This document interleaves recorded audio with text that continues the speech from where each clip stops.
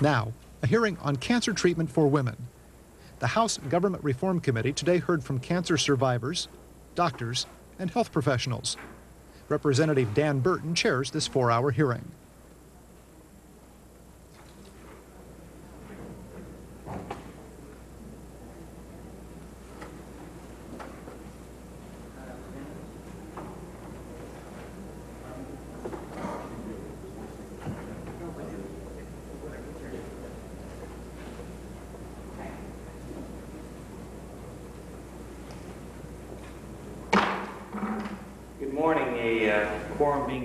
Committee on Government Reform will come to order. I ask unanimous consent that all members and witnesses' written opening statements be included in the record and without objection so ordered. Uh, we will have other members, uh, I see some of them coming in right now, uh, joining us, so uh, they'll be coming in just a few moments. We're here today to talk about a subject that has probably touched every family in America cancer. And specifically today we're going to talk about women's cancers. At uh, hearings in the future, we will be talking about some of the major concerns that men have, prostate cancer. I have uh, uh, talked to Michael Milken's staff. Uh, we're going to be talking to Senator Dole's staff. We'll be talking to the minority also about people that they might want to have testify about uh, men's problems, prostate cancer, and, and other issues as well as diets uh, that that might uh, men in fighting this this dread disease as well.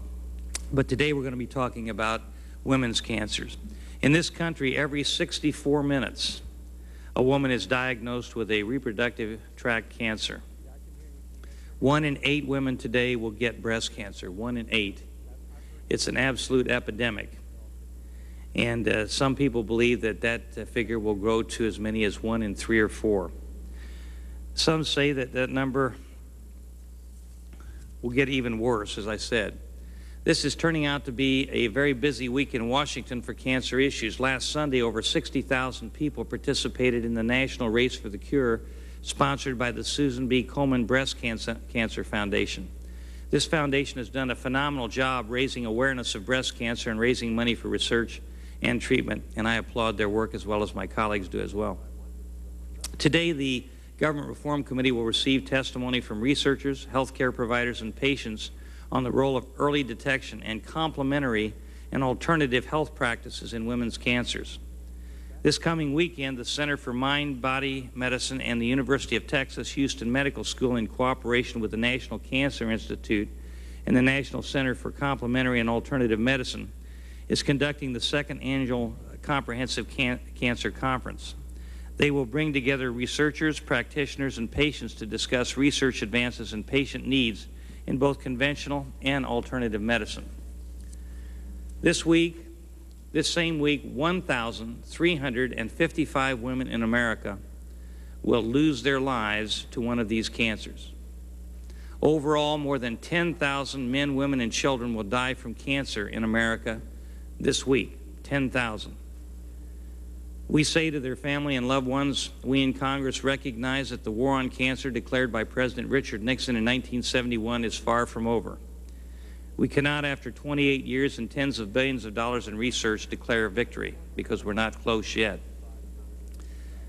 My wife suffered from breast cancer several years ago. Thankfully, she's a five-year survivor. Last year, I lost my mother and my stepfather to lung cancer. So I know, as well as many of my colleagues know, what families go through when loved ones have to fight cancer. Every additional year a patient lives is a victory. Every new treatment, drug, or surgical technique is a potential victory. However, we have not won this war on cancer, but we will not give up. The committee has been working to break through barriers of institutional bias, to get more research done in complementary and alternative therapies for cancer, and to improve the information available to the public from the federal government on treatment options. We cannot abide by institutional biases within the government that says something is not acceptable because it is alternative or unconventional. We must ensure that there is a balance between genetics, drug development, natural product development, and alternative therapy research within the National Cancer Institute. To combat this bias, I am introducing the, quote, Inclusion of Alternative Approaches in Cancer Research Act, end quote. This bill, my bill, would ensure that every advisory group of the National Cancer Institute would have at least one member who is an expert in complementary and alternative medicine.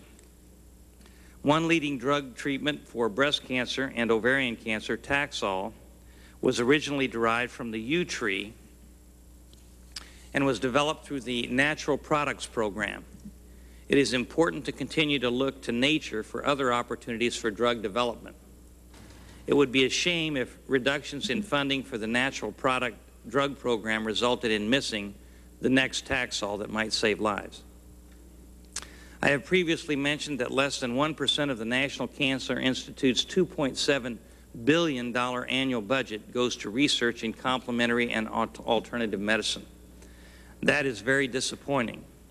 Unfortunately, the director of that institute does not see the need to change that ratio and told me in December that he has no plans to extend that, even though half of America's cancer patients will include a complementary or alternative treatment in their plan to fight cancer.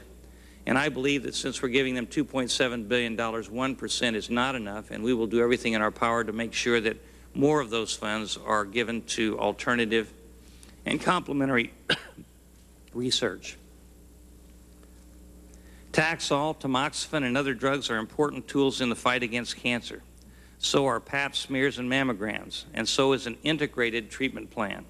We have been pleased with the assistance we have received from several of the professional medical associations involved in these areas, including the Society for Gynecological Oncology and the American Society of Clinical Pathologists. Dr. Edward Trimble will present information on the National Cancer Institute's research in early detection and the integration of complementary and alternative health practices in women's cancers. Cancer is a disease, but its victims are heroes and heroines. They are people, real people with families, jobs, and communities. They make a difference in our lives. People like Sally McLean from Indianapolis, Indiana, who lost her life to breast cancer that metastasized to her spine. Sally was a friend of Claudia Keller on my staff. She also was the daughter of a man who taught me in high school who was a good friend of mine. And it's a shame that one so young should, should die so young because of a disease like this. But Sally didn't give up the fight not one single day. Or Lloyd, or Lynn Lloyd, a high school English teacher in Montgomery County, Maryland. After two bouts with breast cancer, she's now hospitalized with cancer in her brain and her lungs. Even when she was receiving chemotherapy last year, she scheduled it around her classes so she could keep teaching and stay involved with her students. Now that's real dedication. Most of her students didn't even realize that she was battling cancer until her most recent hospitalization. We're honored today to have another one of those heroines with us, a lady that's a very, very good friend of mine. She and her husband uh, were, uh, her husband and I were elected to Congress together back in, eight, in 1982 and uh, we're going to miss him in the United States Senate, uh, Congress or Senator Mack. But his lovely wife, Miss Priscilla Mack, is the executive co-chair of the National Race for the Cure. As a breast cancer survivor, she knows from personal experience the importance of early detection. She has worked hard to raise awareness about women's cancer issues. With the energy that Miss Mack brings to this fight, we will hopefully begin winning more of these battles, saving more lives, getting research funded that will get to answers about prevention, early diagnosis, treatment, and hopefully one day very, very soon, a cure. Biomedical research already knows that there is not a magic bullet cure for cancer. What we do know at this time is that the earlier cancer is diagnosed, the greater the chances of long-term survival. That's why pap smears are such an effective tool in saving lives. And we do know from good research and practice that when someone develops a holistic cancer treatment plan, including attention to mind, body, and spirit, then recovery is more likely with better quality of life and extended life as well. Dr. James Gordon, director of the Center for Mind-Body Medicine here in Washington and an internationally recognized leader in the field of complementary medicine and alternative medicine, will be testifying also about advances in complementary and alternative medicine cancer research. When Jane Seymour, a very prominent movie star, testified before our committee in February. She shared the story of several of her friends who had gone the conventional route of cancer treatment and then been told by their doctors that they had done everything they could, and it was, in, in essence, hopeless. They were basically told to go home and die. These women did not accept that death sentence. They sought other health care professionals and advice from friends and family on other approaches to treating cancer. They learned, as many others have, that in order to survive the conventional treatments for cancer, radiation, and chemotherapy, that a body needs to be strengthened through good nutrition. I am delighted that Michio Kushi is here today to talk to us about macrobiotic about the mac- macrobiotic diet and that the importance of nutrition uh, is essential in cancer patients. Ms. Kushi is recognized throughout the world as the foremost authority in this field. The Smithsonian Institute has just opened the Mikushi, Mikushio Kushi, excuse me, Michio Kushi Family Collection on the history of macrobiotics and alternative and complementary health practices at the Natural, National Museum of American History. We will also be hearing from Susan Silver of the new Center for Integrative Medicine at George Washington University. This center has developed a program for women in cancer treatment with an integrative approach. Dr. Daniel Beilin is here today to update us on a new tool in the arsenal of early detection, regulation thermography. This low-cost test can be used as a complement to mammography for early detection of changes in breast tissue. It has been used in Germany, I believe, for about 10 years extensively. It is also proving to be a valuable tool in detecting other cancers like ovarian cancer and prostate cancer. We're looking into advances in research in prostate cancer, as I said earlier, and we plan to have a hearing early this fall. We expanded this investigation to cover all women's cancers because there's so much that needs to be done in breast cancer and other areas as well. For example, there is no reliable early detection test for ovarian cancer. 75% of ovarian cancers are not detected until the late stage, three or four, and there is only a 25% survival rate of more than five years. However, of those that are discovered in early stages, there is a 95% survival rate of more than five years. The symptoms of ovarian cancer are vague. They're bloating, sudden weight gain, gas, pressure, and lethargy. There is research to indicate that eating lots of meat and animal fats may increase a woman's risk of ovarian cancer. We need more good research in these areas to find solutions.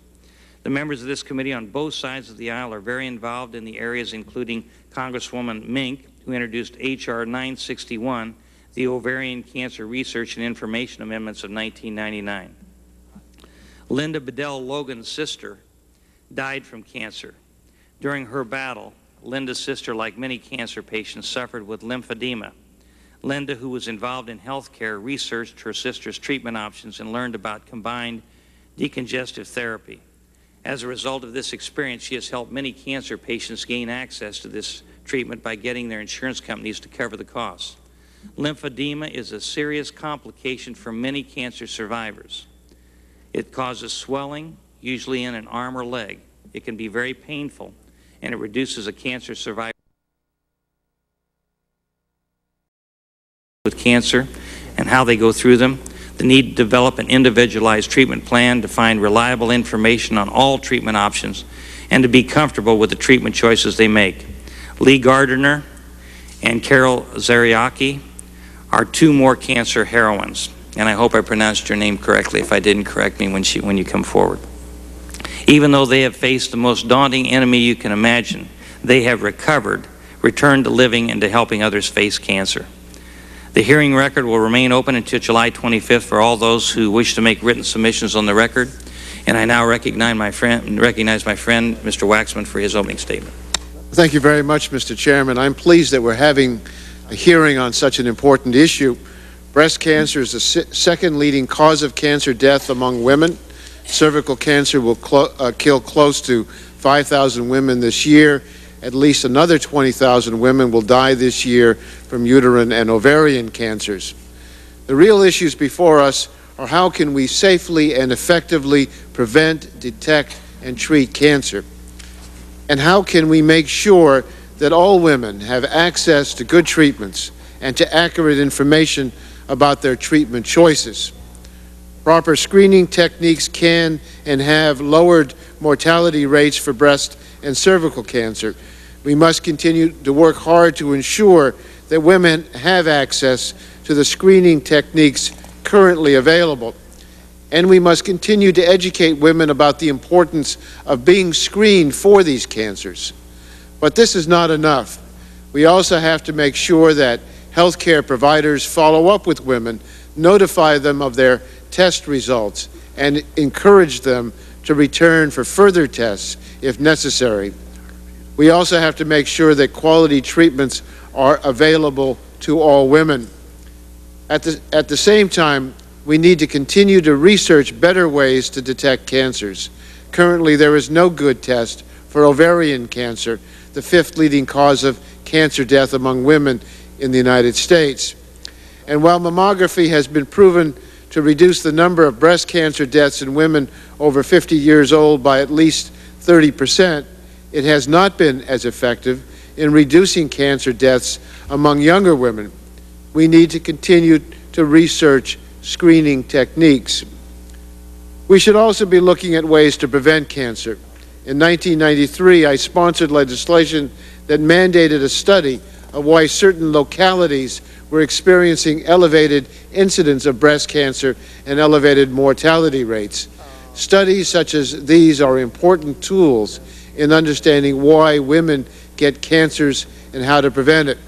We need to know whether the causes are environmental, genetic, dietary, uh, and, and uh, any other uh, pl plausible theory. Uh, we need to understand uh, what is going on and why some localities, uh, for no reason that we can otherwise understand, seem to produce an extraordinarily high number of breast cancers. We must concentrate our efforts on developing safe and effective ways to prevent cancer, to detect cancer, and to cure cancer. And we need to make sure that these therapies are available to all women. We have an extraordinarily high rate of uninsurance, lack of insurance among many Americans. 42 million was the last figure uh, of uninsured people in this country. No one is served by battling over the relative merits of alternative versus traditional medicine. Instead, our goal should be to develop the most safe and effective therapies possible, regardless of how they are classified. Chairman, I'm pleased that we're going to hear from so many important witnesses today. I want to apologize in advance because I have a conflict in my schedule. There's a, a markup on another in another committee, so I won't be here to to uh, listen to all of the witnesses, but I will have an opportunity to review the testimony and uh, look forward to doing that and to working with you and our colleagues uh, to accomplish the goals that we all share. Thank you, Mr. Waxman. Uh, Mr. Mica? Thank you, Mr. Chairman. I don't have a formal uh, opening statement, but I want to congratulate you on uh, conducting this hearing and uh, again reminding us of the importance of uh, early detection, prevention, and treatment, and uh, again compliment you on this and also reserve some time to introduce uh, one of our witnesses. Thank you. Thank you, Mr. Mica. Mr. Sanders. Thank you very much, Mr. Chairman. Mr. Chairman, I think you know as well as anybody that this has been a very contentious committee over the last couple of years. You've heard that, I know that. You're kidding. Yeah, I know. You and Mr. Waxman know that. So it is very nice to see us getting away from that type of partisan hostility to focus on an issue of enormous concern every man, woman, and child in this country, and I thank you very much and your staff very much for putting on this hearing. Uh, what you, the remarks that you have made and Mr. Waxman have made cover a lot of what my opening statement was going to be, but I just want to say a few uh, additional words. You know, first of all, the fact that we're having a hearing on cancer today, probably 30 years ago, there would never have been a hearing like this because people said, well, cancer, it just we don't know why it happens. God strikes somebody, and that's the way it goes. There is no cause for cancer. Remember, that's, and in fact, we don't even talk about cancer. It's such a terrible thing. We use the C word, but we don't even talk about it because there's just nothing that can be done about it. So as a result of the work of a lot of people, we have come a long way, and we're now beginning to take a rational look at, at the causes of cancer uh, and how we can uh, effectively treat it. Just think, not so many years ago, when you and I were younger, we watched on television and we saw physicians telling us the particular brand of cigarette they smoked. Do you remember that? Telling us that they liked this brand uh, of cigarette. That was physicians advertising cigarettes. Well, we've come a long way from that quote unquote conventional wisdom of doctors telling us about which cigarettes to smoke. 20 or 30 years ago, 40 years ago, breastfeeding was told to women and mothers as to be a terrible thing. You certainly don't want to do that. And that were physicians. That was the that was the, the norm. That was the, uh, the, the what, what doctors were telling uh, mothers. I can remember 15 years ago in the city of Burlington talking to one of the leading physicians at our local hospital and say, well, what do you think about diet and disease? Oh, there's no connection between diet and disease. Doesn't matter what you eat.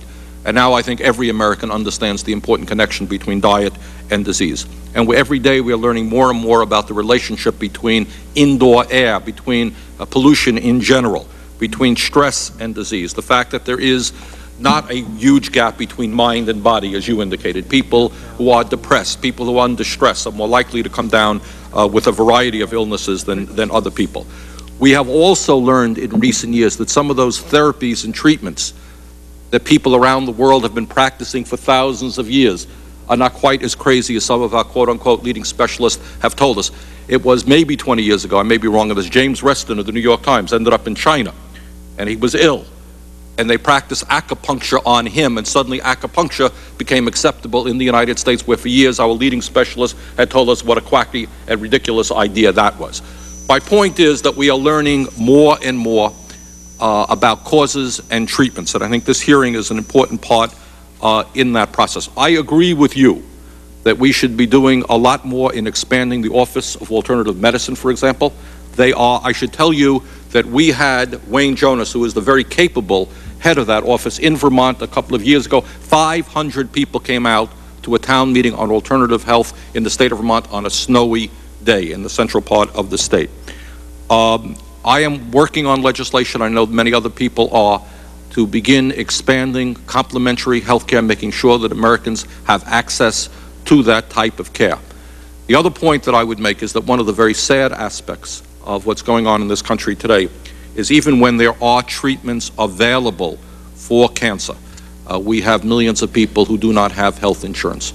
So I would hope that we will join the rest of the industrialized world, and on this issue you and I may disagree or we may not, but the time is now that the United States should join the rest of the world and have a national health care system guaranteeing health care to all people. What is the sense of having treatments out there if you have millions of people who cannot afford that treatment? Where we do agree is I think we should expand and broaden our knowledge in terms of complementary health care. Europe is already way ahead of us, maybe less dependency on some powerful drugs if there are natural cures out there. And mostly, as I think you have indicated, let's study what's going out there. Let's learn. Maybe the treatments don't work, fine but there's nothing wrong with exploring uh, all, all, of the options that are out there. So I really do appreciate you holding this uh, hearing and look forward to uh, working with you. Thank you very much, Mr. Sanders. Ms. Morella? Thank you, Mr. Chairman, and I want to thank you also for holding this important hearing. And during my tenure in Congress, I've been very actively involved in women's health issues, as you know, as a member of the uh, Congressional Caucus on Women's Issues and former chair. I've been working with my colleagues uh, very diligently to increase the funding for women's health, including breast, ovarian, cervical cancer research. Uh, and as chair of the technology subcommittee of the science committee, been working to facilitate technology transfer between government agencies and the private sector efforts such as missiles to mammograms, uh, that project between the Public Health Service, the Department of Defense, the intelligence community, and NASA are critically important in applying new technologies uh, to the fight against breast cancer. The, Cong the, Congressional Caucus for Women's Issues has spent a great number of years attempting to address the neglect of women's health research at the National Institutes of Health, which, as you know, is in my district. The caucus asked the General Accounting Office back in 1989 to investigate the NIH policy regarding the inclusion of women in clinical studies.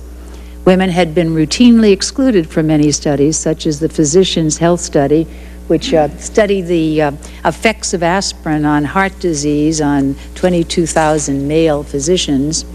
And just this week, however, I, I found it a, a astounding. I read in the Washington Post that, quote, Drinking at least two cups of caffeinated coffee a day lowers a man's risk of developing gallstones, unquote. Now, more than 46,000 men took part in this study that spanned a decade, but what about, what about women? In 1990, the caucus introduced omnibus legislation, the Women's Health Equity Act, which included the establishment of the Office of Research on Women's Health and the requirement that women and minorities be included in all the clinical trials and protocols wherever appropriate in research studies funded by NIH, and that's been working. In the fall of 1990, a meeting of caucus members, NIH announced the formation of that office, and quite frankly, we codified it in Congress, so it is a permanent office. And since that time, great progress has been made in funding for women's health concerns, particularly breast, ovarian, cervical cancer, osteoporosis, and the Women's Health Initiative. For example, breast and ovarian cancer funding at NCI, the National Cancer Institute, has more than quadrupled since 1990. And recently, I initiated a letter to the House Subcommittee on Defense Appropriations asking for continued funding for the Department of Defense peer-reviewed breast cancer research program for fiscal year 2000. Do you know that we have 223rd members of this House have signed on to that letter? However, our job is far from over. And despite great strides in women's health research, we still have to be vigilant, have to address issues that aren't receiving public attention and research priority that they deserve. And that is why I think we are all open to the suggestions and uh, enhancing um, alternative medicines too. More than 14,000 women will die of ovarian cancer this year. Early detection is essential in the treatment of ovarian cancer, and yet there is no reliable early detection test. We know that if diagnosed and treated early, the survival rate for ovarian cancer is 95%. However, there are no obvious signs or symptoms until late in its development, and only about 25% of all cases are detected at the localized stage. And Congresswoman Mink has been very much involved in that uh, project. There are 2.6 million women living with breast cancer in the United States today. Each year, approximately 175,000 women are diagnosed. 43,300 women will die of breast cancer, which is the uh, leading cancer among women. Despite these frightening statistics, there are only three methods for, de for detecting breast tumors self examination, a clinical breast exam by a physician, and the mammogram. I do want to comment that um, the uh, first uh, panelist um, is uh, uh Patricia uh, Mack, as you mentioned, and I am just very proud of the fact that she is the executive co-chair of the Susan Komen uh, Race for the Cure. I have a picture, uh, Patricia, that was just taken of my running in the um, in the race just last Saturday. It was the 10th anniversary. 67,000 67,000 people um, ran in that race uh, bringing in a great deal of money, which will help with all the research projects, and I'm sure you'll tell us about that. As an aside, since we are all affected in some way by uh, cancers that affect women, my sister died 23 years ago of cancer, and at that time, we began raising her six children, I think, successfully. Lung cancer kills more women than breast cancer, and yet there's been very little emphasis on lung cancer in general. In 1998, 23,000 women died of lung cancer, and between 1974 and 94, there was a 147% increase in women diagnosed with lung cancer. Lung cancer tends to be a silent disease, and there are no good early detection programs in place for women or for men.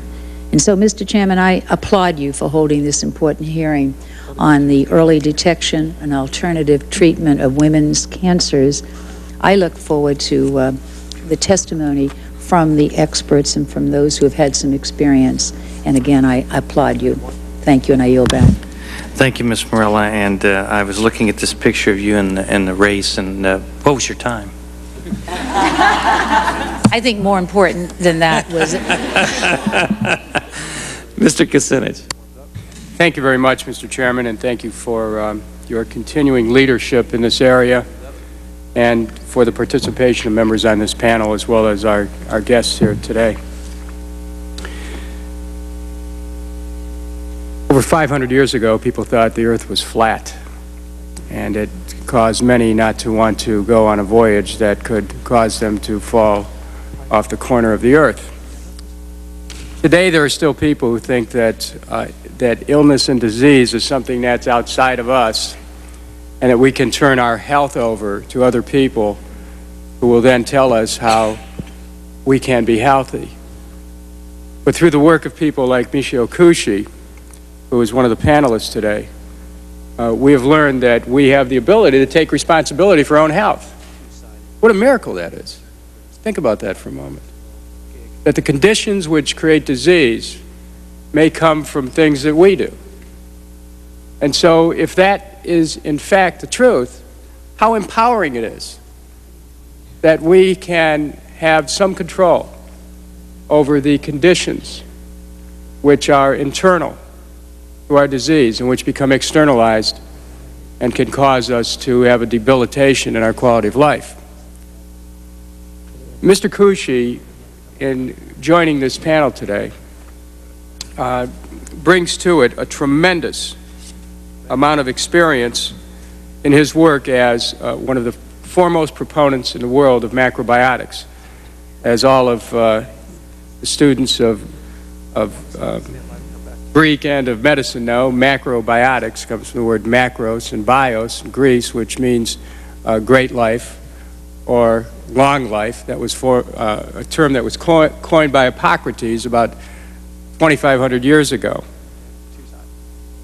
Today, people know macrobiotics in a much more popularized way through foods like um, brown rice and seitan, which is a, a wheat uh, uh, cutlet, a whole wheat sourdough bread, uh, vegetable sushi, rice cakes.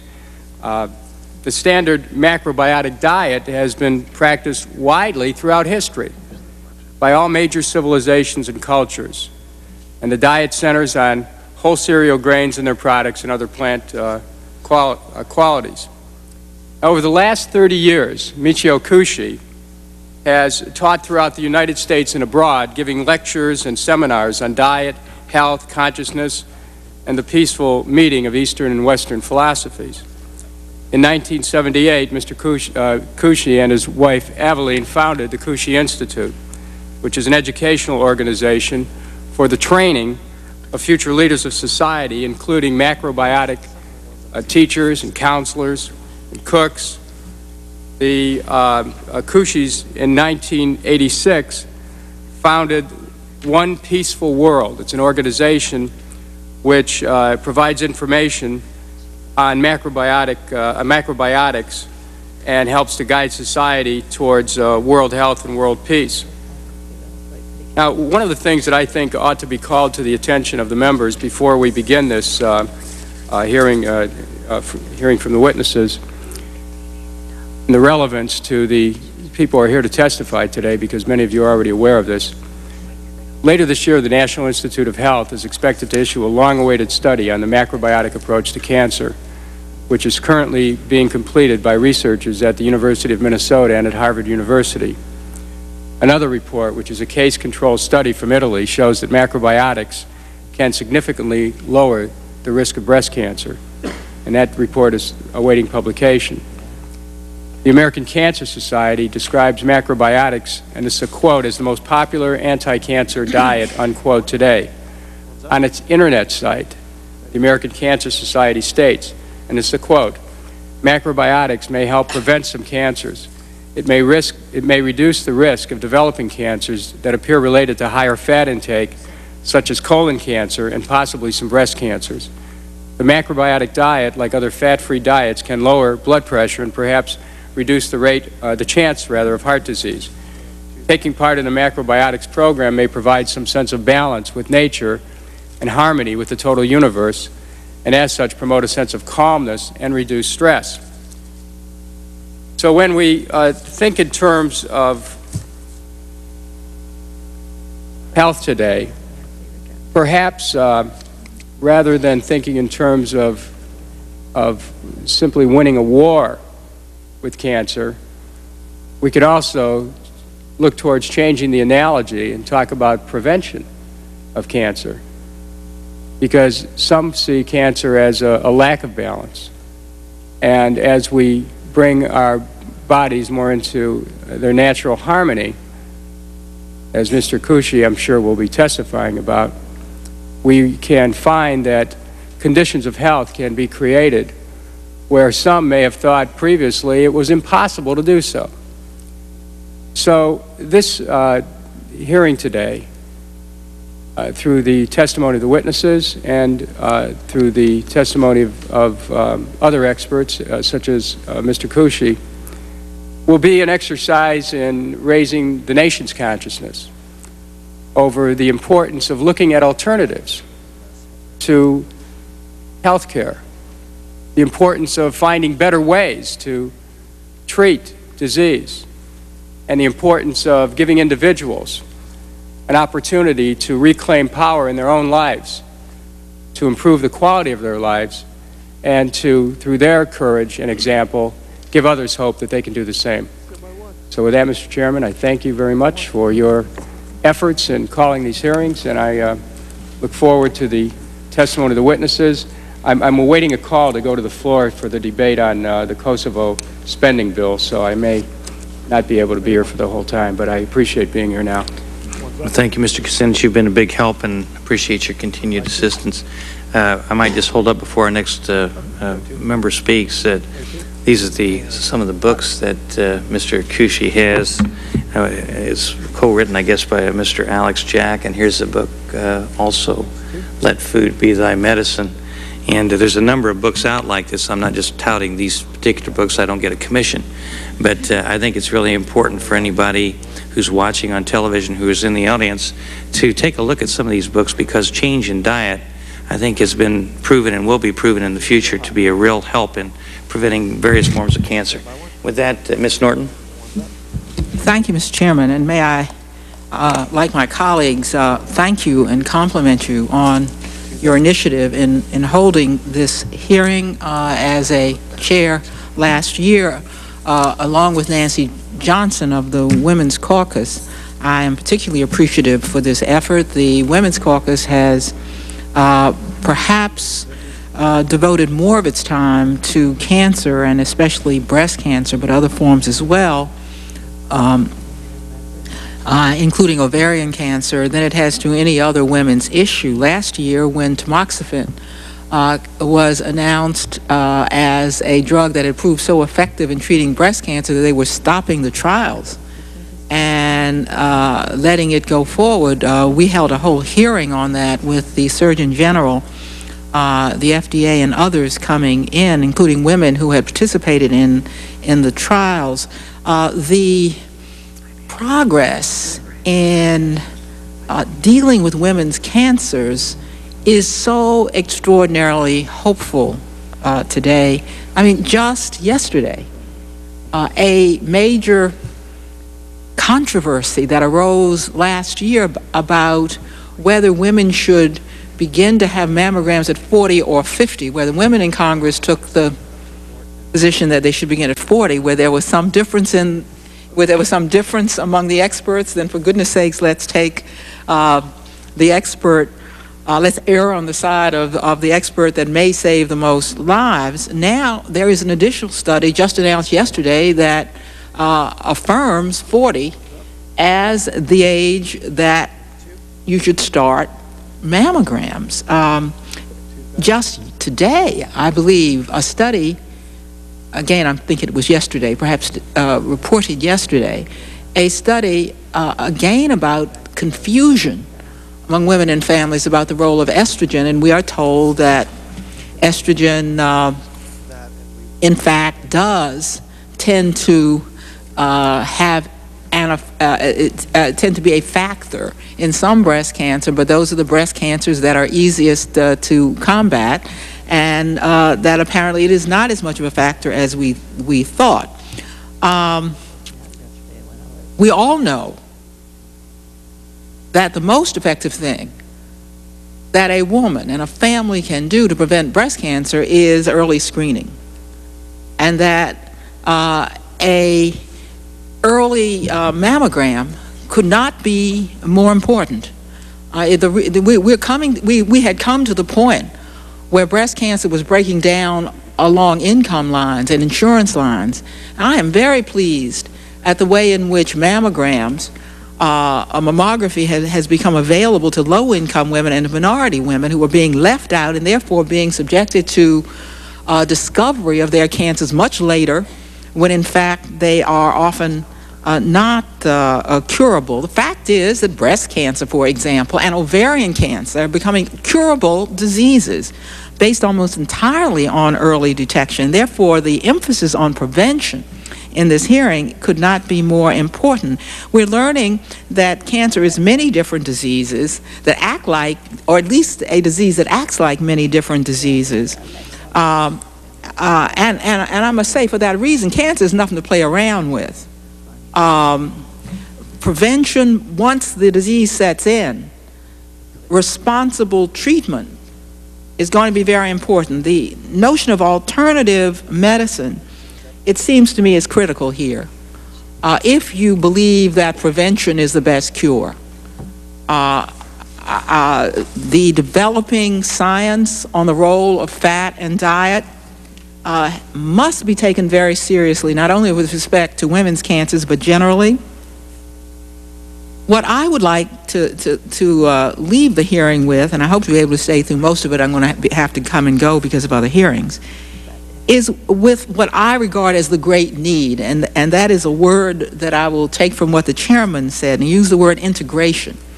That is to say, the integration of, of so-called alternative medicine with traditional medicine as is practiced uh, largely in the West. I mean, the fact is that, that the reason that we're able to cure so much cancer has to do with the genius of American medicine.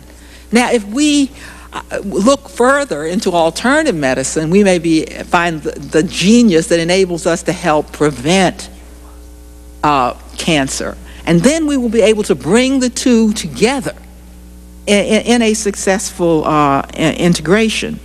Um, I would hate to see the development of polar notions of medicine, that there's alternative medicine and then there's the other medicine. That is a tragedy. That is a false dichotomy. Moreover, we should not allow different sets of standards to develop for testing what is effective. Women have a right to know from their government what is effective, whether it comes out of nature uh, uh, in some uh, pure sense, or whether it is manufactured by a pharmaceutical company. And the role of government is to make sure that somehow uh, we can do our best work by finding safe, economical ways to integrate so-called alternative medicine with more traditional medicine so that there's no such, so those words disappear and, and, and it's all medicine. Finally, Mr. Chairman, let me say that with the Women's Caucus, uh, the members of the Women's Caucus, I went to the Appropriation Committee where we go every year, Labor HHS, and instead of talking about uh, the diseases of women, I proposed a new program which I call LIFE. Uh, and I chose that acronym for Lifetime Improvement in Food and Exercise because I am appalled at the way in which particularly the baby boomers and children are setting themselves up for cancer, diabetes, arthritis, and every deadly disease known to man through overweight and obesity. Uh, it, the, the notions of fat and diet are very important, but they are important because of the natural ways in which they prevent uh, disease.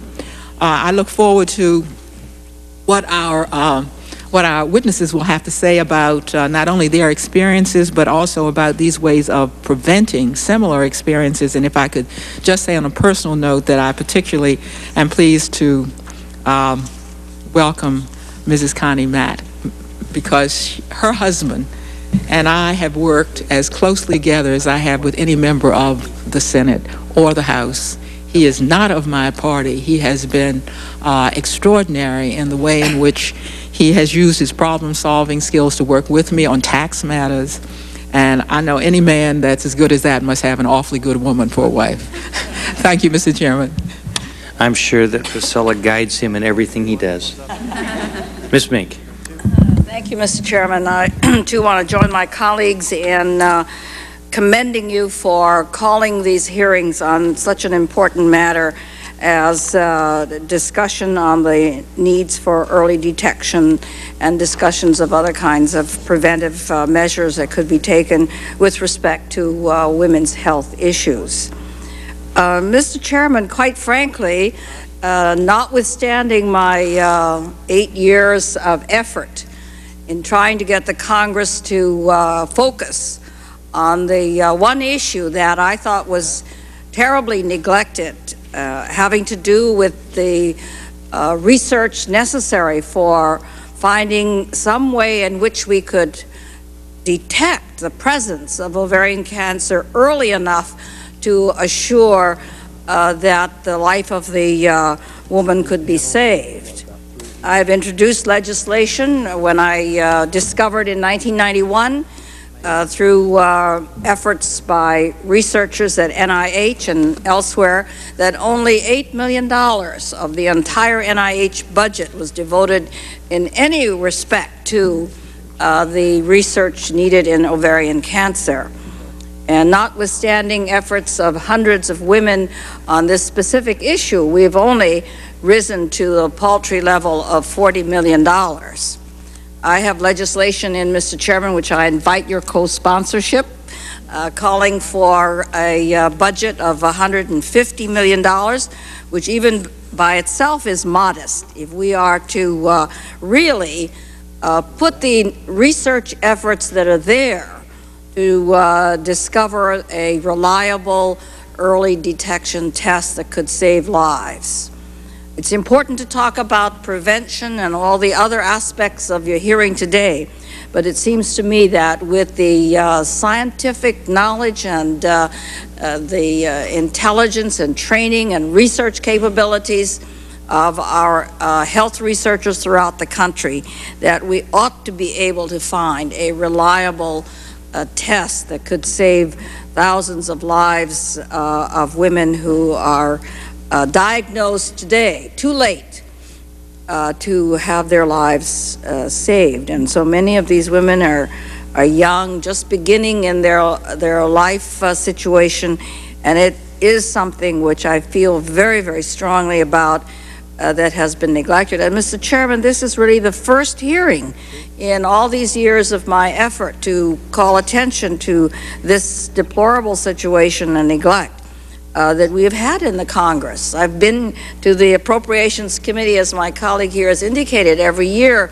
asking for uh, earmarked money for this research effort, and the Appropriations Committee has refused to earmark any money uh, for ovarian cancer research. They have uh, uh, included report language, but never any earmarked money.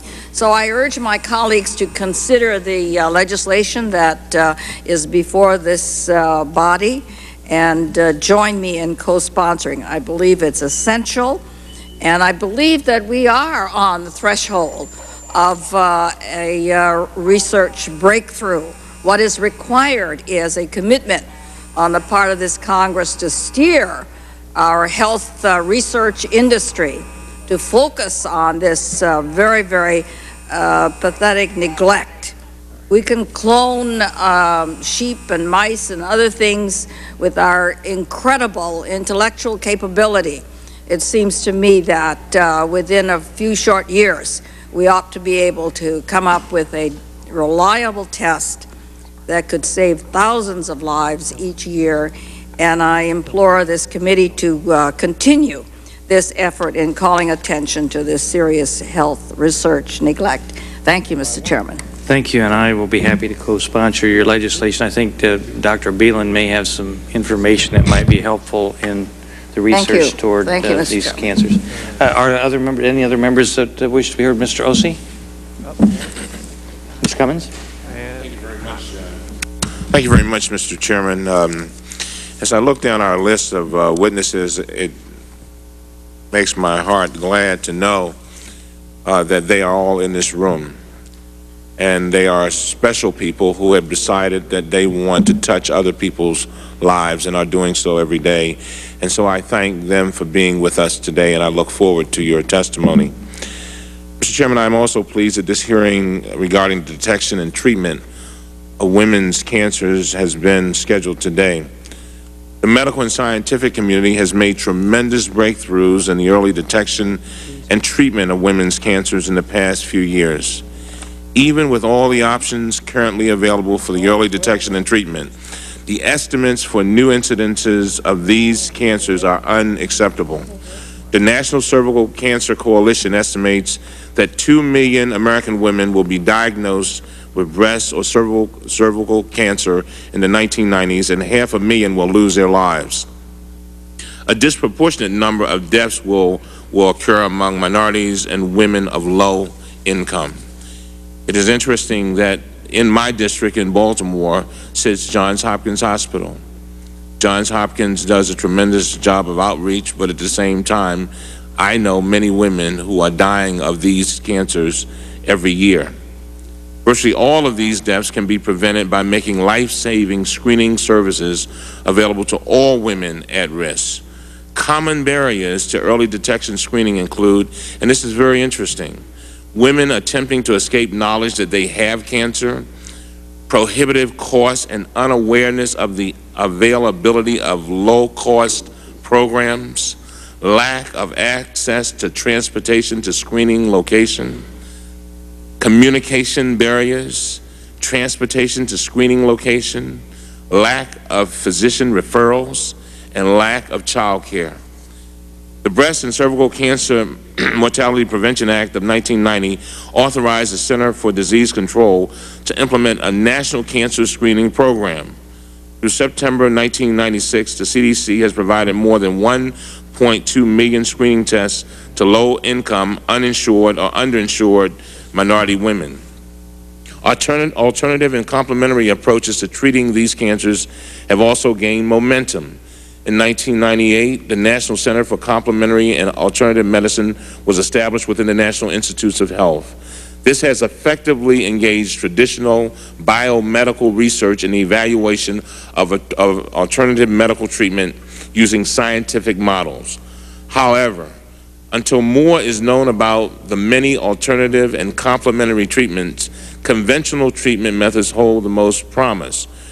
We hope for a cure in the near future. In the absence of a cure, the ability to implement a national program to detect and treat women's cancers depends in large part on the involvement of various partners in state and local governments, physicians, national and private sector organizations, and consumers. In the spirit of greater understanding and education of varied treatments of this disease, I look forward to hearing the experiences and opinions of today's witnesses. Thank you. Thank you, Mr. Cummings. Uh, Ms. Schakowsky? Uh, we, we will have uh, uh, two votes on the floor, uh, and we should be back here in about uh, 15 minutes. I apologize to the uh, people who will be giving testimony, but we'll get right to you just as soon as we get back, so please excuse us. We stand in recess uh, to the fall of the gavel, about 15 minutes. Okay, we're going to stay hot.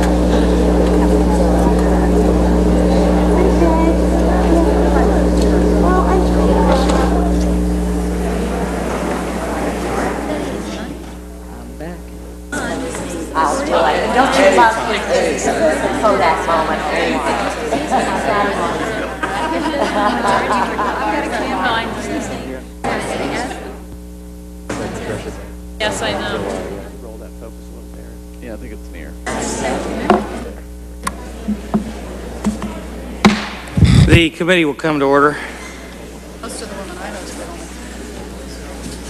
Sorry for the delay. Uh, We had some votes on the floor of the House. I'm sure members will be coming back in here as they leave the floor. Um, I'd like for our first uh, series of witnesses, Ms. Mack and uh, Mr. Kushi, to come forward, please, and take their seats. Ms. Mack, you can sit there on the left there, and Mr. Kushi can sit here on the right. Uh, I think I'll recognize my colleague uh, from Florida for an introduction. Thank you, uh, Mr. Chairman, and I am uh, indeed delighted to have this opportunity to introduce uh, someone very special to me. Uh, For the past two decades, I've known uh, the Mack uh, family, uh, Okay. uh, had an opportunity to uh, be a friend and uh, also recently be a colleague uh, of uh, Senator Mack.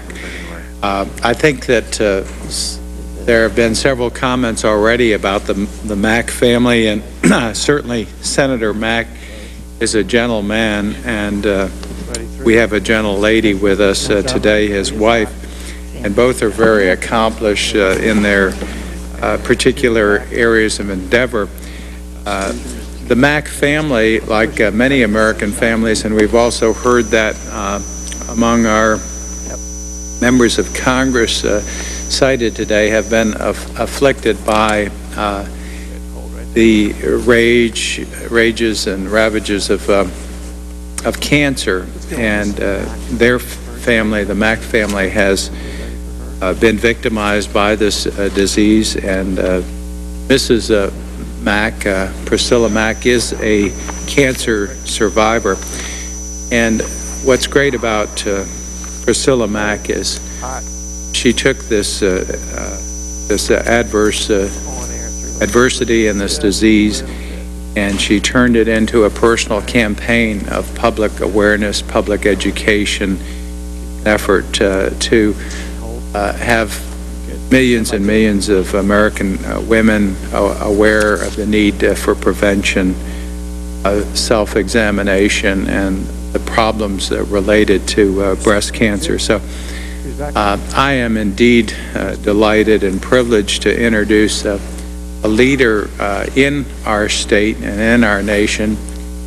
She's really our first lady in Florida in the fight against uh, cancer and uh, really uh, our first lady uh, in the nation who uh, has brought to the public, to the American women, the need again for early prevention, det- detection, and treatment. So, Mr. Chairman, thank you for this honor and uh, welcome Mrs. Mack. Thank you, Mrs. Mack. And I, I can recall back when uh, Connie and I first got elected in 1908. That was 1982. Seems that long. Yeah, and uh, Connie came over to my uh, condo o- over in Alexandria, and we sat on the floor and watched Chariots of Fire. You were down in Florida at that time, so Connie and I have been good friends for a long time as well as you. And I remember watching your boy grow up, so I'm real happy you're here today. And Mr. Kushi, we're very happy you're here today. Uh, uh, I'm going to read your book, and uh, hopefully that'll save my life for a couple of years. So we'll start off with you, Mrs. Mack. Mr. Chairman, members of the committee, I'd like to thank you for the opportunity to appear before the Committee on Government Reform, and I commend you for holding this important hearing. I am here both as a breast cancer survivor as well as executive co-chairman of the Susan G. Komen Breast Cancer Foundation's National Race for the Cure. In October of 1991, I was diagnosed with breast cancer. Prior to the time of my diagnosis, I had followed all the recommendations with regard to having annual mammograms and clinical breast exams. However, it was through breast self-exam that I discovered my lump in my left breast. I underwent a modified mastectomy, followed by six months of preventative chemotherapy, five years of tamoxifen. In May the following year, I completed my reconstructive surgery. I also want to note that I had had my mammogram nine months before I found my lump. I had had my clinical exam three months before I found my lump. Early detection saved my life through my breast self-exam, and today I'm a breast cancer survivor. My goal is to share with as many women as possible the lessons I have learned as a breast cancer survivor. The most important lesson is a simple one educate yourself. When confined to the breast, the five-year survival rate is more than 95%. But women have to do three things. And through the American Cancer Society, of which I work, work also in Florida, we call it triple touch. And you'll see when I mention these three things why triple touch saved my life. One is your breast self exams monthly. Two, mammograms as indicated by your physician. And three, your clinical exams. My message to women is simple but important. Early detection saved my life, and it can save yours too. One of my efforts to help in the fight against breast cancer is my work on behalf of the Susan G. Komen Breast Cancer Foundation's National Race for the Cure.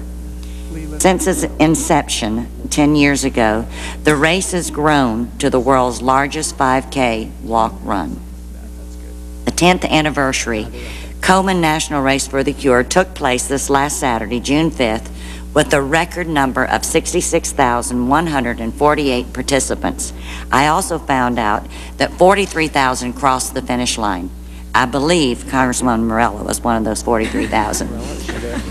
We were honored that Vice President Al Gore and Tipper Gore served as our honorary chairs for the race. Breast cancer survivors took part in a special Salute to Survivors, which began with an inspirational walk at the foot of the Washington Monument. We also had a large bipartisan contingency of Washington lawmakers and more than 2,500 participants from 72 countries around the world. Most importantly, thousands of my breast cancer survivors wearing pink t-shirts all, uh, all participated from all across this great land. Last year, the Komen National Race for the Cure awarded $1.8 million in grants to 24 Washington, D.C. area hospitals, research centers, breast health organizations, national grant programs of the Susan G. Komen Breast Cancer Foundation. These grants provide funding for breast health programs, including research, screening, treatment, and education programs. This year, we are pleased to announce that we will give approximately $2.5 million in grants to be awarded from this year's race. Since its inception, the Susan G. Komen Breast Cancer Foundation has raised more than $136 million through the work of its local affiliates in more than 100 communities across the country. Once again, let me offer my heartfelt thanks to the many, many members of the Senate and the House of Representatives who participate in the Komen National Race for the uh, Cure series throughout the year. With each advance we make in finding a cure for breast cancer, we are one, in each advance we make in finding a cure for breast cancer, we are one step closer to winning the race. I'd like to, before I close, mention to you all how cancer has touched our lives personally. Um, through this all, I want you to keep in mind that many of us are alive today because of early detection. My husband's mother was a 25-year breast cancer survivor. My husband's brother died of melanoma at the age of 35. His was not detected early.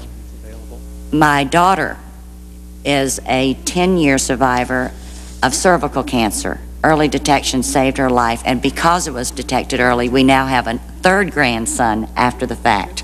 She is in perfect health. Uh, my husband was diagnosed with melanoma in 19, right after he was elected to the Senate, early detection, and due to the profound experience we had with his brother, early detection saved my husband's life. And then I was diagnosed with breast cancer, and early detection saved my life. Unfortunately, Connie's mother died of renal cancer, Connie's father died of esophageal cancer, and my stepmother died of ovarian cancer. When we say early detection until we find a cure saves lives, but me meaningful things like this hearing and all that the doctors and the researchers are doing, I pray to God will end this dread disease. Mr. Chairman, I thank you for the opportunity to appear before this committee. Thank you very much, Priscilla. It's uh, good seeing you again. And I, I, was not aware of all the tragedies that your family had uh, had had to endure. We, we've had some ourselves, but uh, man, that's a lot. So you're to be commended, and Connie's to be commended for all the extra efforts you, you put forth to help out. Mr. Kushi. Thank you very much for this opportunity. Thank you. the Honourable chairman and also government reform committee members. I very much appreciate the fact that conventional medicine has developed its technologies with the goal of diagnosing and treating various illnesses. We desire the continuous support of the physical and other approaches that conventional medicine offers for the treatment of sickness. On the other hand, the conventional approach is a symptomatic approach and therefore does not focus on revealing or applying understanding of the cause which underlie disease. Number two, professionals engaged in the practice of conventional medicine often lack an understanding support of other healthcare approaches. Number three, conventional treatment, including its method of diagnosis, has always produced side effects. This is especially true when treatments are over-applied and often result in the severe suffering of those who receive such treatments. Four, conventional medicine method of diagnosis and medical treatment are always expensive and often beyond the average person's income. As a result, also often becomes the responsibility and burden of the government, the public, and the insurance systems. Based upon these points, the tendency of individuals to search out these alternative approaches, so-called alternative complementary health practice, has increased over the past many years, beginning commencing from about 40 years ago. Currently, approximately 50% of those who are suffering from disease are searching for and receiving unconventional method of treatment. As a demonstration of these trends, consider the example of cancers that affect women. One, over the past 40 years, it has been my experience, as well as that of my associates, that many women are hesitant to receive chemotherapy, radiation, and other intensive treatments. Two, many women who receive conventional care seek alternative methods as a result of intensive suffering, both physical and emotional, that they, they experience by conventional medical treatment. They seek out milder approaches. Three, many patients desire to know the cause of the cancer from which they are suffering, yet they do not receive satisfactory answers. The cause of women's cancer, as is true of the majority of physical emotional sicknesses, lie in daily lifestyle and dietary practice. For example, in the case of breast cancer, the majority cause, the major cause are overconsumption of high-fat foods, including dairy food, and simple carbohydrates such as refined sugar and sweets. In the case of ovarian cancer, the majority dietary factors are the overconsumption of eggs and poultry, as well as of other high-fat, high-cholesterol animal foods. In the case of uterine cancer, dietary cause include the overconsumption of animal food and heavy dairy fats such as those found in cheese. In the case of cervical cancer, similar to prostate cancer in men, the primary dietary factors are the overconsumption of oily and greasy foods, salty foods, hard-baked flour products, and heavy animal foods. In the case of thyroid cancer, the primary cause are the overconsumption of eggs, poultry, dairy fats, and hard-baked flour products. In the case of pancreatic cancer, consumption of poultry, cheese, shellfish, and hard-baked flour products are contributing factors. In the case of skin cancer, causes include overconsumption of oily food, sweets, and dairy fat, uh, high-fat foods. In the case of leukemia and lymphoma, dietary cause includes overconsumption of dairy fats, sugar, and sweets, as well as oily and greasy foods. Overconsumption of stimulants and aromatic substances such as hot spices, alcohol beverages, and caffeine accelerate the speed of spread of the cancer condition. Other lifestyle factors such as cigarette smoking, physical inactivity, exposure to high levels of electromagnetic fields or radiation, and the consumption of chemically treated foods and water also contribute to, contribute to the development of cancers. Non-organic chemical, chemically cultivated agriculture, irradiation, microwave cooking, and similar method of unnatural food production and artificial processing, as well as dairy and natural lifestyle are potential factors as well. The macrobiotic approach, which attempts to correct these undesirable characteristics of the current American lifestyle and dietary behaviors, has been practiced by many individuals since the 1960s. Beginning as a grassroots movement, the macrobiotic approach led, have led to the initiation of the natural food movement and organic agriculture. The macrobiotic approach continues to gain popularity and currently influences many millions of people. As a healthcare practice, this approach has helped to prevent disease and speed recovery times associated with numerous sicknesses, including many types of women's cancer. Among those in today's audience, the following seven, six, seven ladies are present. They have experienced various types of cancer and also have recovered through the macrobiotic approach. Uh, Chris Akbar, would you stand up? A former physicist from Pennsylvania who recovered 14 years ago from inflammatory breast cancer, which is predicted in two, three months their lifetime. Marlene McKenna, a mother of four, radio television commentator and investment broker from Rhode Island, who recovered 16 years ago from malignant melanoma spread to the small intestines. Judy McKenna, McKenney, a clothing designer from Florida who recovered eight years ago from non-Hodgkin's lymphoma stage 4.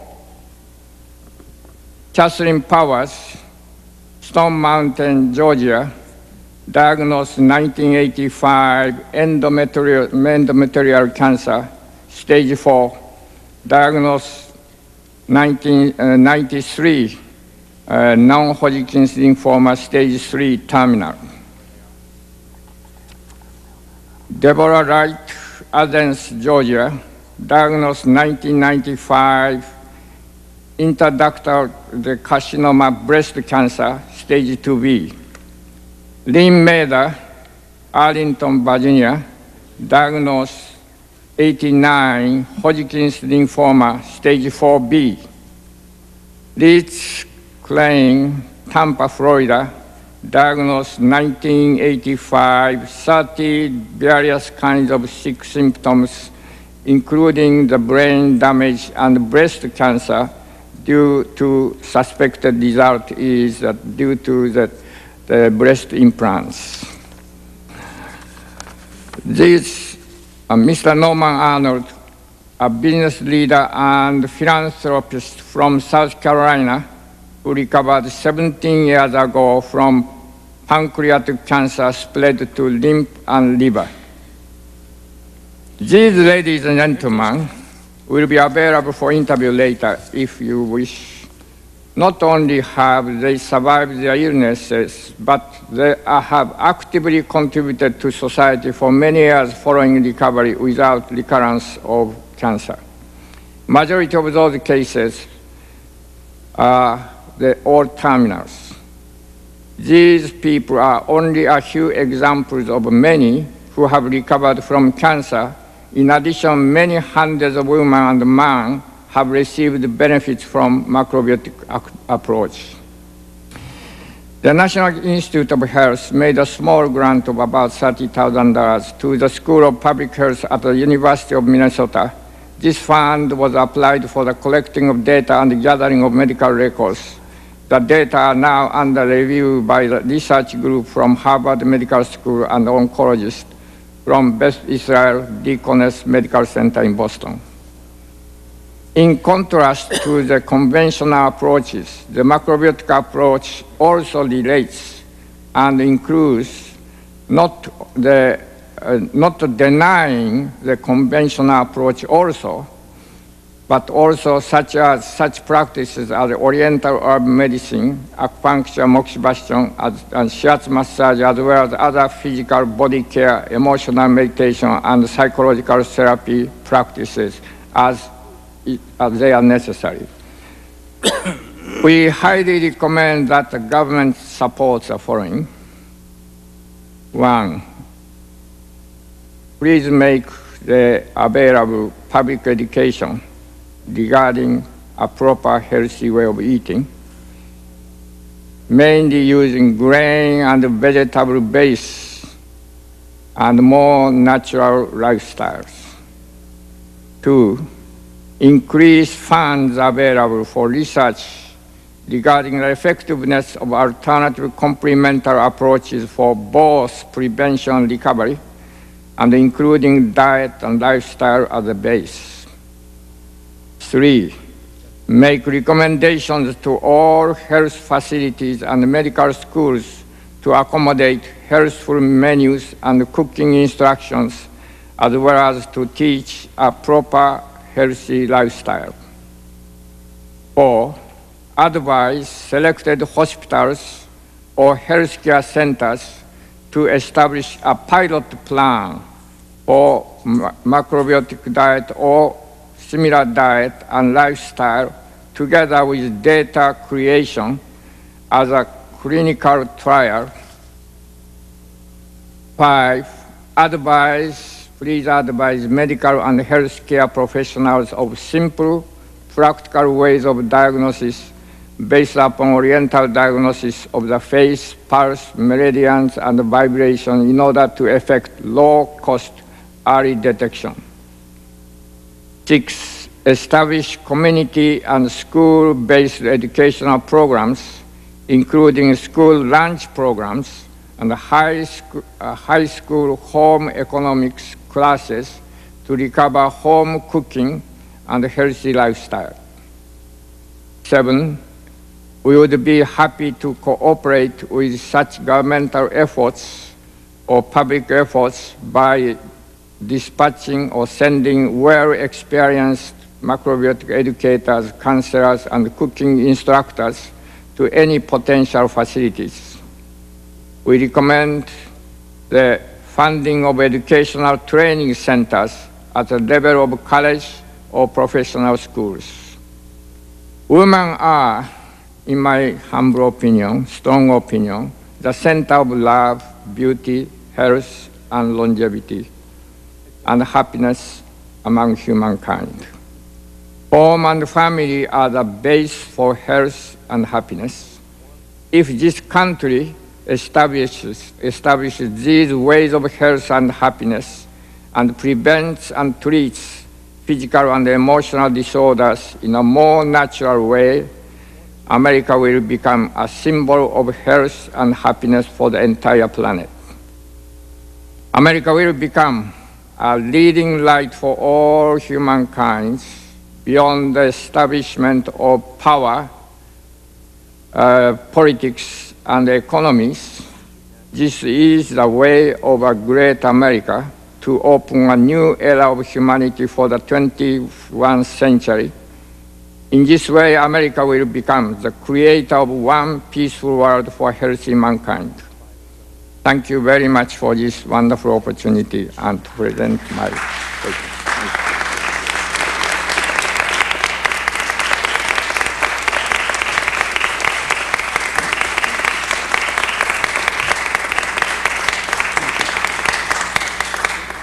Sounds like some people like you quite a bit. I don't even get that kind of applause when I go home. First of all, let me ask a few questions here. Uh, Ms. Mack, when you had your breast cancer, did you have it in any of your lymph nodes? No, I did not. It was diagnosed early enough. Um, I had it, uh, no lymph node involvement, and therefore my prognosis was Very much good. better. Did, uh, did you have any chemotherapy? Yes, I did. I had six months of uh, preventative chemotherapy. At the time I was diagnosed, the protocol for um, uh, breast cancer without node, lymph node involvement, I had gone to six months of preventive chemotherapy uh, following a mastectomy. And uh, that wasn't done even a year before. Uh, Usually they um, didn't follow it along with anything. And- And then the five years of tamoxifen after that. Did you have radiation too? No, I did not. Did not have to have radiation? No, I did not. Well, I recall when uh, my wife had her breast cancer, and she did have it in five of her lymph nodes, and that's why the prognosis was not that good. And uh, one of the most tragic things that people go through is when they start to, women start to lose their hair after the uh, chemotherapy. And so uh, I just wish everybody in America could have the opportunity to share the kinds of pain, mental pain that men and men and their women and their husbands go through when that sort of thing occurs. In addition to the other side effects of uh, cancer that affect family life. Well, you're to be commended for what you're doing, and we really appreciate it. And I'm sure other members will have questions for you. I do want to ask uh, Mr. Kushi a, a few questions. Uh, you have um, apparently a lot of these people had diseases that were would have been deemed terminal illnesses before they went on your program. Uh, some of those people I, uh, you mentioned had uh, lymphatic ca- cancer, and they also had uh, cancer that had spread into the stomach and into the pancreas. And I, I heard one that said the liver, which I always thought was a, a terminal situation. How do you account for the reversal of their problems? Is it strictly because of the macro, macrobiotic bi, uh, diet you talked about? The cause of cancer are heavily related, caused by daily eating. For example, pancreatic cancer case, as I mentioned, heavy poultry eating. Poultry. and Poultry and uh-huh. egg eating, and also shellfish eating, and hard-baked flour, etc. Of course, heavy, fatty, oily food. So now, when we approach, we must reduce, eliminate, or reduce those of eating, and recommending more grain, vegetables, and other healthy one. And we try to eliminate as soon as possible from his body or patient body the effects accumulated those fat and accumulated those bad influence. How do you eliminate that? Uh, Some people talk about things like chelation therapy. Uh, do you just do it by diet? through the diet, very simple way. I'd like to exa- uh, I'd like to present maybe one example. Sure, She, go yeah, ahead. she will talk about yeah. a case with breast. Go ahead. Hi, my name's Chris Akbar, and I'm one of Michio's assistants in Boston. Um, um, in 1985, I was dosed, diagnosed with inflammatory breast cancer at Yale New Haven Hospital. I was a grad student working on a PhD in physics at the time.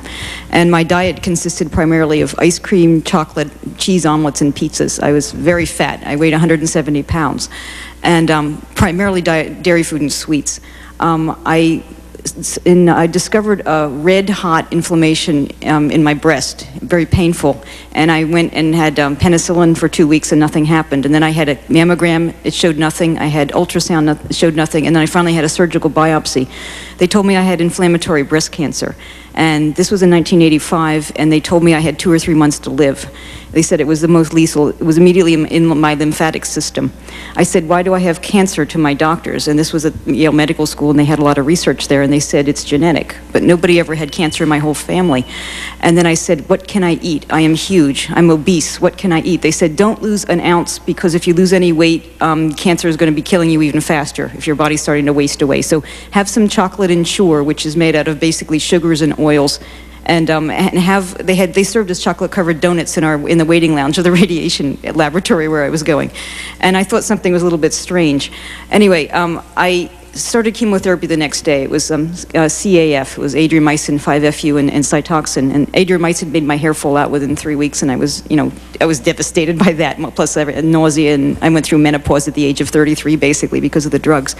And then um, I, I uh, did radiation twice a day for six weeks, and that was a very intense experience also. Meanwhile, I had read a book about macrobiotics. Um, it was by a physician from Philadelphia who had prostate cancer that had spread throughout his bones, and he was basically a hopeless case. He was the chairman of Methodist Hospital. And um, he picked up some hitchhikers who were hippies back in the, in the, late 60s who said, try a macrobiotic diet, it'll save your life. Well, he did, and after, two, after uh, one year of macrobiotics, he was completely cancer-free with no other medical treatment. And he was on a gourmet French diet. It was heavy fats, heavy meats, heavy sauces, wine, everything. The, the normal, uh, he was from Philadelphia, and he went to the Le Bec-Fin restaurant, basically. I was on a gourmet chocolate diet, and I said, this is the cause of my problem. I really think dairy food goes to the mammary part of my body and creates a problem. It just makes sense. And I picked up a book, that cancer prevention diet book you have. It said dairy food and sweets is the primary cause of breast cancer, and that was my, what, the main thing I was doing. And it said, stop those things and start taking some things to clean it out. Well, I came to Michio for counseling, and his wife had just done her cookbook, and I said, this is my Bible. I'm just going to follow this book. And um, I did, and Michio gave me very simple remedies. He gave me a plaster made out of barley and cabbage that I just put on my breast every night. In five days, I felt the tumor getting smaller and softer. He gave me something to reduce my weight. Simple vegetables made like daikon, which is a long white radish, and carrots. I did just made it, grated them and ate that every day. I lost 50 pounds within like two months, and all this fat came off of me. I, I had a really bad pancreas from so many eggs and cheese I had eaten, and he gave me a simple drink made out of carrots, onions, and squash called sweet vegetable drink. I took that and my pancreas cleaned out and I no longer had sweet cravings. I didn't want chocolate every afternoon at 4 o'clock. And I had chronic constipation. I think that's often in, um, associated with breast cancer because the toxins sort of build up in your body when you can't eliminate them. And he gave me something to strengthen my intestines, a simple like oriental drink made out of a or the, a, a, root powder that kind of like a starch that strengthened my intestines. Well, I just did his diet. I, I, never had touched, in 14 years since, I haven't touched any ice cream or chocolate or dairy food or meat, and I don't miss it at all, or sugar. And after two months, I got incredible diarrhea one night, and I wondered what was happening. And the next morning, I had realized that my entire tumor that was hanging on here was completely discharged out of my body naturally. What had happened was in your intestines when you eat, the um, nutrients from the foods that you're eating are absorbed and it changes the quality of your blood. And if you're taking these things, like I mentioned, these macrobiotic type things, it actually goes through like a solvent and goes in and through your body and cleans everything out. So as I was losing all of this fat, everything was literally, along with the tumor, was just absolutely discharged out of my body. It was very effective. And I kept, I'm a, a scientist, so I kept very careful records of what I was doing and how my body was reacting. I found if I took any extra oils, he had told me oil is like throwing um, like throwing oil onto a flame, which was this inflammatory tumor, if I ate any oil, the redness would come back. And in fact, it did. The inflammation, I could actually cause the inflammation to come back. I, I just li literally eliminated all of that stuff that caused the cancer, took these things, these um, vegetables and grains and, and, beans and seaweeds and whatever to clean out, and literally it flushed out of my body and saved my life. So in two months, when I was supposed to be dead from the medical treat, after, you know, even with the medical treatments, it saved my life. It was so effective. It literally used the, the food as a cleaner to go through and clean out your body. Very effective. I was really impressed. so I'm alive. 14 years later, here I am. I would guess you would be impressed. Yeah. Uh, okay. Those, those friends, besides many hundreds other people, have been experiencing similar way. Well, thank you, Doctor. My, my time has expired. Let me yield now to uh, my colleague, Ms. Norton.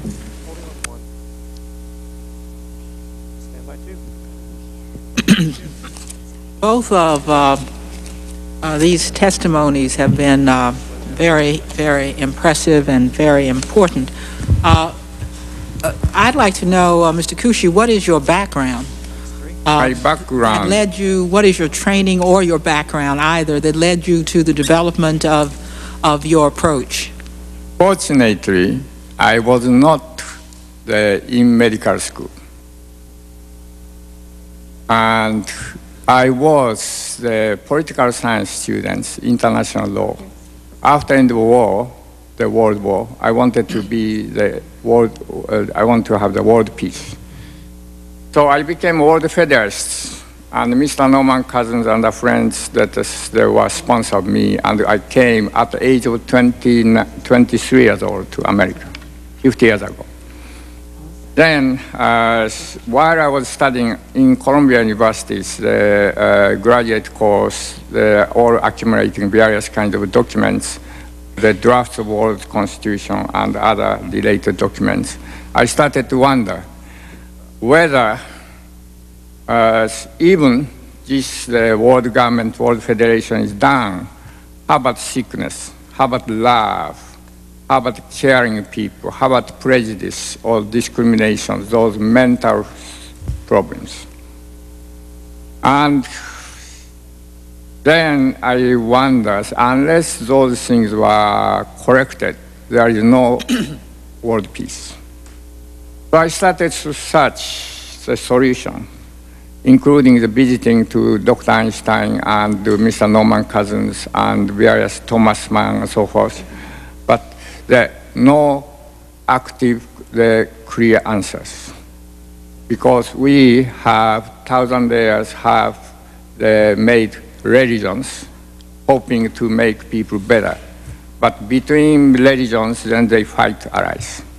And then we hoped education high and also the material prosperities. Then again, unfortunately, their sickness spread, crime spread. So I started to, or I gave up all political science studies, and I started to stand New York, in New York, Times Square and Fifth Avenue. I started to watch people, what is humanity is, what is human beings.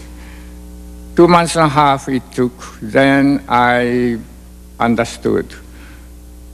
Everyone has been, mankind has been made by two factors, environment and what we eat. And what we eat is entirely in our hand, freedom. Individual people are the uh, freely choosing, freely cooking, so forth. Then now, if proper diet in the environment, certain environment is done, then healthy and happy condition comes. If not, then sickness arises, crime arises, violence arises, etc.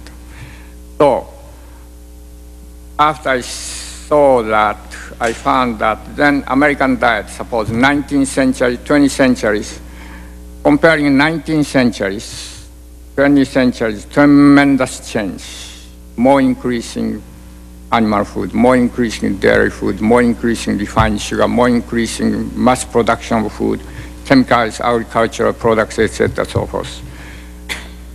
Exactly parallel way, heart disease increasing, cancer increasing, and various kinds of so-called degenerative disease are increasing, as well as so-called virus disease, and also mental problems, etc., increasing.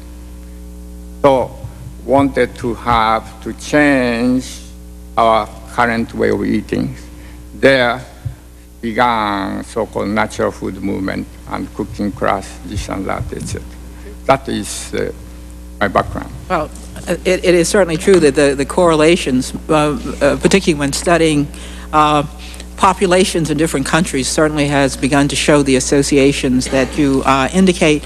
Uh, I, I also note that that in your testimony you indicate you seem to have an integrative approach as well. You uh, indicate the debt we owe to conventional medicine, and then you you indicate that there are certain things that medical schools and others can do uh, to integrate these approaches uh, in order to get better results for people who Yeah. have the disease or to prevent the disease. Uh, may I ask if the people whom, who are under your care, if you require that they not engage in conventional treatment, uh, or if some of them have also uh, been engaged in, con- in conventional treatment while uh, being involved with your diet? That, those things are up to the patient. The entire patient has entire freedom.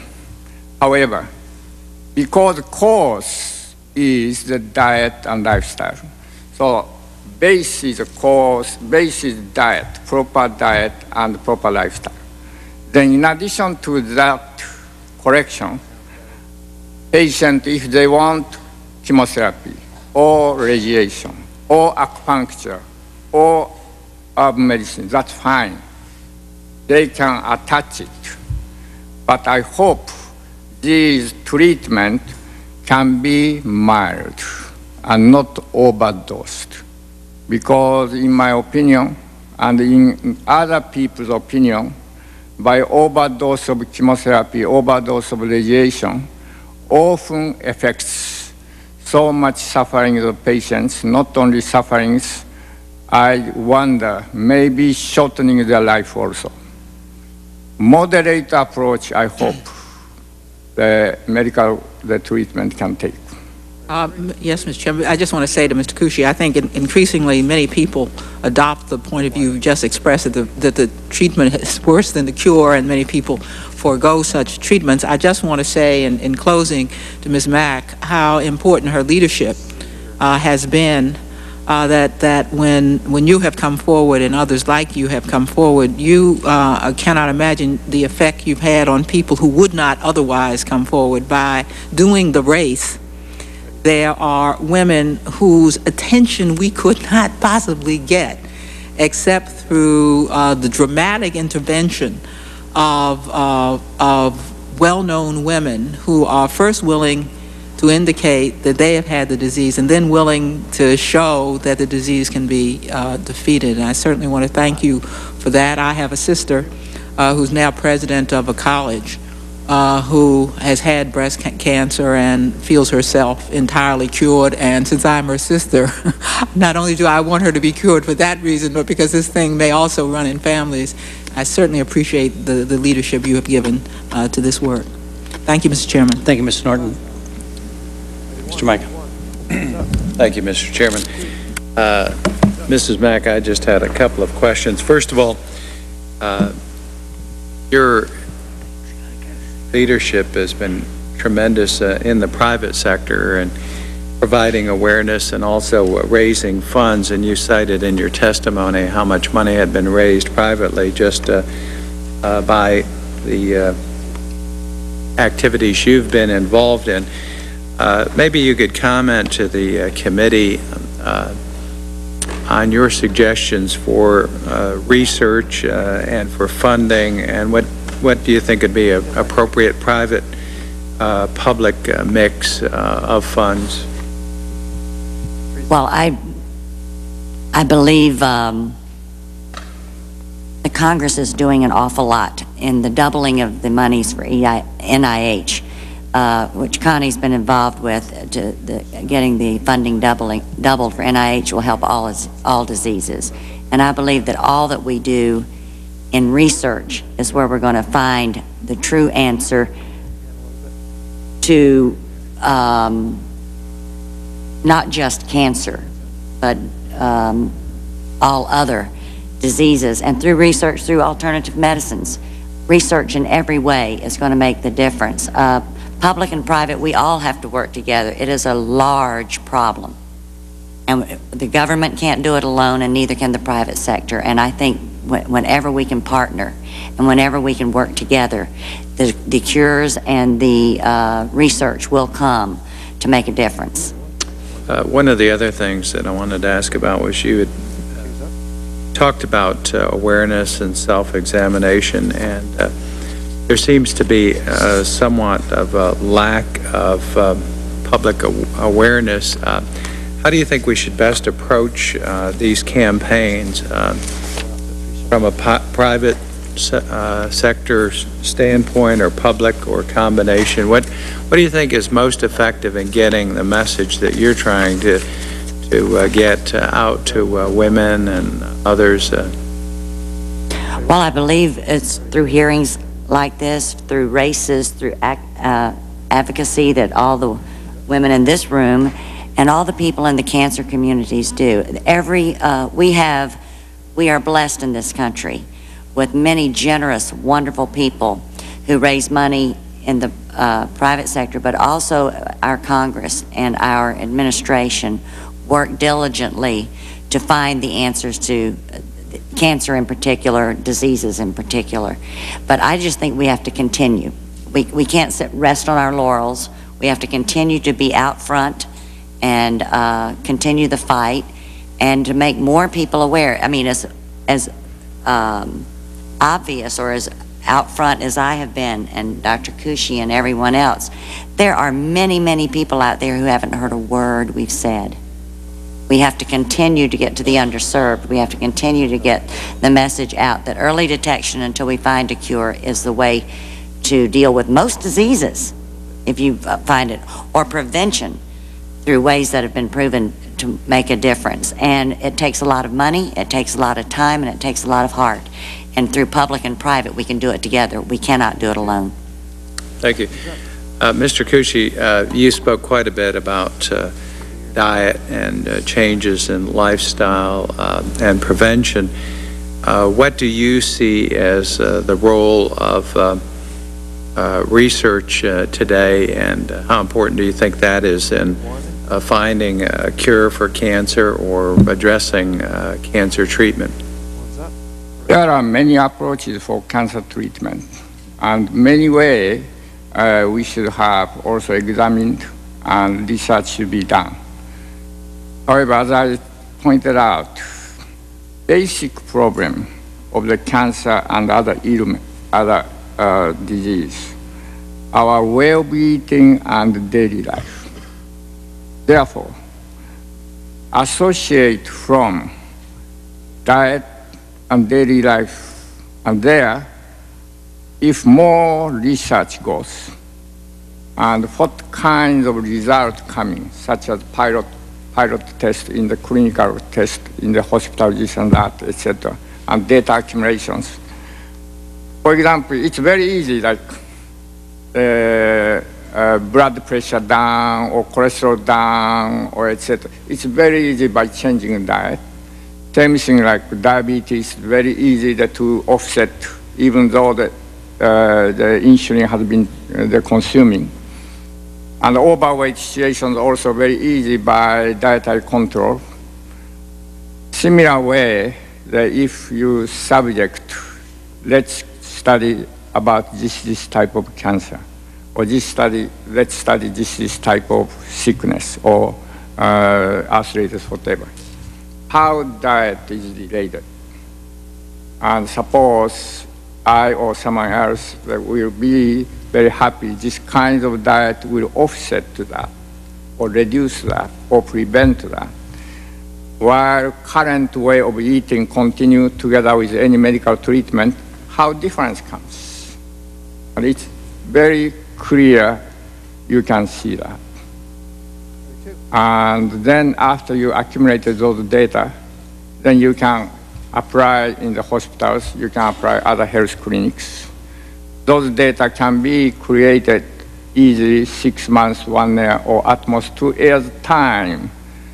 Enough data which we can convince the people who are working in healthcare field and educational field. Thank you, Mr. Chairman. I yield back. Thank you, Mr. Mica. Uh, Ms. Mink? Thank you, Mr. Chairman. I uh, want to compliment both of our uh, witnesses. You have uh, very inspirational messages, not just to this committee and the Congress, but to the American people at large. I detect the common theme of both of your testimonies is a sense of personal responsibility. In your case, uh, Mrs. Mack, your detection was by yourself through self-examination. And the message there is that notwithstanding all the um, medical instruments that are now available for uh, detecting uh, breast cancer, uh, the, uh, there is really no substitute for the once-a-month self-examination procedure. And in uh, your case, uh, Mr. Kushi, the uh, knowledge that um, what you eat is what you are, I think is an important uh, message that uh, we have to take very, very seriously. And I do think that the points you make in your testimony, uh, Mr. Kushi, have been well expressed. uh, by uh, nutrition experts, by people in the medical profession who are constantly hammering on your diet and don't eat fats and stay away from this or that. And so I think the general message is not that different in terms of the medical profession and what you are espousing. The uh, uh, point, however, of getting the message down earlier in life, particularly in uh, areas like the school lunch program, in our schools, and in our training programs. I've been told that medical doctors have less than one course subject on nutrition and, and the diet. And they go out and they, they are uh, treating patients with very serious illnesses with very little perception about the importance of diet. So I think we have to carry the message to the professionals uh, uh, and uh, convince them that the words they expound about diet truly have meaning. And I think that that is what you have brought to this committee. And I um, commend you for your work and for your leadership and uh, commend your book. And, and I will get a copy and read it from cover to cover. Thank you very much. Thank you. Thank you, Ms. Mink. Uh, Ms. Morella. Thank you, Mr. Chairman.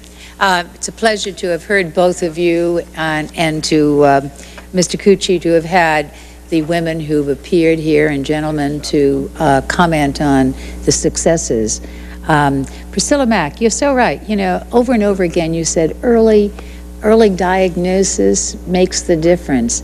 And, and I, I'm pleased that in, in my area with the American Cancer Society, with a number of hospitals involved, with Hadassah, uh, we have been bringing a program called Check It Out to high schools and inviting the 11th and 12th grade females to come together in an assembly and to learn self-examination. They learn it with, I mean, they ask very graphic questions. They learn it not only so they can get into the habit of doing it, but so that they can be the messenger to bring the message to their older sisters, their mothers, their grandmothers, their friends. And I guess that this is something from what you said, having, in terms of how you even discovered uh, that you had a, a challenge, uh, it is through the self-detection. So I, um, I want you to know how much I appreciate what you have done and the fact that you brought an enthusiasm and such strength to, uh, to the whole concept of, of research and, and our own personal involvement and certainly the Komen race to the cure, for the cure. No wonder the money has doubled over the last year because we've had inspirational people. So thank you. Um, I, I'm interested, Mr. Kushi, whether or not, first of all, these people um, who are such great testimonials to the concept of, of, of the dietary facet of it, did they come to you as a last resort? And how do they hear about you? And do you have any centers in Maryland? right, right. Your home, I hope your house will become a center in the near future. First of all, many people are coming uh, to see me on my associates or teacher, macro teachers. As many of them have received already medical treatment, and they was declared no way the terminal case, or the- they themselves dissatisfied the result of the medical treatment, and those people comes. Probably those people, maybe 40% of people. Second is the uh, people who got sickness and diagnosed. Then they start, before they uh, receive conventional treatment, they start to search alternative way and came to us. That is second approach. That may be about 30% or so. Other number of people were, for the sake of keeping their health, for the case of the precaution, they also come. That's about general ratio. And the people who have come to us because they found, and because they found at that time, maybe that stage maybe one or two or three or whatever, the different stage. But as I said, and as you know, many women are hesitant to go drastic treatment. And so before receiving treatment they such, as well as the, after they receive some drastic treatment, then they were still said, you are no hope. Then they start to search. That kind of. Uh, Do they hear about you basically through your book, Yeah, through words, through word books. of mouth, uh, Right. word spread? That's right. Just, we have never, we are not a commercial venture, so we- are not, we never advertise, but through the books, through the educations, and also our educational center, the Kushi Institute in Massachusetts. However, through that education for many years, many graduate and develop those teachers. Throughout the world, several thousand teachers working here and there. And in this country, many states, many cities have also macrobiotic teachers. They are doing cooking class, they are doing health advice, or various the social work. You would, it seems to me, suggest that doctors, that all doctors, um, all of the health practitioners include as part of their um, treatment that there be the, the recognition of how food, as well as exercise and, and uh, other moderate lifestyles, the, the, the uh, role that food plays. Now, she mentioned some of the mixtures that you made. I mean, do you have to have it in mixture form? Can you just have like good vegetables and have a list of do's and don'ts? And does it have to be mixed in a certain proportion? Yeah, depends on, right? For example, like, you know, that like colon cancer. Yes. The more they're caused by beef and pork and cheese, etc., right? eggs. Then eliminating that effects, we need the like grated daikon, grated carrots, or, the green leafy vegetable juice, so forth. right? The more opposite factors we bring, but opposite energy factors. And in the case of like the, uh, I would say that the uh, intestinal problems, then there, the traditionally, the Oriental countries that has been used, the kuzu, kuzu, uh, and also the umeboshi plum, that is uh, pickled plums, that are very good for digestions. And also suppose if you want to straighten out pancreatic cancer, then uh, you better have sweet vegetable like cabbage, carrots, like the, uh, the squash and onions. Those fine, finely chopped uh, equal amount and three, four times water and uh, the uh, cook 20, 25 minutes. That's sweet drink, vegetable drink. Drink every day, one cup, two cups. That's making easy. The something like our approach is, number one, safest approach. Number two, cost very little. Number three, at home they can practice and use food substance, food which they can get very easily, using them and making home remedies. I guess I'm going to have to buy the book. Thank you very much. Thank you, Mr. Chairman. Mr. Cummings. Thank you very much, Mr. Chairman. Um, To Ms. Mack, I want to thank you for, um, for being a leader in this area. So often what happens, it's, uh, I think it was Martin Luther King Sr. that who said that you cannot lead where you do not go, and you cannot teach what you do not know. And so often people go through uh, difficulties, and once they get through their difficulties, they almost act like it never happened. But you, not only have you remembered, but you have acted on them to try to help other people. And I think that there is uh, no greater thing that we can do as human beings than to use our pains and our problems and to turn them around uh, and use them as a passport to help other people. And so I thank you for your leadership. Um, I, as I was looking at the uh, this uh, the statement of uh, our good friend uh, Mr. Kushi, um, I just want to just ask you a few questions because it I, am tr truly fascinated, Mr. Chairman. I'm so glad you had this panel because I did not expect to be it to be so interesting. Um, Are, are you inferring that this committee is not interesting?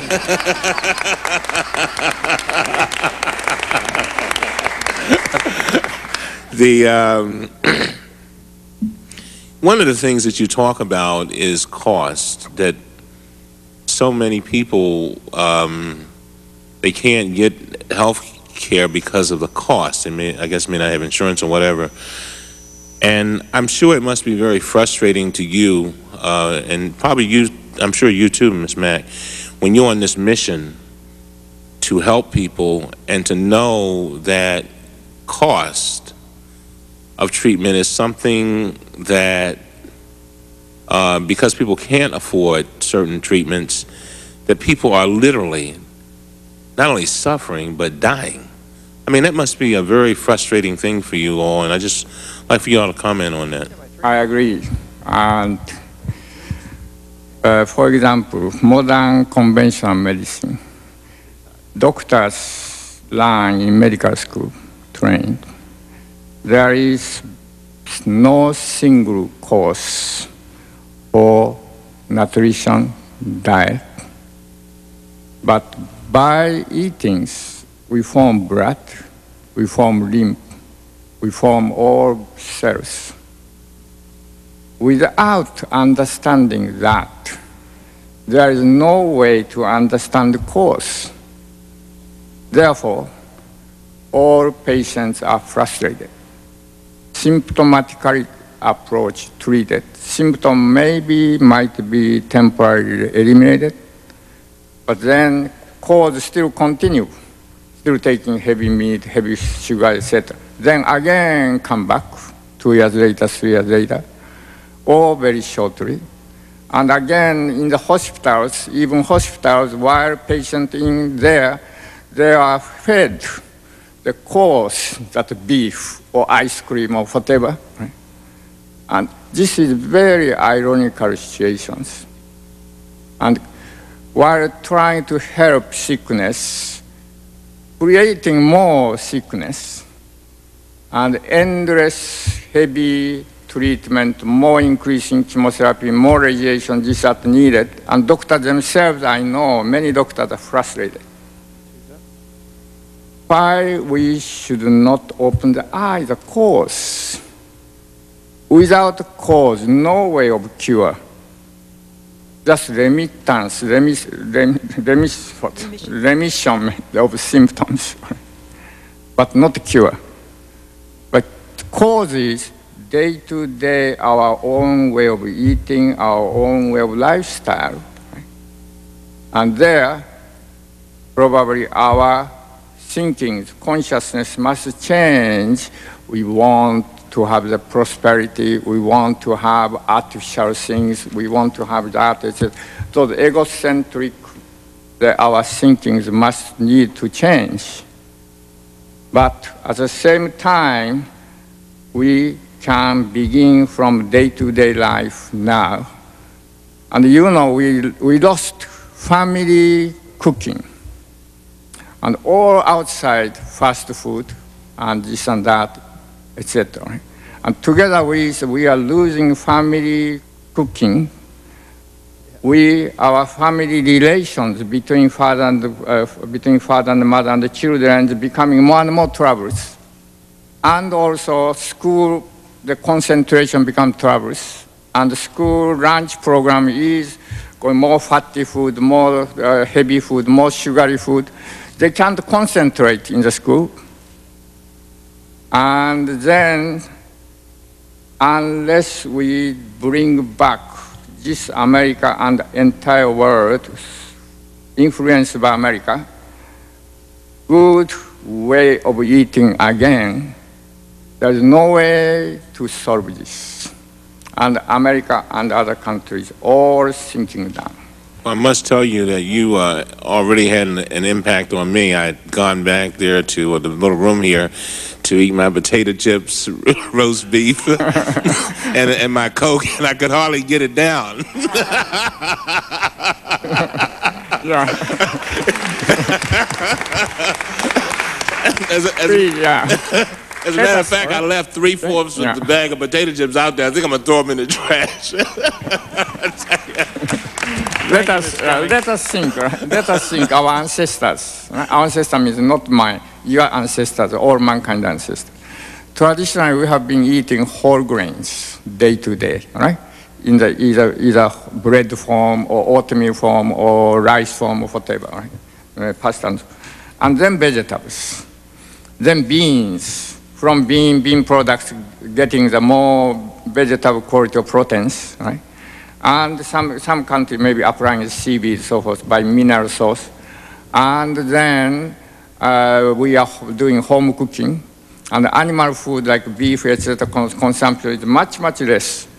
I have no objection to have that, to animal food, but much percentage was less. And not like currently, like antibiotics or hormone treated, like the beef and so forth, right?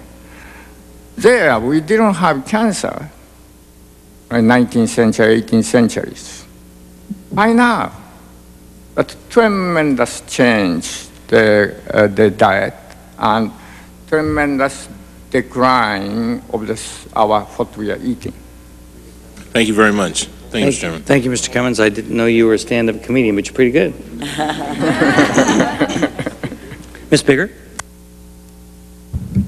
Thank you, Mr. Chairman. Uh, Mr. Suji, um, your diet seems to be quite the opposite of, of several diets that are popular right now uh, in this country as Uh, far as for- losing for weight, example, yeah, like for- the Zone diet or Sugar Busters uh, and those high-protein diets, uh, which are high in fat, but see, uh, yeah.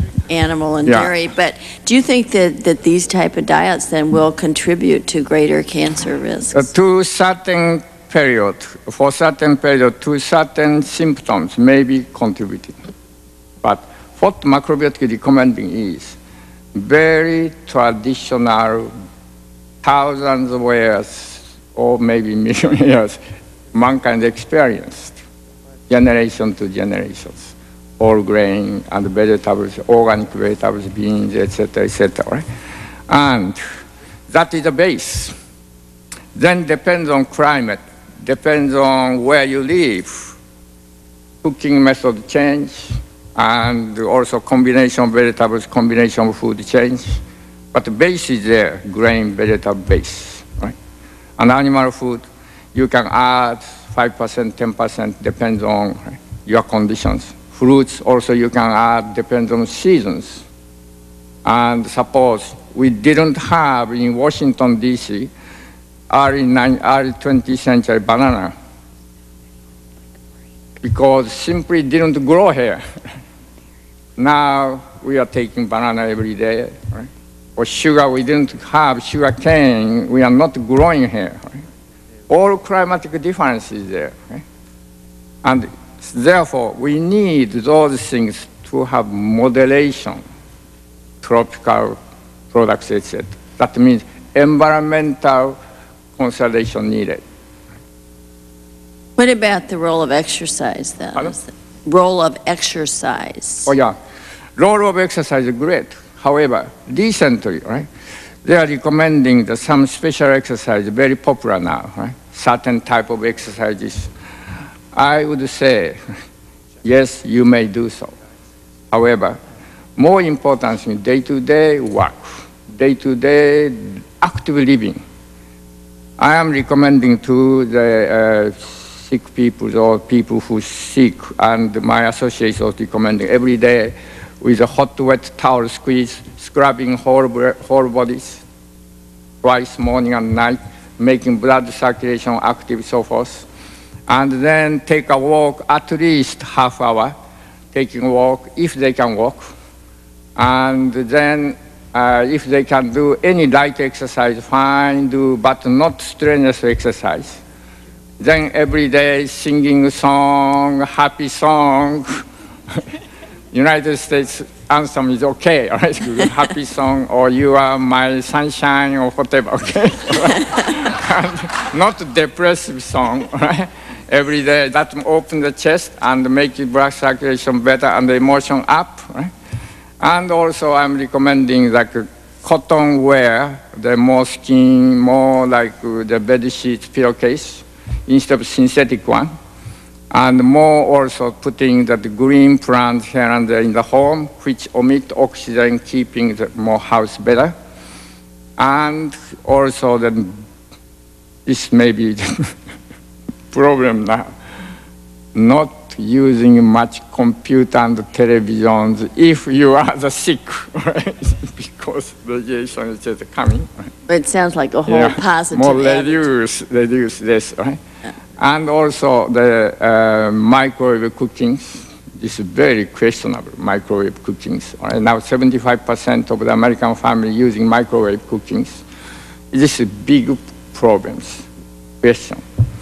And the traditional, more like charcoal cooking or gas stove, etc., much, much better. Right? And furthermore, like electromagnetic environment, uh, better to examine, much less place. And, of, and also home family cooking will recover. And I hope they have a chance, whole family have a chance, some evening dinner time talking each other. And they sleep not midnight, more like 10 o'clock, 11 o'clock, so forth. And in other words, healthy, normal, healthy life. All right.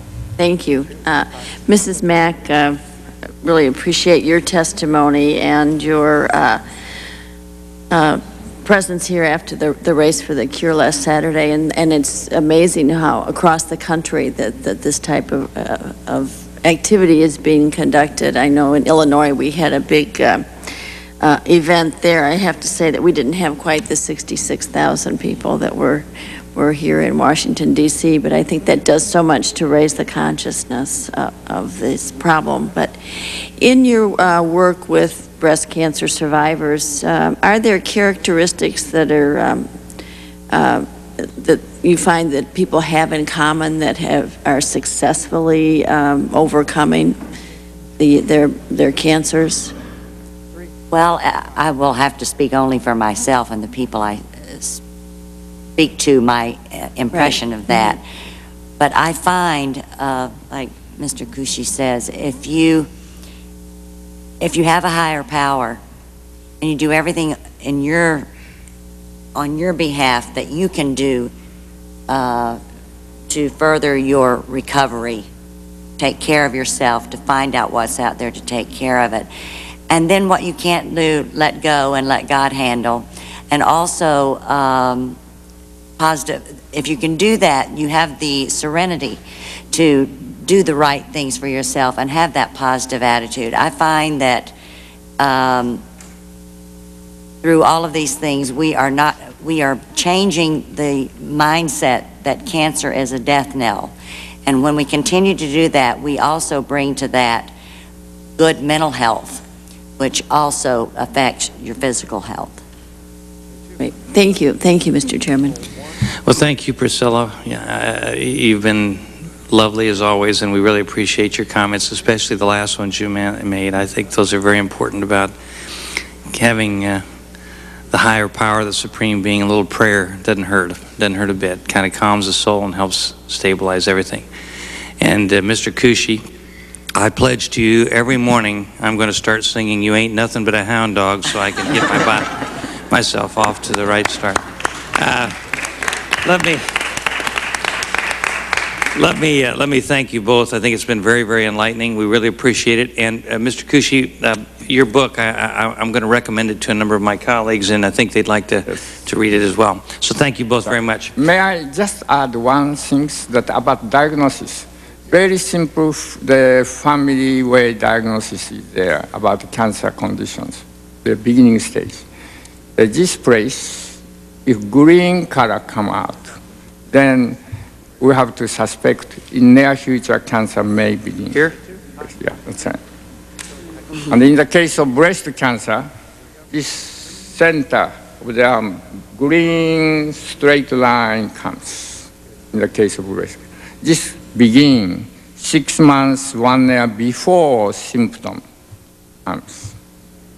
This, this is meridian, so-called heart governor meridian goes across this breast. That meridian is the clogged, then become green color comes. And in the case of the uterine cancer or ovarian cancer here, the, uh, uh, if we have a very fatty, large uh, deposit, and especially hard one, then uterine cancer, ovarian cancer, and cervical cancer is very suspected. And prostate cancer too, are very suspected. Right here in the chin. Uh, this, this, because head low, this body low, and this is very accurate. And various those simple way of detection available also as a information for the home use. Thank you, Doctor, very much. Thank you both. Really appreciate Thank you so much. Our next, uh, and thank you all those who are applauding. I appreciate that as well. Uh, We'd like to now have Dr. Gardner, Ms. uh, Zaricki, and Ms. Bedell Logan come forward, please.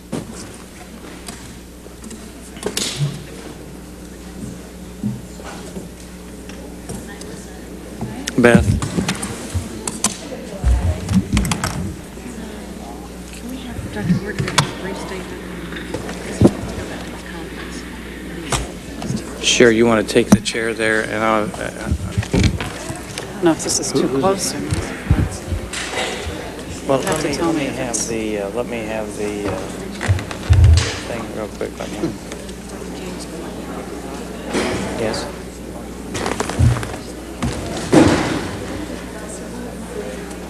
I'm going to testify back, so. Okay, good. Oh, sure. Yeah, you, you c- contact uh, Beth and we'll set that up. Okay. Uh,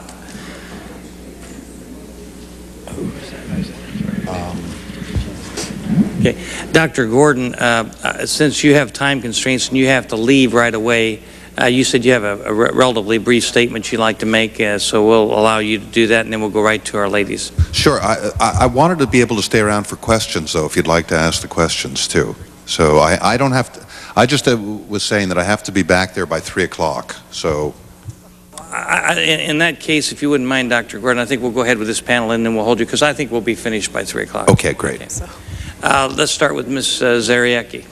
Is that, is that, did I pronounce that correctly? It's Zaricki, Zarecki, I'm sorry. and I was going to say good morning, but it's really good afternoon. Well, these hearings sometimes run a little ways uh, into the afternoon, but they're very, uh, very important. Yes, they are. Thank you for the opportunity to testify regarding complementary and alternative practices, which I'll call CAM, and the role of women's cancer treatment. I'm Carol Zaricki, an advocate and breast cancer survivor of two years. In my written testimony,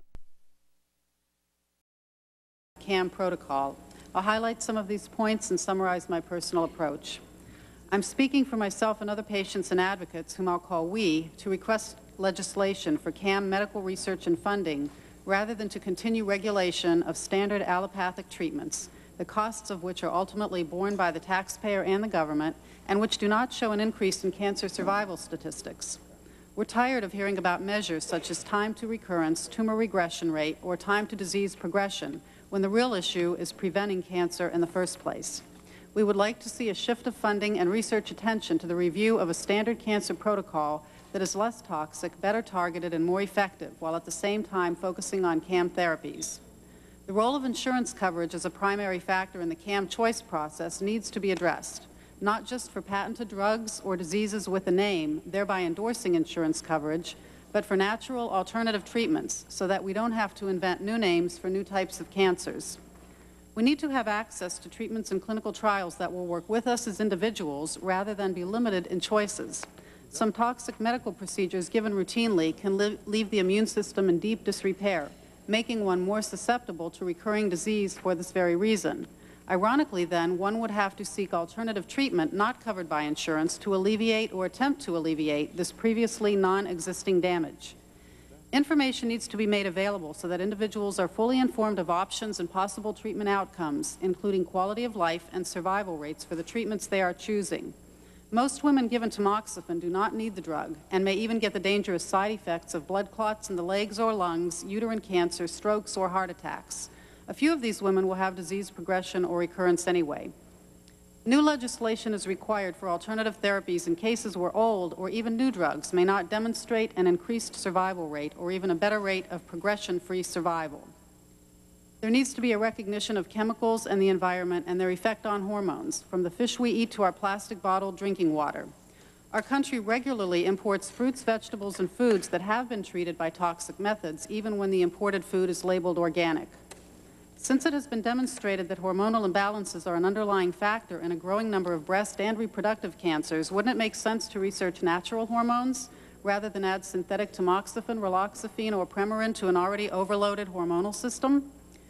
Evidence-based testing methods and not just scientific competition within the medical community, without regard to the population being studied, need to be employed. Trials which indicate life extension should additionally be able to demonstrate that this means for more than a few weeks and should also discuss quality of life issues. Non-toxic and non-invasive methods of cancer detection should be standardized instead of encouraging mammograms which strongly increase a woman's chances of getting breast cancer in her lifetime. Also, for younger women with dense breasts and therefore unidentifiable or undetectable cancers, mammograms can weaken the still growing tissues, thereby promoting future malignancies. A focus on preventive measures which strengthen the immune system rather than early detection methods, which can also be too late detection and with their own set of risks and hazards, can be incorporated into an individual's lifestyle.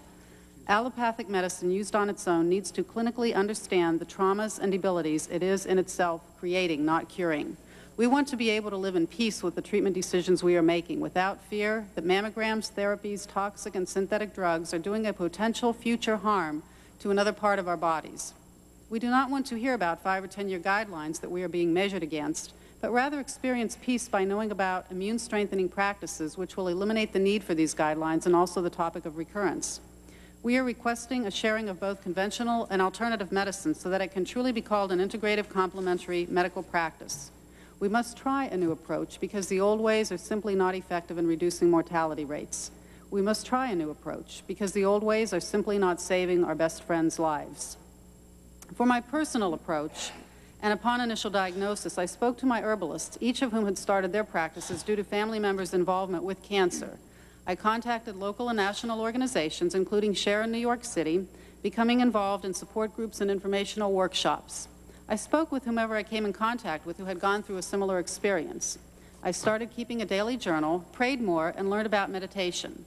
I made appointments with alternative naturopaths and noted visualization authors. I began juicing and nutritional therapy, checked out nutritional cleansing, enzyme and vitamin therapies, started ancient Eastern practices of Qigong and Jin Shin Jyutsu, went to healing services and ceremonies of different cultures, bought more herbal books, and took classes to begin making my own combinations. I became a devout fan of acupuncture and studied homeopathy. I wouldn't say I did anything radically alternative, but then some consider meditation or acupuncture radical. I began to teach others what I was learning about my favorite non-toxic, personally tested alternative methods of healing. I have been blessed with a team of surgeons, oncologists, and alternative practitioners who have come into my life exactly when I needed them and with whom I continue to discuss alternative information and ideas, even though they express doubt about the methods I'm using. There is, I found, a fine line between being cured and being healed. While we all want to think of ourselves as being cured or on the way to finding new cures, the only way this can happen is by allowing a healing to take place on all levels, mind, body, and spirit, and which standard allopathic medicine does not fully address.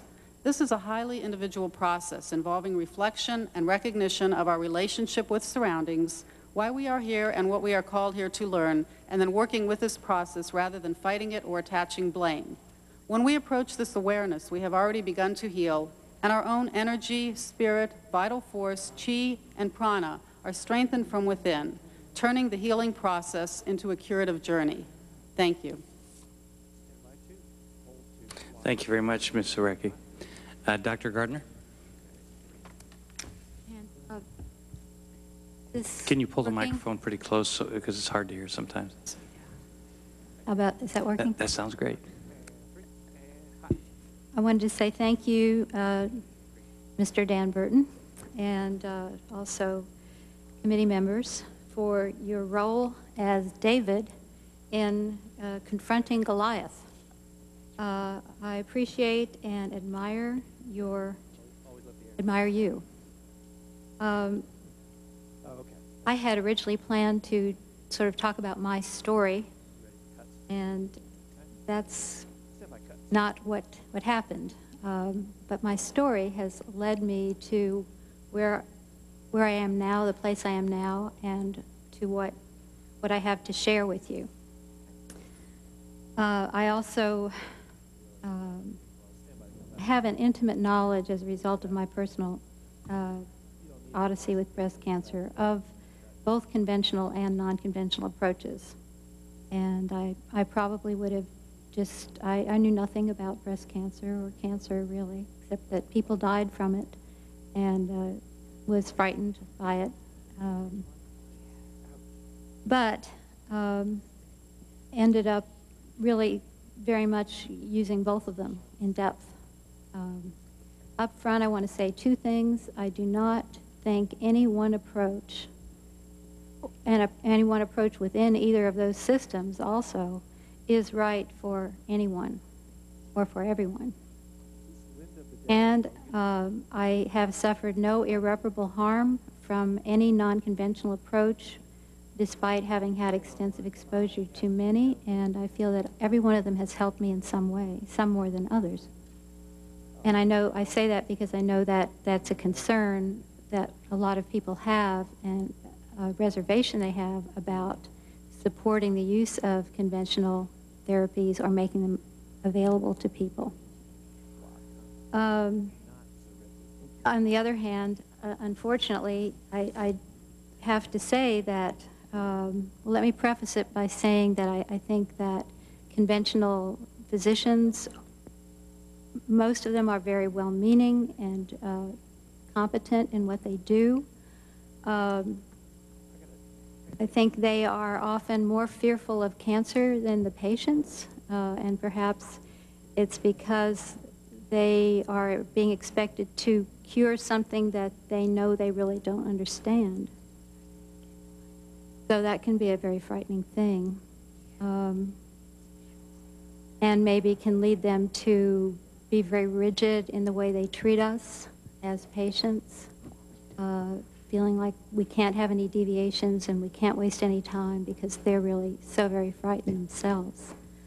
Um, but basically, uh, in contrast to my experience with non-conventional approaches, I do feel that I have suffered considerable and irreparable harm because of my treatment with conventional methods. And I think most of us have. Some of us are more willing to acknowledge it than others uh, because there's kind of a cognitive dissonance there that uh, we want to believe that what we did was the best and that, you know, everything's okay and, and uh, we want to minimize, I think, the price we've paid in many instances. Um, and of course, some people have had less treatment than others. Um, I guess part of my situation too is that I did not, I do not feel that if my uh, point of view had been respected, I don't believe I would have ever ended up with the uh, number of very invasive kinds of procedures that I, I did have to undergo, and which I continue to suffer the effects.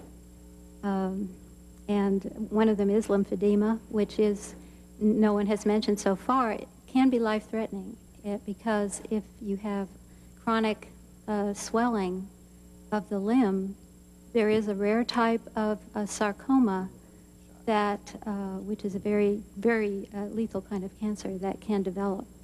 It is rare, but, you know, all of these things are statistics. So, um, I guess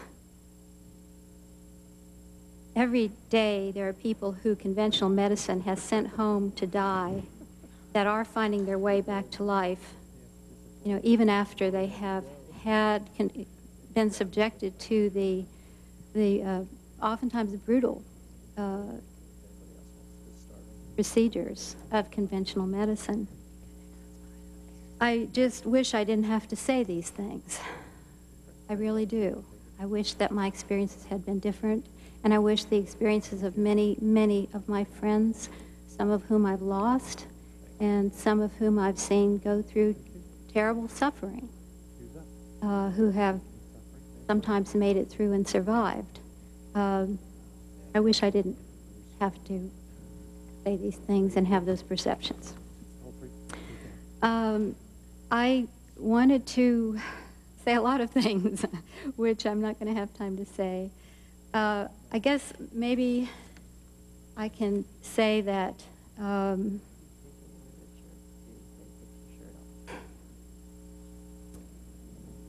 Standing on three. It's tough. It's tough. Thank you, two. Stand by two. Ready, two. Hot. Two. it's hard. It's hard to to, uh, and I, I know everyone is is wanting to to go, and I am too, because I've had a peach to eat today. That's it. Um, Ready, two. Two's up. Ready, three. I guess maybe let me say this. I'm not sure, I mean, I, I don't, I don't feel, and I, in my experience that I've seen, I, I think we have to find another way to approach cancer than conventional approaches, because conventional approaches are based on killing cancer cells. And that does not uh, guarantee in any way that it's going to heal us or keep us alive. And th- there are no guarantees made of that. Uh, it's kind of like killing alligators versus draining the swamp. We're not dealing with, with causation. And we're not dealing with healing. And uh, I, I had planned to give you some, some evidence to back up some of that, but we, we won't have time for that. Um, I'll just, in, in ending here, I'll say that um, if anything that you hear today makes a difference to you, or enough of a difference to you, then, you know, you'll have to do something to make some changes. You'll have to make some choices. And I believe that when we choose, we are not choosing just for ourselves, but we have to keep in mind that we are choosing really now because it is one world. Truly, we're starting to realize that and see that vision, I think, more and more, that we're choosing for the human race and for the survival of Earth. And in one sense, both David and Goliath are within us, within each individual. So we have to decide whom we're going to serve, whom we're going to choose to serve. And I do pray that each of us will choose well for the well-being of all of us. Ready, two. Hold two. Thank you very much. And, and and any information that you want to submit for the record, we can enter that into the record, even though you haven't had a chance. And maybe during questions and answers, we can cover some of it. Ms. Appreciate it. Bedell Logan? Stand by. And three. Hot. Thank you, Mr. Chair, for this opportunity. In 1987, um, my sister was diagnosed with a Ewing sarcoma in the calf of her right leg. The protocol for Ewing's is amputation, chemotherapy, and radiation. This was a very aggressive cancer, and thankfully the physicians found it in time. I remember her fear of being, having her leg amputated at 25 years old. We were in her room when an oncologist came in and said that there was a new experimental treatment for Ewing sarcoma where they would take a tube and slide it down through her vein, starting at the groin, and drop chemotherapy directly on her tumor. He was told that the likelihood of she was told that the likelihood of survival would not be changed, and that it, it, it very well, well may save her leg. On the strength of this, my sister opted for the new therapy. At the beginning of the fourth treatment that she had, the technician couldn't get the tube down through her groin any longer, and they took her down to sonogram and found a grapefruit-sized tumor right where they had been going down with the, with the tube. Because of the obstruction of the tumor, my sister developed massive bilateral lymphedema in both legs, which is a swelling of the limbs due to the inability for lymphatic fluid to move in and out of the limb appropriately. This is a very debilitating and very painful process, and because of that pain, the surgeons cut incisions into my sister's thighs and put permanent drains in them to continue to drain the lymphatic fluid. Both of these sites became extremely infected, and my sister was put on large doses of morphine and antibiotics and was dead in four months. After her death, we found out that she'd been a guinea pig. They had never done this procedure in this hospital before, and the physicians were not trained to perform the procedure appropriately. We've also found out that the worst thing you can do to a lymphedema patient is cut into them. This was never subjected to randomized control trials, and it's not used today as standard protocol. A month after my sister's death, I started working for Medicare. My goal was to get into the trenches of the healthcare system to find out what makes it tick. I received an excellent education from the federal government and went to work after that for a very large family practice and urgent care center. I've seen the system work from the perspective of the patient, the payer, and the provider. I opened my company, Solutions in Integrative Medicine, 10 years ago. My company provides billing and practice management, consulting, and education services for patients, providers, and insurance companies. We've been at the forefront of a change, actively advocating for patients whose insurance companies deny payment for effective but unconventional services. One of the things that I've heard here today was talking about the uninsured. For those people who are insured, there's a very big problem with getting coverage for anything outside of opening a flower with a hammer. We have been instrumental in developing the administrative and clinical basis for coverage of a host of integrative therapies, often at greatly reduced cost. But this effort has been very tedious, which makes it difficult to make a large enough impact for global change. One of the problems with research is that the researchers sit in their ivory towers and do research and come up with sometimes very good outcomes for randomized control trials, but we can't implement them at the insurance level, and sometimes it takes 10 years to get a randomized control trial accessible to patients. The U.S. Public Health Service estimates that 70% of the current health care budget is spent on the treatment of approximately 33 million chronically ill individuals. As the population ages, such conditions will consume an even larger portion of the national health care dollar. With this in mind, my company's vision is to change the perspective of the healthcare industry by providing professional education to insurance carriers, Medicare, physicians, and patient consumers. An example of the education is lymphedema. 20% of all women who have breast cancer, axillary lymph node dissection, mastectomy will have lymphedema. Those numbers are even higher with men with prostate cancer. These survivors, having now contracted lymphedema, the three consequences of lymphedema are swelling, recurrent infections, and tumor formation called lymphangiosarcoma, which is untreatable. The lymphedema patients who do not receive early intervention may develop elephantiasis, which can lead to amputation of a limb. Prompt treatment by specially trained lymphedema therapists who manually drain the engorged tissue has been shown to save limbs, save lives, and save healthcare dollars. The therapy is called combined decongestive therapy. It has been a standard treatment for Europe in decades. But today, it is considered an experimental therapy in the United States and is not a typically covered service. In the United States, our standard approach is to use expensive pumps that mechanically compress and decompress the affected limb, even though this therapy has been shown to have little benefit. In fact, it can press lymphatic fluid in the wrong direction and lead to a worsening of symptoms. For this reason, mechanical pumps for lymphedema have actually been banned in European countries. In the past two years, we have been able to begin educating the insurance industry about CDT. We have been able to obtain coverage for Medicare patients in Maine, New Hampshire, Vermont, Massachusetts, and Florida, as well as many commercial insurance beneficiaries all over the country. This type of education and common sense is extremely important when it comes to medicine.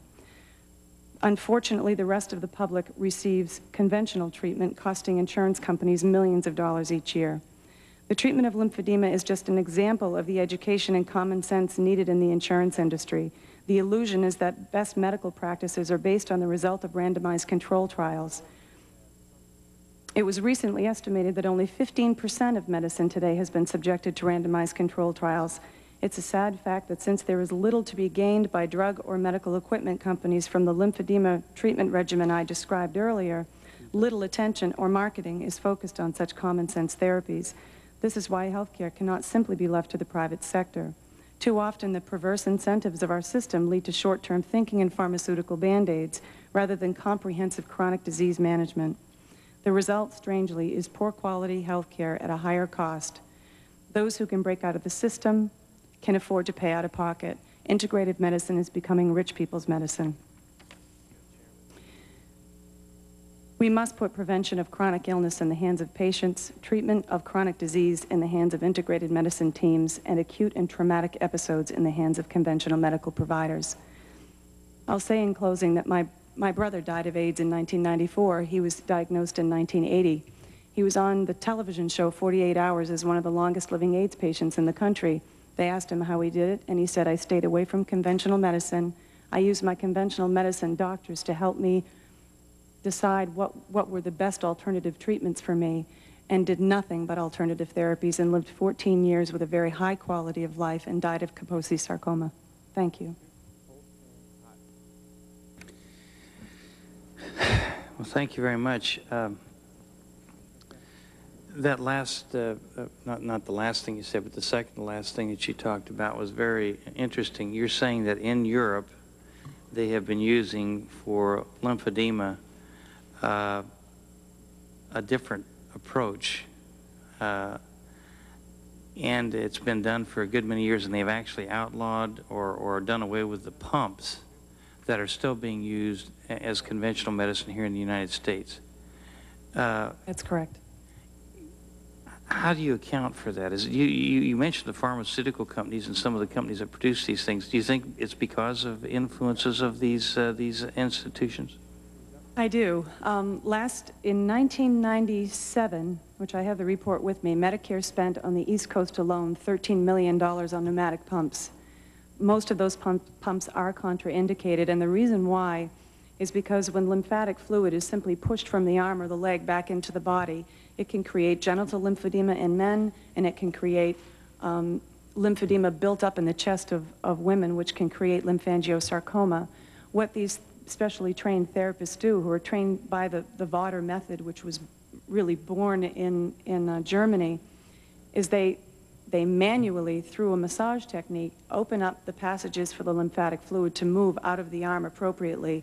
Then they bandage the patient with a compression bandage to start the arm or leg from filling back up.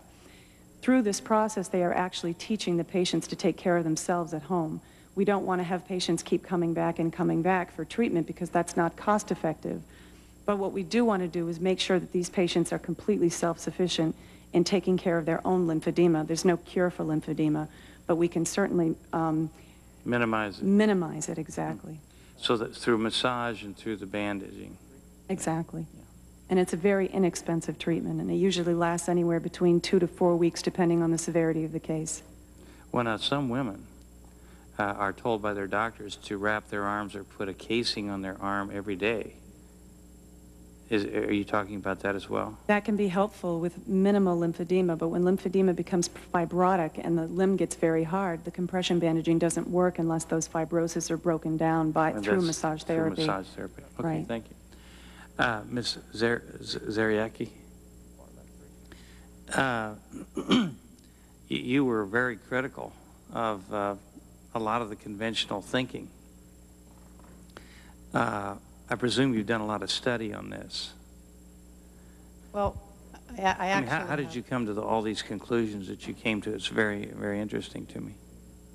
I initially used conventional treatment when I first started out. I wanted to take a chance and explore alternative options, and I was told by a myriad of conventional doctors that I went to that I should, basically, it was okay if I did alternative, and it was okay if I did some herbs and this and that, but if I really wanted to make an impact and to live, I should really go with conventional treatment, and I should not wait. And if I wanted to do alternative, I could always do that later.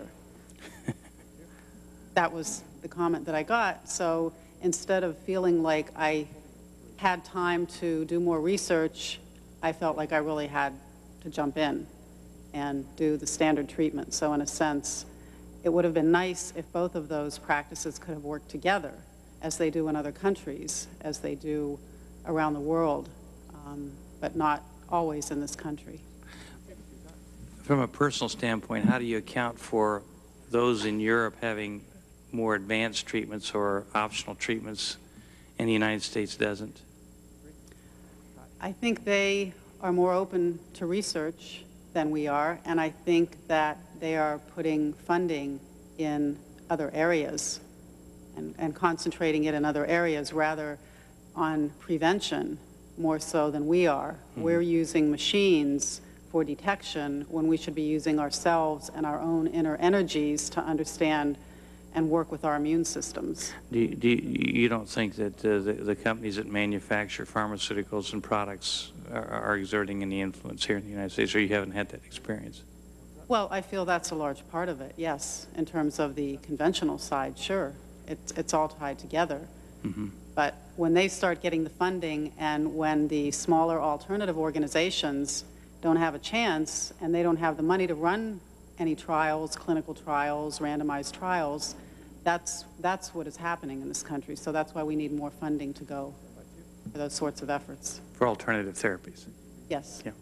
Dr. Gardner, you mentioned that you suffered a great deal because uh, uh, you weren't exposed to or, or aware of conventional or, or alternative therapies, and uh, you, you continue to suffer because of those.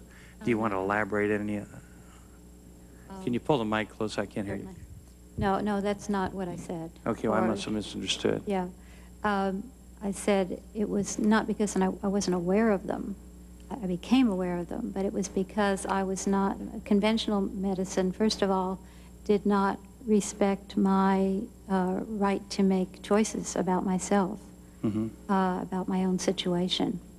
I- It started out, for example, I wanted to have a needle biopsy of the lump, and they wanted to have, take it out right away. And I In the went- form of a mastectomy? no, uh, well, they want, no, not, not before they did a biopsy, I don't, no, no, not before they did a biopsy. But they, they didn't want to do a needle biopsy. They didn't want to do a needle biopsy, they wanted to just remove the lump. And I wanted to just have a piece of it taken out to see if it might be cancerous. At that point, we had no idea. I was, you know, had, I was in very excellent health. I had never felt better in a sense. And I've heard other people say that too, just before they're diagnosed. Okay, thank you very much, uh, Ms. Meek. Uh, Thank you very much. I certainly uh, compliment all three of you for your very uh, interesting and uh, informative, provocative uh, testimony. And I know that time doesn't permit me to go into uh, the details of uh, what you have to offer this committee and the Congress. But I do have one or two points that I think need clarification. Um, Carol uh, on your um, page four of your testimony, you said that you were personally not planning to have uh, mammogram follow-ups and went on to discuss uh, the reasons for um, that conclusion. You heard earlier that there is still overwhelming dependence uh, on mammograms, and that it is one of the major educational thrusts that uh, the uh, medical uh, field is uh, promoting, and uh, all the people that are into breast cancer are promoting. So I would like to hear some um, amplification on the reasons you have come to your own personal conclusion. Well, I think mainly, um, using it as a personal experience, I suffered immense pain and suffering, and, and that, that had continued on after a mammogram. And that had nothing to do with just having a mammogram for having your um, breast analyzed. Um, so the, the intense pain and the trauma and that sort of thing, which can lead to a chronic condition, is something that women aren't really made aware of. Um, the other thing is that I think, as we know, not all mammograms detect all cancers. So, in other words, it's, it, it can be a hit or miss situation. So, why should I not subject myself to more immune enhancing procedures such as daily breast massage, which is much more immune enhancing when used with a castor oil and almond oil base and protects a person, and we can start our daughters and our, our children and our nieces on these, and it will protect them, it will protect their endocrine, their reproductive systems, and if anything's going to protect us, we need to strengthen our bodies. And so why tear ourselves apart with machines and biopsies and synthetic drugs when we should be building up our systems? Yes. Speak to that also. Yes, Thank you. please. Uh, Also, uh, we know that mammography is extremely ineffective for young women. And even for myself, I was not that young, but my uh, lump, which you, it was very easy to feel, uh, would not, did not show up on the mammogram. And also, there is, I know of one researcher at the University of North Carolina who had, who submitted a proposal, and this is an, an excellent researcher, well published, et cetera, uh, who submitted a proposal to the Department of Defense to have funding uh, for the study subpop- subpopulations of women who were particularly susceptible to uh, the radiation from mammograms, and there was there is considerable evidence, which was the support for this proposal, say that there are these subpopulations which in which it is actually breast cancer is increased when they are subjected to mammograms. And there are alternatives such as thermography, which are completely non-invasive and uh, completely uh, harmless. So what is your uh, comment then on the lowering of the age to 40 years for I don't- I suggested don't annual plan- mammograms? I don't plan to have any mammograms the rest of my life, and I tell my daughter not to have them. and I think they're they're they're dangerous and and potentially very damaging. And I think there are alternatives that are equally or better, more effective. Well, I thank you for those uh, uh, personal comments. I want to uh, add to the record that I was astonished to uh, find that um, uh, nurses in one particular hospital uh, that I'm familiar with all indicated to me that they were not going to take uh, any of the mammograms for precisely the reasons that you have indicated. So it uh, strikes me that uh, we really need to open up the dialogue on this issue and not put such tremendous reliance on this one technique as uh, uh, the way to uh, uh, make sure that we have early diagnosis and early detection of breast cancer. Uh, Mrs. Mack certainly re-emphasized your point that notwithstanding the fact that she had had um, the mammogram and other clinical examinations, that it was her own self-examination that detected uh, her cancer. So I think there's a great deal in your testimony that um, needs to uh, set our uh, thinking machines back on again uh, in this very, very critical and vital area. Uh, um, Ms. Bedell Logan, uh, one point that uh, disturbs me, uh, which uh, some of my constituents point out to me frequently, is that when they participate in trials or other types of uh, research endeavors, that they are not covered by their insurance, not covered by Medicare, not covered by any health plan, and that they have to um, assume the cost of these trials individually and personally.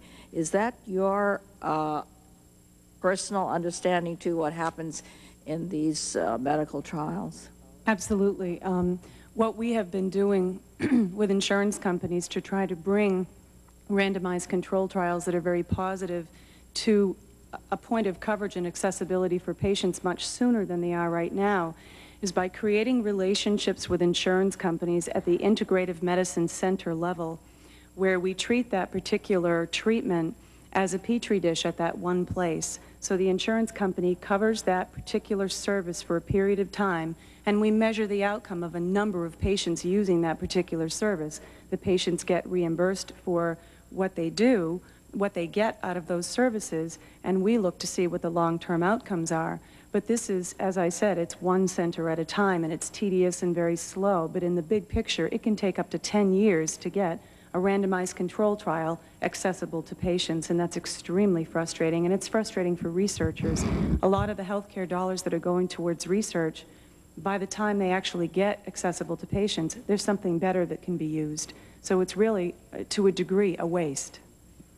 Mr. Thank you. Chairman, that is really a, uh, a very, very important point that we need to pursue.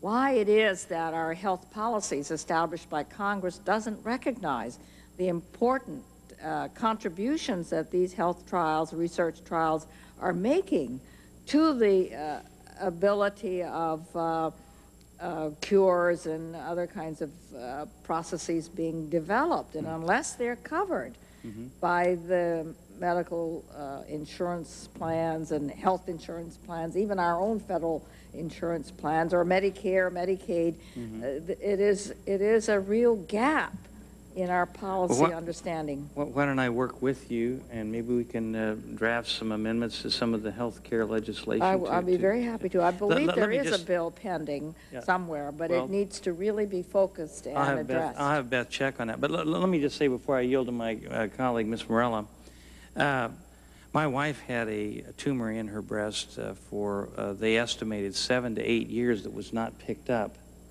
by uh, mammograms. And she picked it up by accident through physical examination. And when she told me about it, I said to her, you really ought to have the doctor check it. She thought it was a fibrous tumor. She went to the uh, doctor and almost walked out of the office without having it checked because she didn't think it was anything.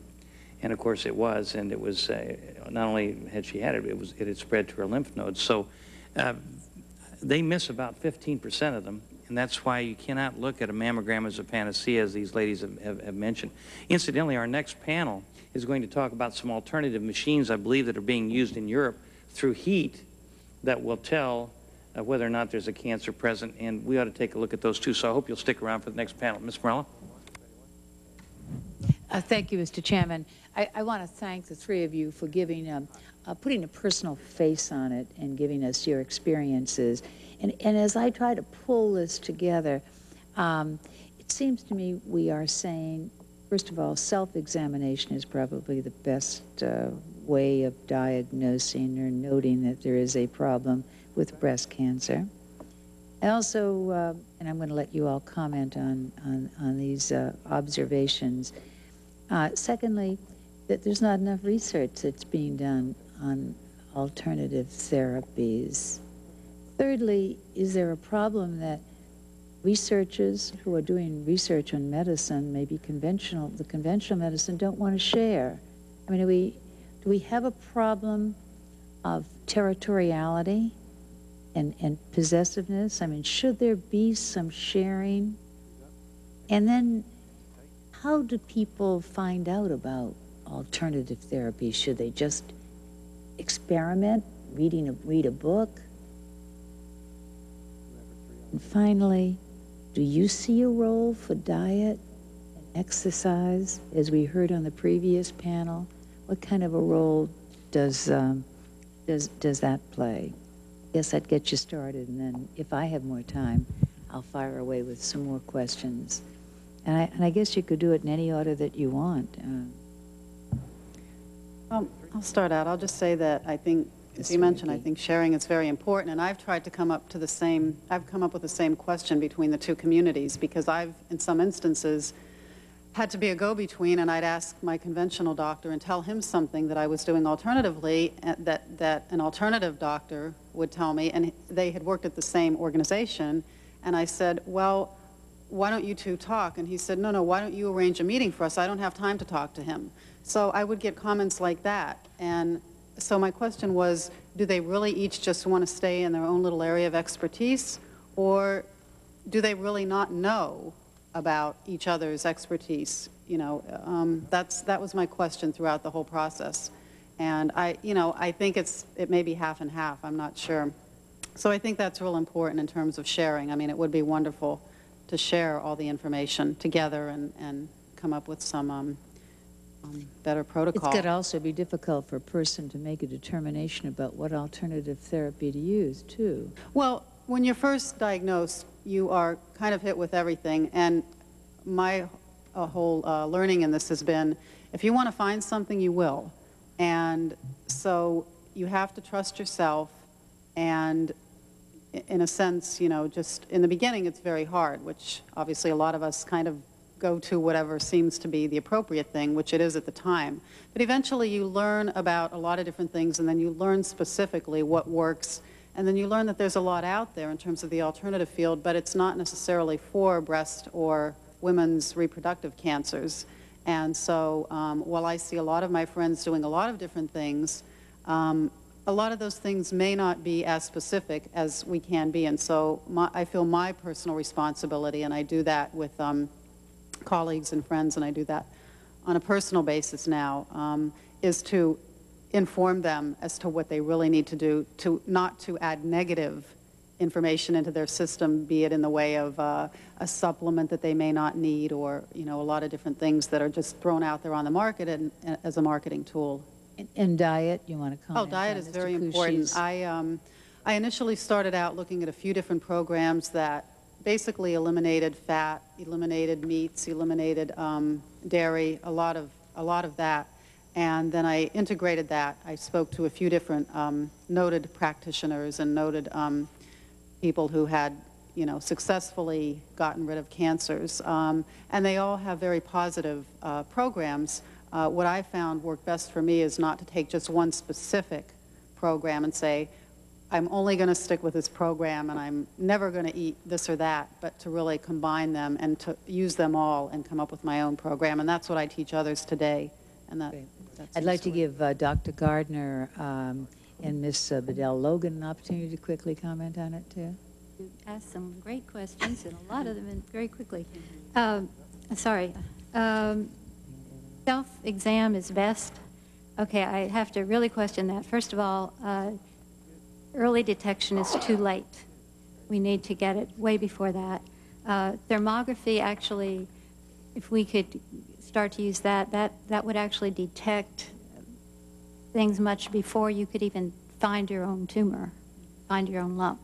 Uh, in the 1960s, they were doing trials with, uh, and, this is a, thermography came out of uh, the space satellite age, Sputnik and all that, and they were using it to be able to sense, um, well, it, anyway, sorry, I get, get off into a tangent there.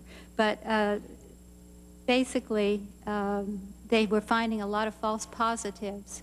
And so they said, well, this isn't working. We need to uh, find, you know, something else. We're getting too many. False positives are when you say the person has a problem and they don't, okay? What they did in a follow-up study of those that they had assessed was that they found that really those people did develop in a, in a significantly higher rate, they did develop breast cancer. So this was, in effect, a very early uh, detector of cancer. And those are studies that were being done in conjunction with radiologists.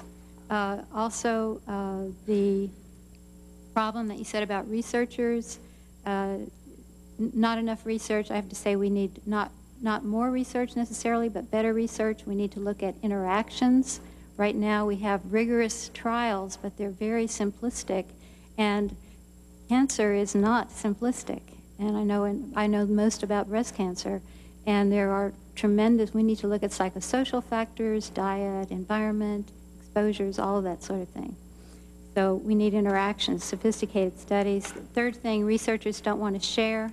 Uh, they don't want, many people are not aware that a publicly funded, government-funded study, that data that is collected is not available to any other researchers unless those researchers choose to share it with them. And there are precedents now, an increasing number of, of, uh, of research centers who are putting their data on the web. It's called public use databases. And that is something that can help us to break down the uh, really barriers to progress that exist now because of, of political turf issues and wanting results to come out the way you want them to, basically. It's research and it's not science.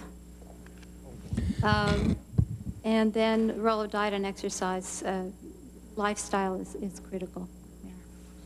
You take 30 the- seconds if, if- if thank you. that's okay.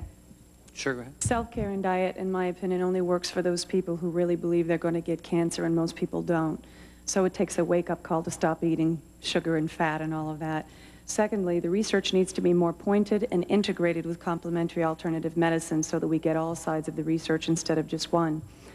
I believe we have a disease in this country called academic constipation, and I think we need a legislative colonic to, to change that. Um, and thirdly, thirdly, I think we need to heal the business of healing and really get information out to the public as to what's going on in this country. Legislative colonic, huh? Well done, Well, you know, thank you hear everything up here after a while. Thank you, Mr. Chairman. Mr. Cummings. Thank you very much, Mr. Chairman. I, as I was sitting here, I was trying to, listening very carefully to uh, the last uh, two responses. And I, I guess when I sit here and I think about this being um, the most powerful country in the world, and we're able to do all kinds of things, and here you are, are here before this Congress of the United States, and we can't solve all problems, but certainly we are here to serve problems and lift up the people of this great country. I was just wondering, and sort of a piggyback on what you just answered, but a little bit more specific. Um, sometimes I, I do believe that there's a dis disconnect between the public and the Congress. Um, sometimes I think we don't get it. And I speak for all of us. At some point on different issues, we don't get it. And you have, you all have been kind enough to come here and open your lives to us. And believe it or not, open it, open your lives to America because C-SPAN is covering this. So this is your moment um, to, I mean, what do you want us to do?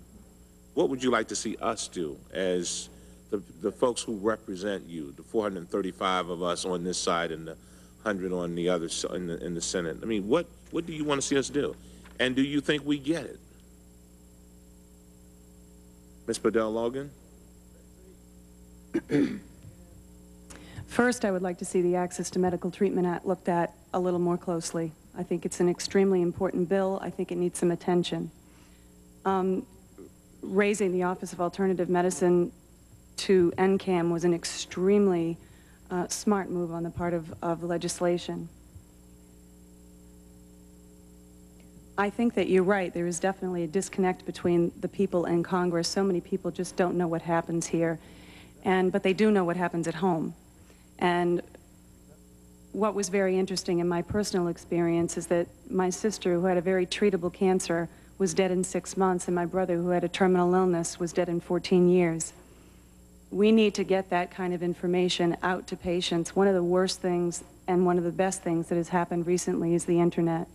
And unfortunately, can be a very scary thing to surf the internet about cancer treatments when a patient has no idea what of it is bunk and what of it is actually real.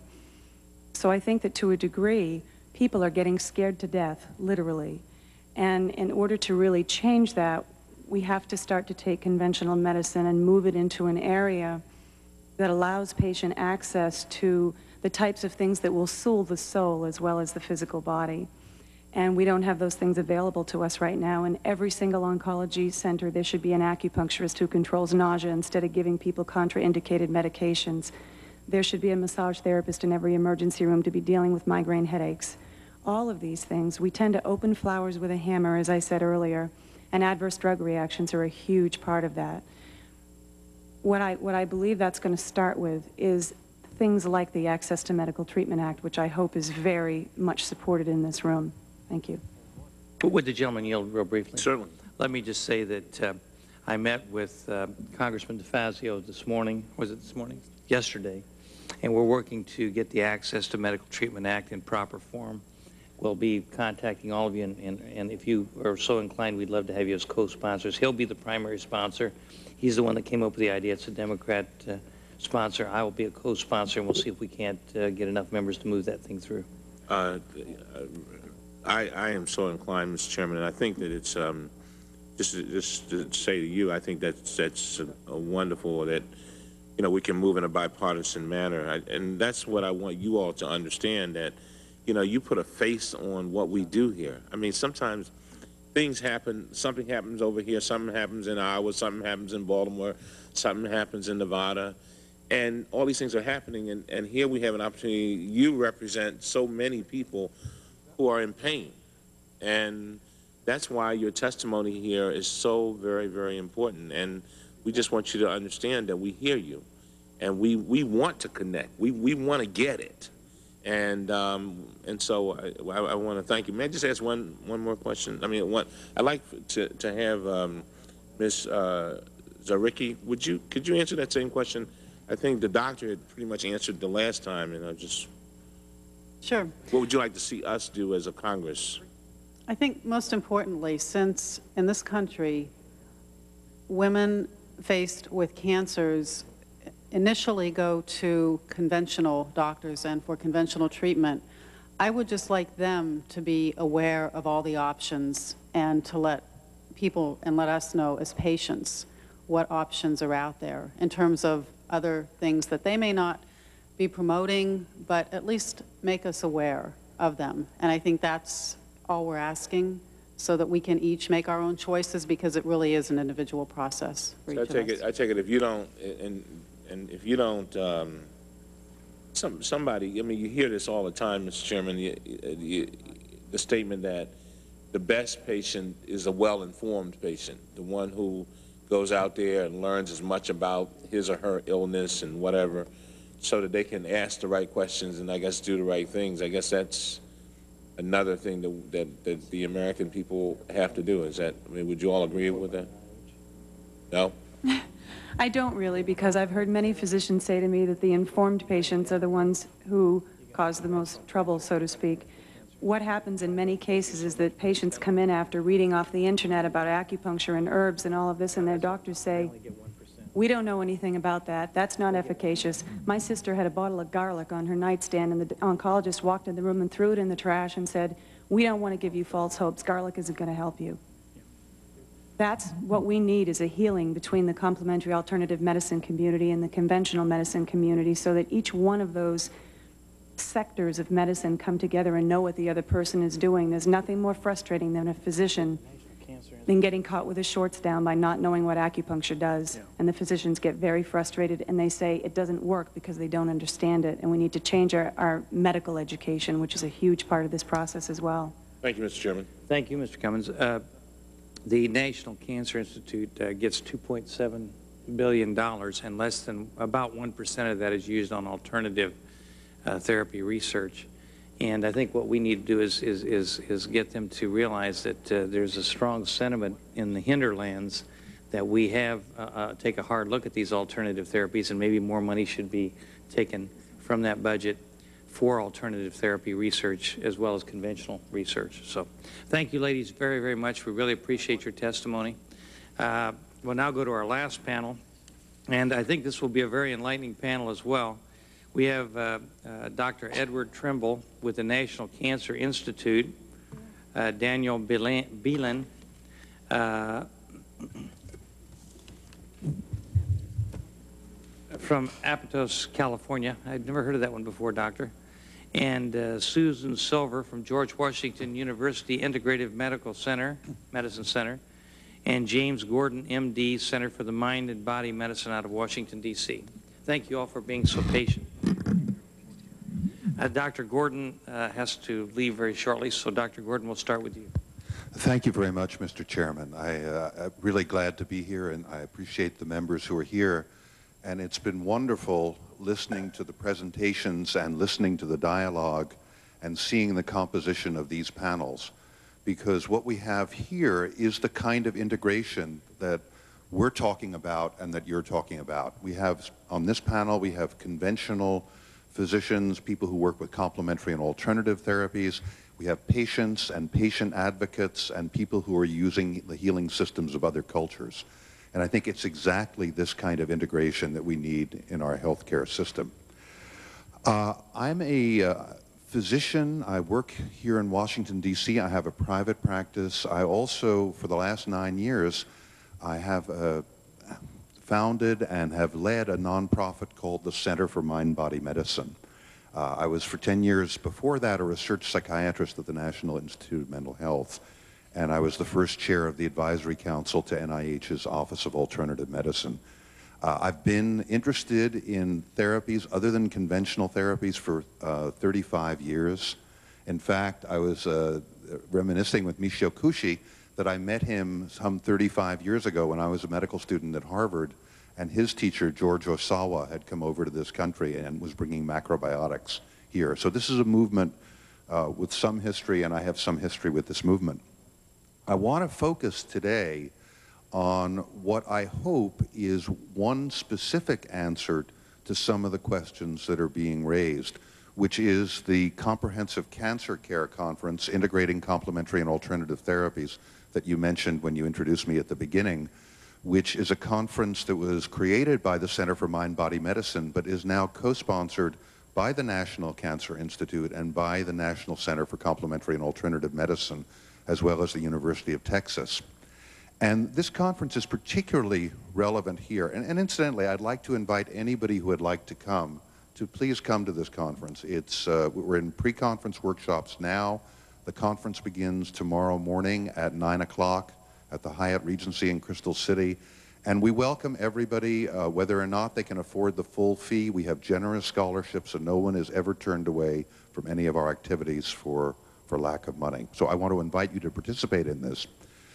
This conference was in a very real sense created to answer some of the questions that have been raised here and questions that have been raised particularly by women. And the questions are, uh, are there any things other than conventional cancer care that I can use for my treatment, complementary or alternative? Uh, how do I know if any of them work? How do I know if they're safe? How do I integrate them with complementary and alternative care? Who do I find who knows something about these things? How can I inform my oncologist about them? And how can I get them paid for? So we created this conference last year and brought together about 120 presenters from all over the world. This year we have about 130 presenters.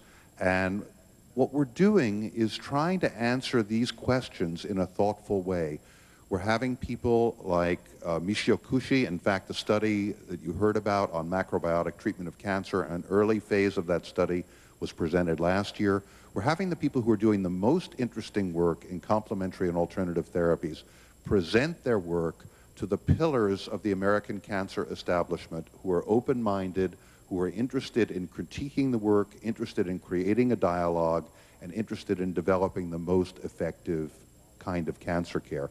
And I particularly want to acknowledge the National Cancer Institute as well as the National uh, Center for Complementary and Alternative Medicine and, and Dr. Klausner, who at one of your hearings actually came up to me and said, we love the conference you're doing. Is there anything we can do? And I said, yes, you can co-sponsor it and help support it. And he said, great.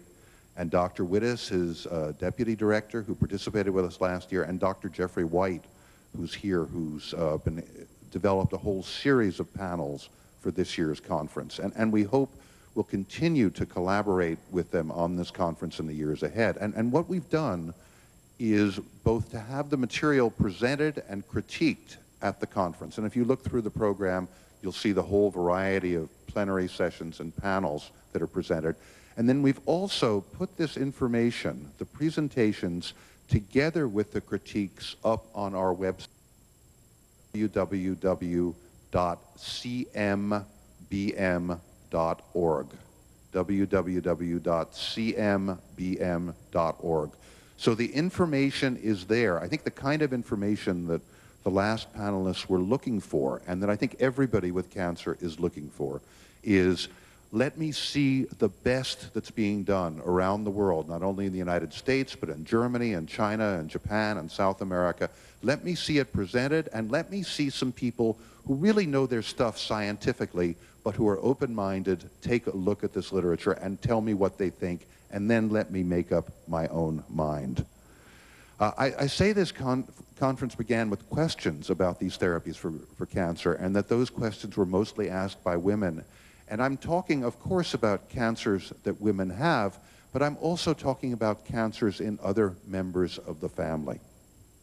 The Office of Alternative Medicine, 60 to 70 percent of the calls the office received were about questions about cancer, and most of those calls were from women. In my practice at our center, it's women not only asking about themselves, but asking about their husbands and parents and children. So women are the ones who are doing much of the investigation, and it's their questions we're trying to answer. Um, let me just share with you uh, three broad areas where I think it's very important to, um, to, to make advances and to make changes. And then I'll be happy to answer some questions before I, I have to leave to go back and give a talk there. The first of all has to, has to do with this issue of sharing knowledge. The, we have knowledge available on our website. The National Cancer Institute is beginning to provide some of that knowledge as well.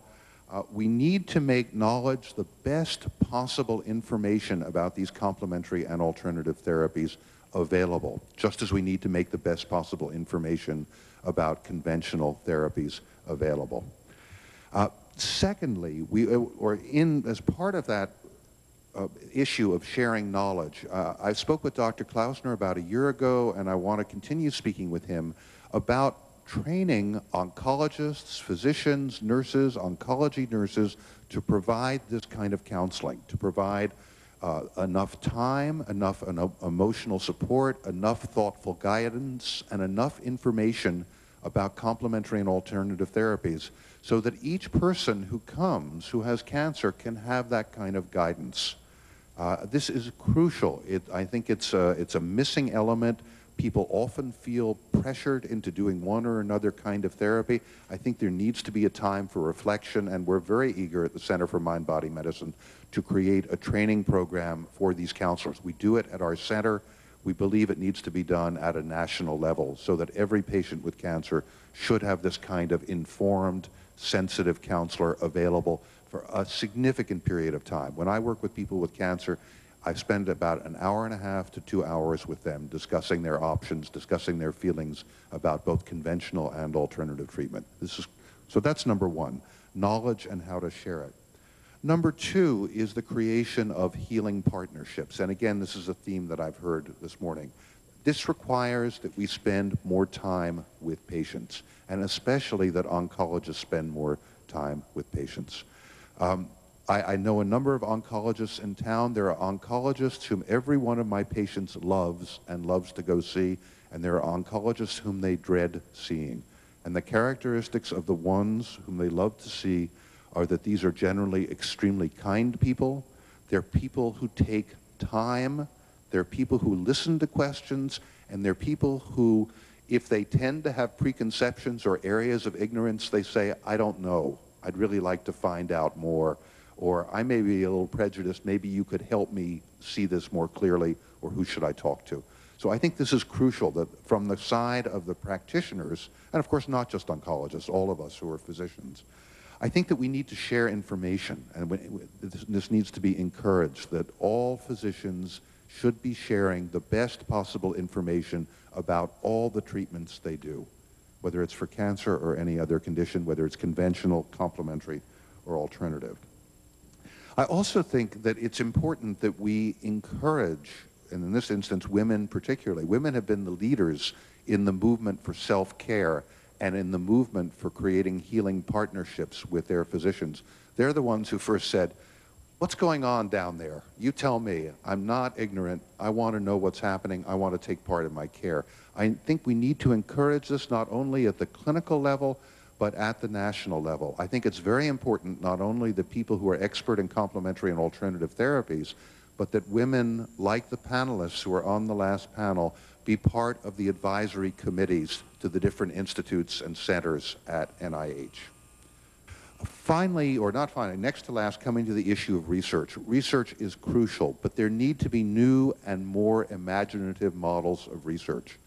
Uh, coming out of last year's cancer conference, Nicholas Gonzalez uh, presented a very interesting, very promising therapy for the treatment of pancreatic cancer, a comprehensive therapy. And NCI responded and uh, agreed to fund and is funding a clinical trial of this therapy, a very comprehensive alternative therapy, which is being funded by NCI and studied by Columbia University. This is the kind of partnership we need. And we need to expand from studying single modalities to looking at comprehensive approaches. And we also need to understand that each person who, who has cancer is an individual and that an approach that may work for one may not work for others. And we need to design research to accommodate that individuality.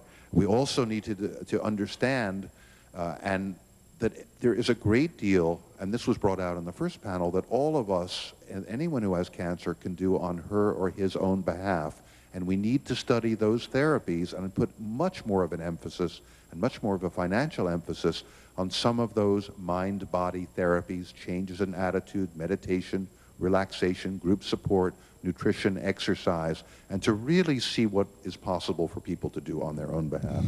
And finally, I'd like to echo the um, suggestion, and the, uh, I know your strong feeling, that it's time to pass the Access to Medical Treatment Act. It's time to open up um, the arena of treatment to all therapies that are, that are offered by responsible people, and to understand that people can assume that in partnership with a variety of healers responsibility for their own care. Thank you very much. Thank you. We, we, we will push very hard to get that passed, and we'll try to get as many co-sponsors as possible. We're going to have a vote. I'd like to have one more of our witnesses speak. Ms. Silver, would you like to go ahead and speak? And then we'll run and vote, and we'll come right back and try to uh, uh, not have any more unnecessary demands on your time. I, I'm, I'm going to have to go, though, uh, when you when you break for the vote. So I, I, want, well, I wondered if there. I'm, I'm, sorry I do, but I have to speak at three o'clock in that's Virginia. That's okay, Dr. Gordon. Uh, I'll probably I'm going to try to see you tomorrow anyhow, so we'll talk further. Terrific. Thank you. Ms. Silver. Thank you for the opportunity to address the committee today. Um, all of us who work in the field of complementary and alternative medicine are grateful for the visibility and the validation that you bring to the field by holding these hearings. The Center for Integrative Medicine is a division of the Medical Faculty Associates of the George Washington University Medical Center. Our program includes research, education, and clinical services. Patient care began in April of 1998, and from the outset, we included a program for patients with cancer.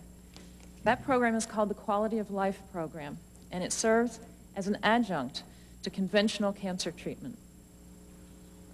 We share the committee's interest in research and the current level of knowledge about complementary and alternative medicine and its effectiveness in people with cancer. We have submitted two research proposals to NIH to investigate the use of Reiki and guided imagery by patients with breast cancer and those undergoing radiation. As we all know, research is in its earliest stages. Thanks to the Center for Complementary and Alternative Medicine at NIH, the pace at which we receive documentation of complementary and alternative medicine's effectiveness will increase as researchers are supported in investigating these vital questions. At the Center for Integrative Medicine, we're as anxious as anyone for those results. In the meantime, though, we ask whether we can proceed with unproven, and note that I said unproven rather than disproven, modalities to assist cancer patients. And our answer is a resounding yes. We've asked ourselves this fundamental question. How can we enhance the quality of life of the person as patient? Traditionally, on assuming the role of patient, a person has willingly surrendered quality of life, her sense of orientation and personal control, in exchange for a cure. But we're beginning to suspect that surrender may be self-defeating. Would, we would suggest that successful medical outcomes are diminished when the patient lacks control, information, and support. Conversely, if these inputs are maximized, the patient may recover more quickly and completely and have a higher quality of life, whatever the ultimate outcome. Most cancer patients say that from the moment of their diagnosis, everything in life is changed. A life that was going on routinely is suddenly out of control. The entire focus on the what-ifs of cancer treatment and its outcome. The Quality of Life program of the Center for Integrative Medicine can assist the patient throughout the course of her illness at whatever stage of illness the relationship with the center is initiated, we help determine and meet the patient's needs and goals in a comprehensive way. For patients newly diagnosed and awaiting treatment, we offer stress reduction with a focus on personal control and empowerment, immune system enhancement to help combat the disease, relief from symptoms caused by anxiety or depression, such as appetite loss, nausea, or sleeplessness, For patients undergoing aggressive curative treatment, we offer relief from side effects of treatment such as nausea or postoperative pain, immune system enhancement to help maximize the effectiveness of the treatment, relaxation and stress reduction to help restore the mind and body between enervating treatments. For patients in remission, we offer stress reduction during periods of watchful waiting, rebuilding of stamina and flexibility following medical and surgical treatments, and resumption of healthful diet and nutrition with added emphasis on cancer prevention. For patients who experience a relapse, all of the services and, services and objectives of the pretreatment and treatment phase programs can be resumed with even greater intensity. And for patients whose illness is not responsive to curative treatment, we offer control of pain and symptoms of the progressive illness, mobilization of the powers of the mind to maximize quality of life, and reduction of stress to allow for end-of-life planning and resolution. Overall, the Center for Integrative Medicine aims to restore a sense of control and well-being and offer the patient the freedom to heal physically, emotionally, and spiritually. Let me offer just two examples of cases in which we are treating women with cancer. The first is a patient with recurrent endometrial cancer. Immediately following surgery, she was referred to our medical center for radiation. And thanks to an active partnership with the Division of Radiation Oncology, the Center for Integrative Medicine was called into the case as the patient came for her initial consultation. Along with vital information about her radiation treatment, the patient was given information about the center and the role of complementary medicine in easing her way through the course of illness. She was given a meditation tape focused on breathing and relaxation exercises that incorporate the details of the radiation experience. In the following weeks, the patient participated in meditation and Reiki and used both skills to reduce stress during treatment and to assist her in sleeping through the night. As the radiation progressed, side effects became extremely bothersome. Stomach and intestinal upset were frequent, but a combination of acupuncture and nutritional guidance got them under control. As the radiation neared completion, the, began, the patient began focusing on the future. She requested further nutrition counseling both to help restore her energy following treatment and on a larger scale sought advice on a diet that would do most to prevent a recurrence of her cancer. And after 28 successive days of radiation therapy, the patient suddenly felt apprehensive about what to do without it. She had grown attached to her radiation team and to the routine of daily radiation appointments. But she found comfort and support in the relationships that she had formed with the providers in the Center for Integrative Medicine. She continues to practice the modalities she had learned and is looking forward to adding yoga to her routine to help build stamina and regain flexibility. She intends to check in with her complementary medicine team indefinitely for encouragement and renewal. The second patient is a young woman with advanced breast cancer. At the time of diagnosis, she was offered several treatment options and chose the most aggressive. She is currently undergoing high-dose chemotherapy. Before her first treatment, the patient learned Reiki and guided imagery. As she faced her initial dose of chemotherapy, she used both modalities actively to reduce her fear and the anticipatory side effects that she experienced. Today, as she continues in treatment, the center's Reiki provider meets her at the oncology clinic and practices Reiki with her as the me medication is administered. Nausea and vomiting seemed inevitable side effects of her treatment, but the patient has found substantial relief with acupuncture. This patient's prognosis is guarded. However, she has expressed confidence in the center's ability to maximize her wellness and comfort. She has learned skills for stress reduction and relaxation that she will utilize throughout her life, and whatever the outcome, feels empowered to maintain control of her life. Let me say again that the Center for Integrative Medicine offers an adjunctive program of care for women with cancer. We are keenly aware of the remarkable advances in oncology for medicine, surgery, and radiation. We are in partnership with the specialists who practice those techniques. But the goal and the value of our program is this. We change the experience of the cancer patient by placing her at the center of care and treating the whole person, mind, body, and spirit. Our patients convince us daily of the benefits that the center offers, but what of the patients we never see? The Center for Integrative Medicine operates on a fee-for-service basis, and our patients rarely have insurance coverage for our treatments. Consequently, our program is accessible only to those with the greatest financial wherewithal. Personally, I find it heartbreaking to tell callers who are filled with hope and sometimes desperation that our services are out of their reach. That is an everyday occurrence. I hasten to add that our providers offer a remarkable amount of pro bono care, but the reality remains that to be viable, the center must charge for its services.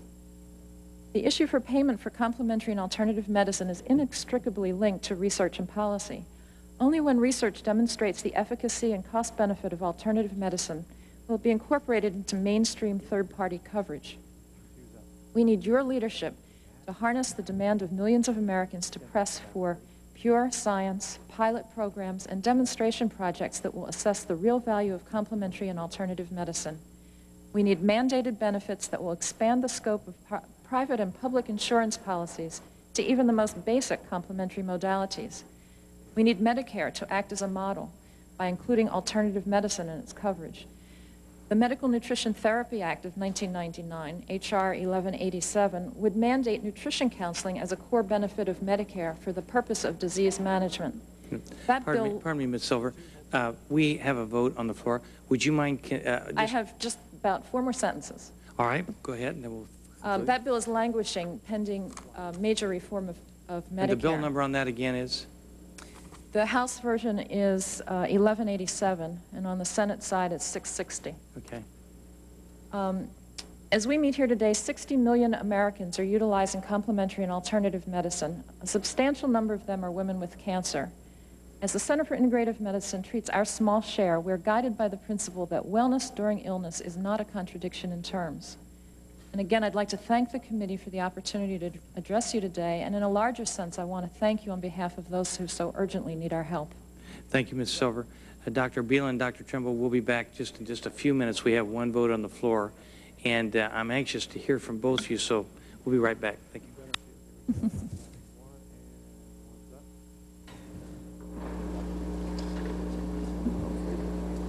That would be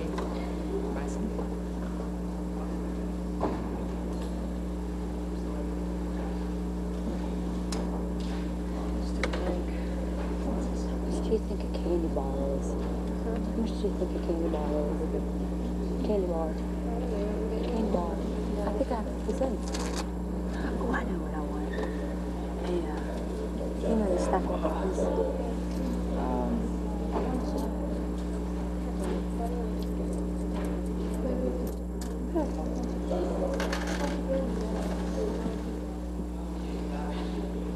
I want to first of all thank you and for your patience. This has been a, a very, very long day, and I'm very a little disappointed that um, that what you're going to tell us is probably very, very significant, and we don't didn't have you on earlier in the program. Nevertheless, I can assure you that what you tell us today will be taken to heart and used, and we'll uh, we'll talk to the various agencies about it. So let's start. I guess go down the list with you, Dr. Beilin. Okay, thank you very much, Mr. Chairman, members of the committee. Thank you for the opportunity to be here today. My name is Dr. Dan Beilin, OMD, LAC. I have a doctorate in herbal and oriental medicine and hold a degree in physiology, as I was physiologist at the UCLA Department of Gastroenterology. I'm in private practice in California in European complementary medicine and oriental medicine been working in cooperation with a group of doctors and a radiologist who have been measuring changes in the skin and the nervous system of patients who develop devastating diseases such as cancer and autoimmune disorders. We have found a high correspondence between the nervous system's ability to control metabolism and circulation, also referred to as thermoregulation or heat regulation, and the growth of tumors and other degenerative disorders. In complementary medicine, we try to step back one step and view the patient in terms of the interactions between the internal organs and tissues. Traditional orthodox medicine too often focuses on a single organ of the body, when in reality, many organs are involved in a subtle or not so subtle manner in the advancement of a particular disease state. Yet, when we look at the body as a collection of systems, each interrelated with the others, we can actually begin to search for the cause of illness. Fortunately, I believe that we're approaching a technology which will provide a bird's eye view of the body as a whole, providing information about multiple organ expression and painting a picture of biological processes that may bring us closer to finding the cause of such diseases as breast cancer.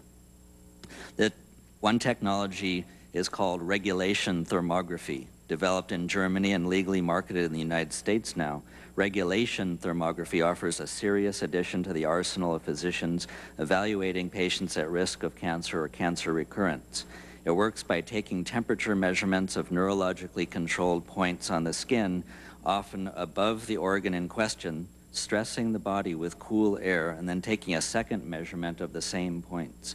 Computer software analyzes the response of the points and their adaptation to the rapid temperature change. More than 25 years of experience has demonstrated a relationship between such responses and organ pathology. The test is non-invasive, painless, and the machine is small enough to fit into a briefcase. Regulation thermography is not intended to be a substitute for mammography or other methods of cancer detection.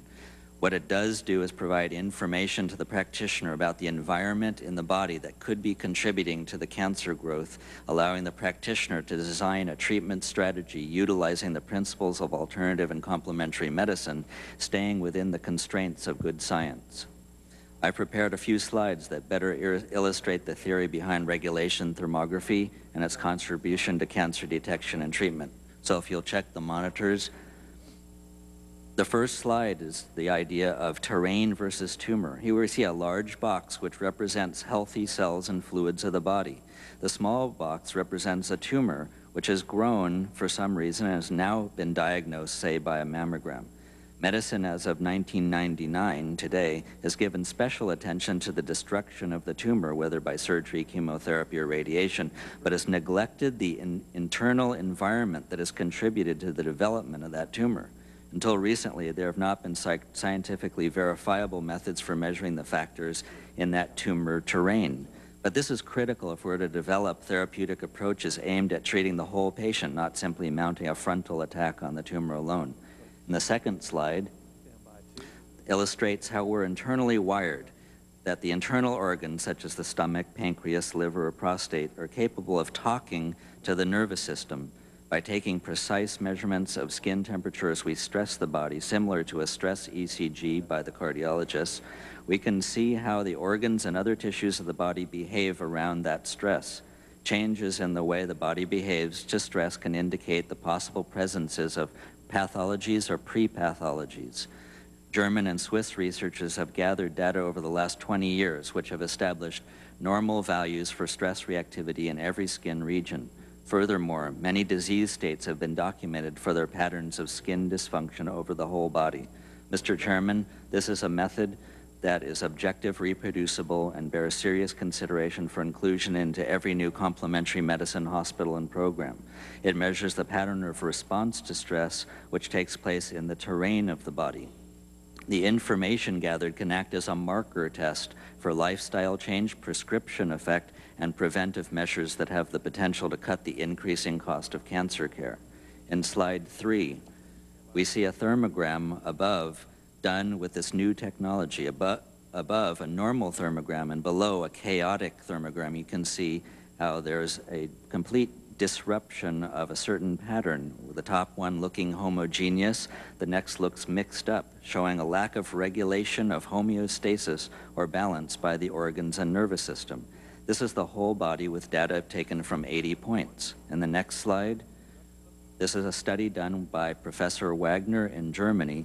We see this, that 63 patients on the left bar with confirmed breast cancer by pathology were sent to blind doctors doing a clinical exams alone with mammography added and then with regulation thermography in conjunction with mammography. Interestingly, a higher percentage of tumors were identified using regulation thermography in conjunction with mammography than with mammography alone. This and other studies conducted in Europe demonstrate that dynamic thermography can be a valuable tool in helping to diagnose the presence of occult disease. In fact, some studies suggest that in case, some cases, regulation thermography offers a viable alternative to thermography, to mammography. If proven true, this would particularly be useful in geographic regions lacking mammography facilities or as a preliminary screening device for the family physician. In addition, studies suggest that regulation thermography may be able to detect the changes in the body that may preface the development of cancer. With regard to breast cancer and other type of tumors, research indicates that most tumors have taken at least five years from their inception to develop into a viewable size. What has occurred to the body's immune mechanisms during those years, which creates the pre-tumor and then tumor? What do we know about the fertility of our inner soil, if you will, which nourishes or depletes the development of tumor? For these reas- reasons, I strongly urge consideration for funding for studies in the U.S. On the last slide, of course, breast cancer is not the only disease for which this technology may be utilized. Here's a statistical average of three patients with a progression of PSAs used as a prostate marker and their corresponding thermogram of the prostate points taken by this method. Note the correspondence of a higher PSA, say on the left is 12.53, to the, high, the higher degree of rigidity of response seen in the thermogram are quite evident. And when we see the lowering of the PSA, we see a better thermograph coming out as a result. The point I make is that complementary medicine is not only comprised of non-scientifically based methods. It has in the past been shunned from the mainstream, but the effect has been to throw the baby out with the bathwater. In recent years, Congress has taken important steps to address this issue, primarily through the creation of the Center for Alternative Medicine at the NIH and the provision of increased funding for research in alternative medicine. Many leading teaching hospitals and other medical centers have established programs focused on researching and using alternative and complementary therapies. One of the roles for the Center of Alternative Medicine should be to act to bring these integrative centers together for advanced research on key technologies such as regulation thermography and to provide additional funding for research so that the valuable alternative therapies will assume their proper place within the entire healthcare system. Finally, in closing, I also recognize that Congress this year will be dealing with the critical issue of patient rights with, which, with regard to government-funded and private health care plans. Unfortunately, alternative medicine has been neglected in the coverage decision-making of many healthcare programs. I ask you, while considering this critical legislation, to keep in mind the proven benefits of alternative medicine and the desires of a significant portion of the American public to have access to such treatment. Thank you, Mr. Chairman, for inviting me here today. I appreciate this wonderful opportunity to share my opinions regarding present and present future trends in medicine. I hope we can work together in the future. Dr. Beilin, before we go to Dr. Trimble, uh, I, I hope when we get to the questions and answers that you'll talk about, I think it was a proton uh, device that uh, can attack uh, prostate cancer. There's uh, a, there's a uh, type there's a type of uh, hyperthermia that's a local hyperthermia device that's being reviewed right I, now. I want to ask you about that when we get to the questions and answers. Dr. Trimble, thank you, sir, for being so patient with us today. Uh, Chairman Burton, members of the Committee on Government Reform, thank you for inviting me to represent the National Cancer Institute at this hearing. I'm head of the surgery section at the Division of Cancer Treatment and Diagnosis at the NCI. Sitting behind me today is Dr. Jeffrey White, who is director of the NCI's Office of Complementary and Alternative Medicine. By training, I'm an obstetrician gynecologist and gynecologic oncologist, and my own patients include many women with cervical, uterine, ovarian, and breast cancer.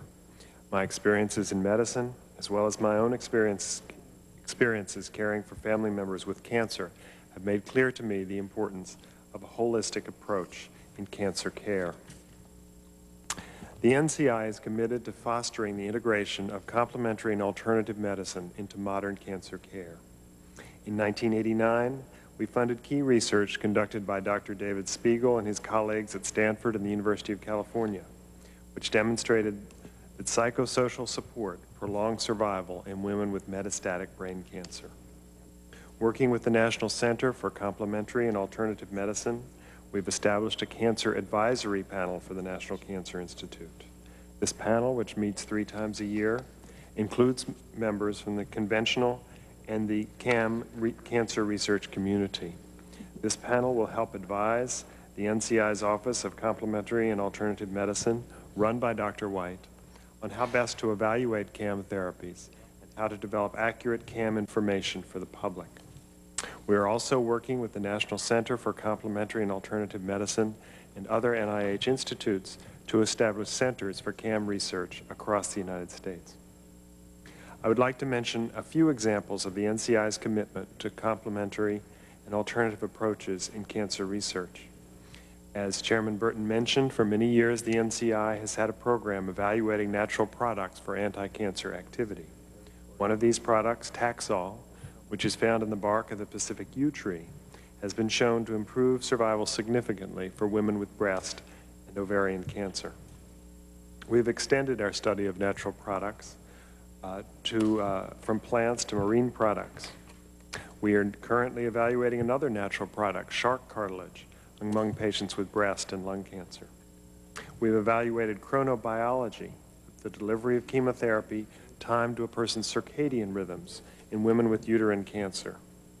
We funded an important study conducted at the Harvard Medical School and published last week in the New England Journal of Medicine, which showed that new use of alternative medicine was a marker for greater psychosocial distress and worse quality of life in women with newly diagnosed breast cancer.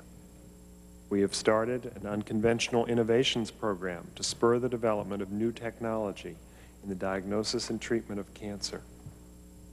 We've heard um, some discussion of the problems of lymphedema today. We have recently opened two phase three trials eva uh, evaluating the safety of sentinel lymph node biopsy in women with breast cancer. If this is proved safe and efficacious, then we will be able to eliminate the need for axillary lymph node dissection and spare these women the risk of lymphedema. We are pleased to co-sponsor the workshop described by Dr. Gordon, which opens tomorrow on, on the integration of complementary and alternative therapy in cancer care. We look forward to continued interaction with the complementary and alternative medicine community in our efforts to improve prevention, screening, early diagnosis, treatment, and quality of life for women with cancer. I'd be happy to answer any questions you might have. Thank you, Dr. Trimble. let, me, let me start with you. you. You, I'm not sure I understood exactly what you just said about the lymph nodes. Is there a, a, a non-invasive way to check the lymph nodes? Is that what you're saying, so you don't have to remove them, so that you would not run the risk of lymphedema? What has been um, shown in smaller studies is that by the use of um, either a, a, um, a dye or a radioactive material, one can find the one or two lymph nodes to which the cancer drains. Those lymph nodes are removed and then examined microscopically. And if those lymph nodes are not involved by cancer, then that person does not need a full axillary lymph node dissection. Um, so that, that's, that's the theory uh, that supports our trial in which half the people would get a full lymph node dissection. Well, let me just ask you, uh, uh, in some cases, they don't take out all the lymph nodes, they just take out some of them if they take out some of the lymph nodes, don't people have the, run the risk of, uh, of uh, getting uh, uh lymphedema even though they haven't taken them all? Um, well, the risk of, um, you, you're correct, there is a risk of lymphedema only removing some, but in a, um, let's say, a, a, when a full axillary lymphadenectomy is performed, then 20 to 30 lymph nodes may be removed whereas in the new sentinel lymph node procedure, only one or two lymph nodes are, are removed. And so, and so the incidence of lymphedema following that sentinel node uh, procedure is, is almost nothing. I see. Okay, so, so instead of taking out 20 or 25 and then finding five that, that had cancer cells in them, you would just take out those that you were able to pinpoint through the radiation. Right, that, that pinpoint that those are the ones that are closest to the cancer. That's the, where the lymph fluid would drain from that tumor. Okay, all righty. Uh, Dr. Beilin, you and I talked before the meeting, the hearing, and we were talking about other forms of cancer, such as prostate cancer, and you told me that in Europe they're using a new technology that uh, would eliminate, in many cases, the need for, let's say, in prostate cancer, the prostate to be removed. You could just attack the cancer in part of the prostate. Is that correct? Well, I, I, I hesitate to say eliminate the need for because every case is, is individual, and uh, I think that we need a lot more research to be done. But uh, currently, there's a number of hyperthermia devices. One in particular is made in Spain that is going through FDA review right now to be brought over.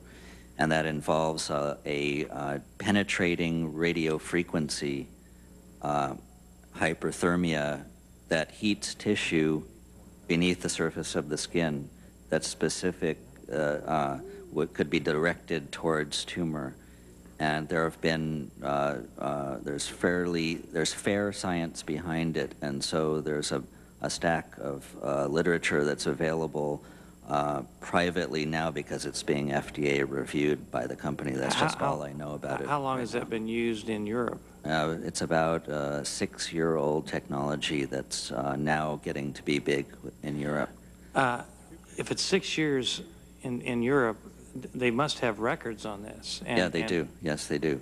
Well, does the FDA uh, here in the United States ever solicit those records, or do they just start all over from scratch with? uh, with Yeah, that's a very interesting question. My impression with working with the FDA um, that I have done with the regulation thermography is that they look at most cases as new and that they um, do not ask for studies that have been done in foreign countries such as Germany and Switzerland, countries that have the integrity of medicine that we do here, or, or uh, maybe uh, they, they, there are countries that are developed in the Western world just like ours, and I think that there should be some kind of movement to uh, accept or at least be interested in the review of previous research that's been done abroad with such things as uh, diagnostic early screening equipment. Now, um, Mrs. Mack, who spoke earlier, she said she did an early detection by palpation, by just feeling. Well, the tumor, when it's one centimeter in diameter, is already multi-celled uh, with thousands of cancer cells.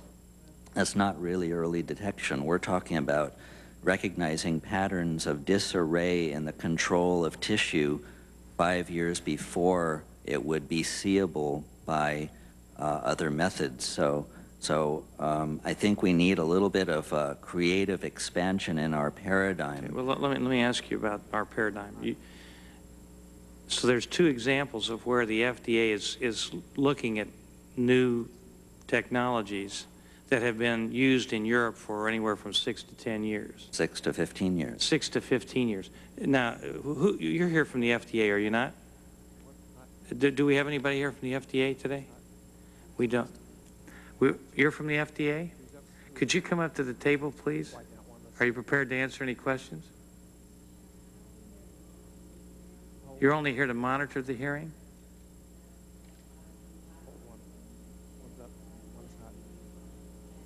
Well, I, I, I will give you a, a question. We, we've been told in the last 24 hours of two cases, one involving the instrument involving hypothermia,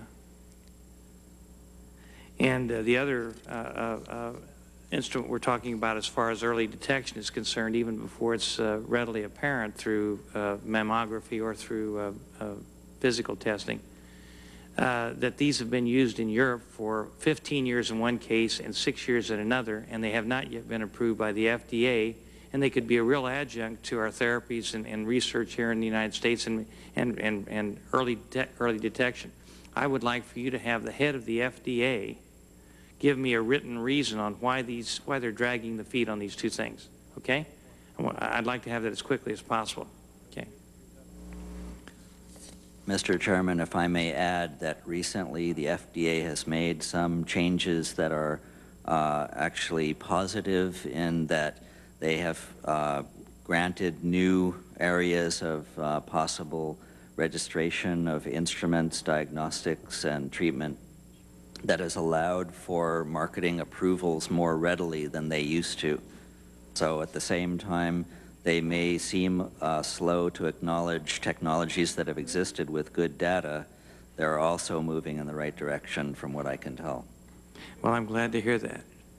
But we still have technologies that could really, really help, at least from every appearance that I've seen, that, uh, that they're still dragging their feet on. And uh, I, I just hate to see any bureaucracy get in the way of progress that's going to help save lives. Ms. Silver, let me just ask you one question, and I'll yield to my colleague. Uh, You, you- in your statement, and I'm trying to recall exactly how you put it, but you indicated that if there's new treatments or new things that people could take who have an illness that's very severe, they should be able to go ahead and take it, uh, even though there hasn't been approval yet, uh, if their life is at risk. Did I, did I understand you correctly? I was referring to the complementary and alternative modalities that we practice in our center. Uh-huh, In other words, those have not been proven by and large, uh-huh. but they've not been disproven. That is to say that no one has suggested or proven that those uh, modalities cause harm or are not efficacious. They've simply not been studied. So for that reason, we ask the question, should we withhold those modalities, knowing, as we do anecdotally, that they can be effective with patients? And your answer And is no. Our answer is we, we don't want to withhold those modalities. And you do go ahead and use them at the We current do time? use them. Are you having They're- trouble with FDA because you No. do that? No, these are non-invasive, uh, apart from acupuncture, but uh, the other modalities are non-invasive modalities. Many of them are mind-body techniques uh, that people can use routinely. So there is no, um, there, there's no oversight, as it were, because these are not drugs and they're not invasive procedures. But we also don't want to uh, hold out false hope. We don't want to claim that any of these things is effective. We certainly don't claim that we cure cancer. We do say, though, that we can change the quality of life of the patient with some of these modalities, and our patients agree that their quality of life has been improved. Uh, Do you have some questions? Do you have any questions? Mr. Chairman, I, I, I just want to thank you so much, Mr. Chairman, for um, your continuing work in this area and your leadership national, nationally in this area. It's so very important to us in looking at American health and the role of government in helping the American people stay healthy and to help them have access to the resources that help them stay ahead of the fight before the disease catches up with them. I experienced a very difficult um, passing of my own mother through radical, uh, as a result of radical, radical surgery um, because of cancer. So um, I have uh, strong feelings about this and am very grateful to you, Mr. Chairman, and to your witnesses. I think that we in this committee need to, to focus, as you are doing, on helping government get out of the way. You know, first do no harm is not only a good motto for physicians, but also for legislators. And I'm afraid that um, some of our policies that we've implemented have caused harm to the individual in not being able to take control of their life. And I am concerned that whenever we try to help, we end up interfering and making the lives of our constituents harder, and that is simply unacceptable. Too often, access to public treatments is cut off because the federal government is unsure of, of its safety. But to people with terminal or potentially terminal illnesses, this seems to be a cruel joke, as it was in the case of my family. I think we need, uh, as you have begun, to seriously question the role of government in relating to certain institutions that may either help or prevent access to um, either new treatments or to education and information that will help us prevent disease. So thank you very, very much, Mr. Chairman, for, for this uh, hearing. I want to ask Dr. Trimble, um, could you explain to me what circadian rhythms are Uh, Well, circadian in rhythms, relation to um, um, a patient receiving chemotherapy? right. Um, Circadian rhythms refer to any of the, the natural rhythms um, in whether that's day and night or, the- or the, or the seasons and how they affect um, a person's physiology and, and their, and their, the functions of their body. In this case, uh, we had some preliminary research um, suggesting that you could decrease the toxicity of chemotherapy if you gave one of the medicines, doxorubicin, at 6 in the morning, and the other one, uh, cisplatinum, at 6 in the evening. And so in a small study, it seemed as though um, there was less damage to the nerves and less damage to the bone marrow if you um, staggered the chemotherapy that way. Um, so they, um, or, or the NCI sponsored a large study in which half the women received their chemotherapy at the time that, it- at, at any old time, when it- whenever it was ready, prepared by the pharmacy, and the other half got it at 6 a.m. and 6 p.m. And then they, they looked to see whether there was any difference in the, the toxicity and damage to, to nerves or to bone marrow. Um, and unfortunately, in, in the larger study, there was no difference between the two. Um, but we did think it was an important question, and, and we um, are continuing to look, see if, how we can decrease the toxicity of our therapies. You know, Dr. Trimble, um, American women, and probably women in most of the Western countries, subject themselves to some unpleasantries, mammograms, uh, um, pap smears, and we are careful about self-examination for breast cancer.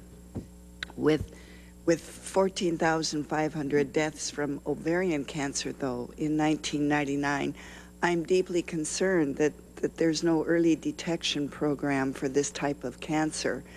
75% of ovarian cancers are not detected until the later stages of disease. So I wanted to ask you, what is the National Cancer Institute doing to help women be able to detect ovarian cancer before it reaches the critical stages? Well, this is obviously an extremely important area um, that um, we have been working on for some time. Um, current, we are do, making a, number of efforts to try to improve screening and early detection of ovarian cancer. Uh, we are funding a very large trial, the PLCO trial, um, involving 73,000 women and 73,000 men. Uh, the women are being, um, half of them are being screened with ultrasound and um, uh, a blood test, CA125 blood test, for ovarian cancer. Uh, so that is a test of the best available technology that we have versus standard medical care. We're also trying to develop some new tests.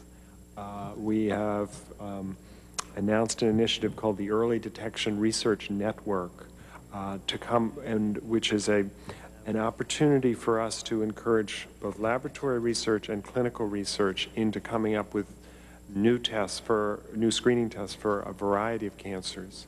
Um, and I know for this particular uh, initiative, um, there, there are seven laboratories in the United States which specialize in ovarian cancer that have put together an application just to focus on detecting earlier tests in ovarian cancer. In addition, the NCI is committed to funding a uh, what is called a spore, or more uh, potentially more than one spore in ovarian cancer. We've, we have um, this spore, which stands for Special Program of Research Excellence in breast cancer, in colon cancer, prostate cancer, and and um, and, and it has been a very successful program. It's designed to bring research from the bench to the bedside. Um, and nine centers have applied uh, for that program, um, and the, those, those applications will be reviewed at the end of, end of this month. So with, between these three initiatives, we think we're, we are putting a lot of time and attention and money into trying to find a better screen. But you're absolutely right, we need a better screen. Thank you, Dr. Trimble. I see that my time is up, so, but I had some questions for Dr. Beilin, and so with the chairman's permission, Sure, I'd like I'll- to I'll- submit them in writing. No, you, you can ask the questions. Uh, If you would just yield to me, though, I have a question that I would like to add, and then I'll let you proceed. Are we yield to me? We're on. Are Okay. Dr. Beilin, th- th- this, this device that uh, they've used in uh, Europe for 15 years, uh, that you demonstrated with your slides earlier, would it detect something like ovarian cancer? in some cases. You know, you can't, um, there's no device that's going to be 100% or even maybe 80%. But there are cases that have been found when they haven't been found in any other way. We send them in, we refer them to radiology or to ultrasound and do CA125, the normal blood tests. And so we're able to, to uh, in a small percentage, reveal more than would have normally in other ways been revealed. So it, it, and I presume it's the same for prostate cancer or, or cervical cancer or any other kind of cancer like that? It- There, are- there are more cases found, but it's not a, a, a system that, that in any way uh, foolproof. could be, uh, used 100% of the time. That's just not the way to think about these things. The- But it would be a, a, a, a good adjunct. It would be a great adjunct, and the cost is very little. The, the machines are costing less than $15,000, which is about a tenth of any of the other medical uh, scanning or, or radiological devices. Dr. Trimble, I, I don't want to put you on the spot or, or the people over at uh, NCI on the spot, but I, I- can't understand why at FDA there's new technologies that have been used for 15 years with some modicum of success, a modicum of success in Europe, that have not been approved by FDA that could help you in detecting early cancer in places like what uh, my colleague was just talking about, cervical cancer and, and, and uh, ovarian cancer. It seems to me that the bureaucracy isn't working together and, and, and, and, and it, it, there's no communication back and forth. I mean, if this has been going on for 15 years, and even if it would only help one-tenth of 1% of the women who have uh, ovarian cancer, it's something that should be looked at. Does your agency ever talk to FDA or look at these things that are going on in Europe and elsewhere? Well, we have uh, very close relations with the FDA, particularly in the areas of um, chemotherapeutic drugs. Um, We have worked closely with them to um, design um, really international systems for monitoring toxicity of drugs and response to uh, chemotherapy, um, in part so that um, as products are developed in Europe, we might be able to use that data um, to submit it to the FDA for, for approval. So we would not have delays waiting for data to come in on patients in the United States. Have you ever heard of this, this, this kind, this machine before that's been used in Europe? Well, our, uh, um, you know, uh, our focus, or, or, you know, I work in the Division of Cancer Treatment, so we have been focused on uh, treatment. Um, We have um, opened several new initiatives in imaging, one of, uh, for unconventional imaging. Uh, We have also recently funded the American College of Radiology um, to set up an imaging network to evaluate um, new imaging in the treatment of um, cancers. And I met yesterday with uh, Dr. Beilin uh, to discuss how uh, this particular technology could be um, integrated into our research portfolio. As well as the other uh, technology he was talking about, the heat, heat uh, device? You talked to him about that as well? Uh, No, I did not talk to him about that yesterday, but we'd be happy to talk with him I, I wish you would, because it sounds like it's very promising, and it's been used for six years in Europe, and hadn't even been, a- I mean, and, and, and it's not moving very fast through FDA. C- Can I make a request, and I- if you would write this down, I'd really appreciate it. I'd like to request that the NCI provide a list to our committee of the cancer treatments, including drugs, devices, and other therapies that are available in Europe and Canada that are not available in the United States. And the reason I'm asking for that is because I have a feeling that you, you, and I'm sure you're a very dedicated uh, scientist as well as your colleague back there, but I have a feeling because there's so much on your plate right now, a lot of these things that are happening in other parts of the world that may have been going on for some time may not have been really explored. And as a result, some of those things, I know the Europeans are so far behind us it isn't funny, but they may come up with a good idea every once in a while that might help us. And, uh, and, and uh, uh, I can remember after World War II, uh, we were bringing all the uh, uh, rocket scientists over here from Germany, many of whom should have been strung up, to help us with our rocket program because they were so far advanced and so far ahead of us. So they do have some pretty smart people over there.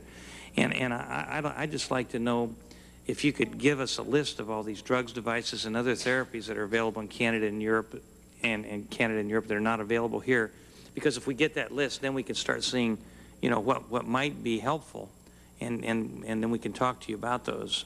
And this is not in any way to denigrate the work you're doing. It's just to say that there might be some adjuncts out there that could be helpful to you. Mr. Chairman, if I might ask the question of Dr. Trimble. Sure. Uh, what's the status of mistletoe? Because mistletoe therapy is being used in uh, many oncology clinics in Europe, And from what I understand is that our drug companies here are trying to recreate a patentable mistletoe to be used as chemotherapy, but without the original mistletoe, mistletoe therapy, with the research results that they've gotten being acceptable by FDA. But before you answer that question, Dr. Trimble, this is one of the things that really bothers a number of people in Congress because many people in Congress, including the chairman, myself, suspect that some of the pharmaceutical companies have undue influence at the Food and Drug Administration and some of our national health institutes, institutions. And I hope that's not the case, but we, we, we have that concern.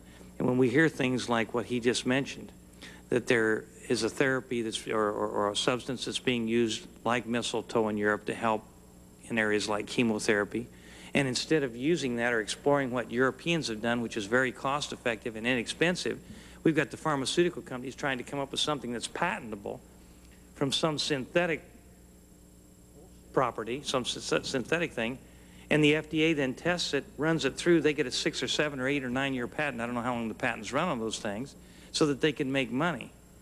And who suffers? The, the patients do when there might be something much less expensive that's on the market over in Europe. Those are things that really bother people in this country.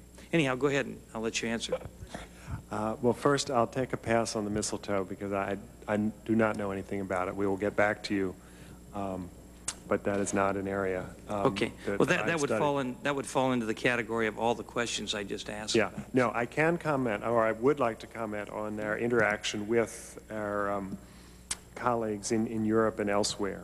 Um, The National Cancer Institute has made a uh, sincere effort uh, to exchange information uh, with colleagues from around, around the world. We sponsor a meeting in conjunction with the European Organization for Research and Treatment of Cancer every two years to discuss new drug development. Uh, We have um, regular meetings uh, with our, uh, with colleagues uh, in Japan.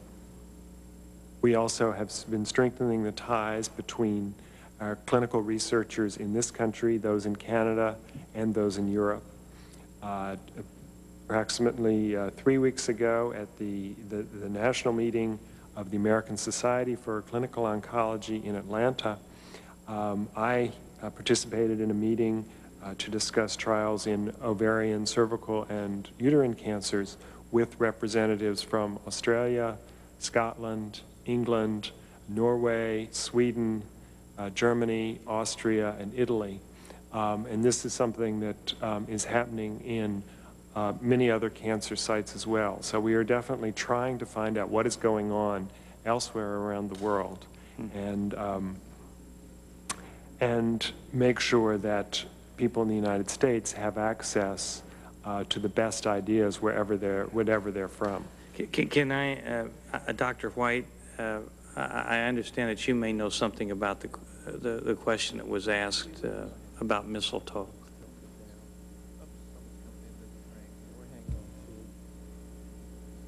I- I'm just going to ask two more questions, and then I yield back to you. Go ahead, Dr. White, or Dr. White. Yes, I, I could, I can tell you a little bit about what uh, we have done in this area. The, uh, as you probably know, the National Center for Complementary and Alternative Medicine has uh, 10, or I guess now 13 centers that it funds for various uh, different diseases. Uh, It has a cancer center at the University of Texas, Houston, which we, co the NCI co-funds with the uh, NCCAM. And that uh, uh, center is actually doing a phase one study of mistletoe in advanced esophageal cancer. They also have um, done a variety of preclinical studies with other herbal approaches that are used uh, outside the United States predominantly. The, um, as, uh, there are a variety of different uh, preparations of mistletoe that are used um, in Europe and in Australia, various places.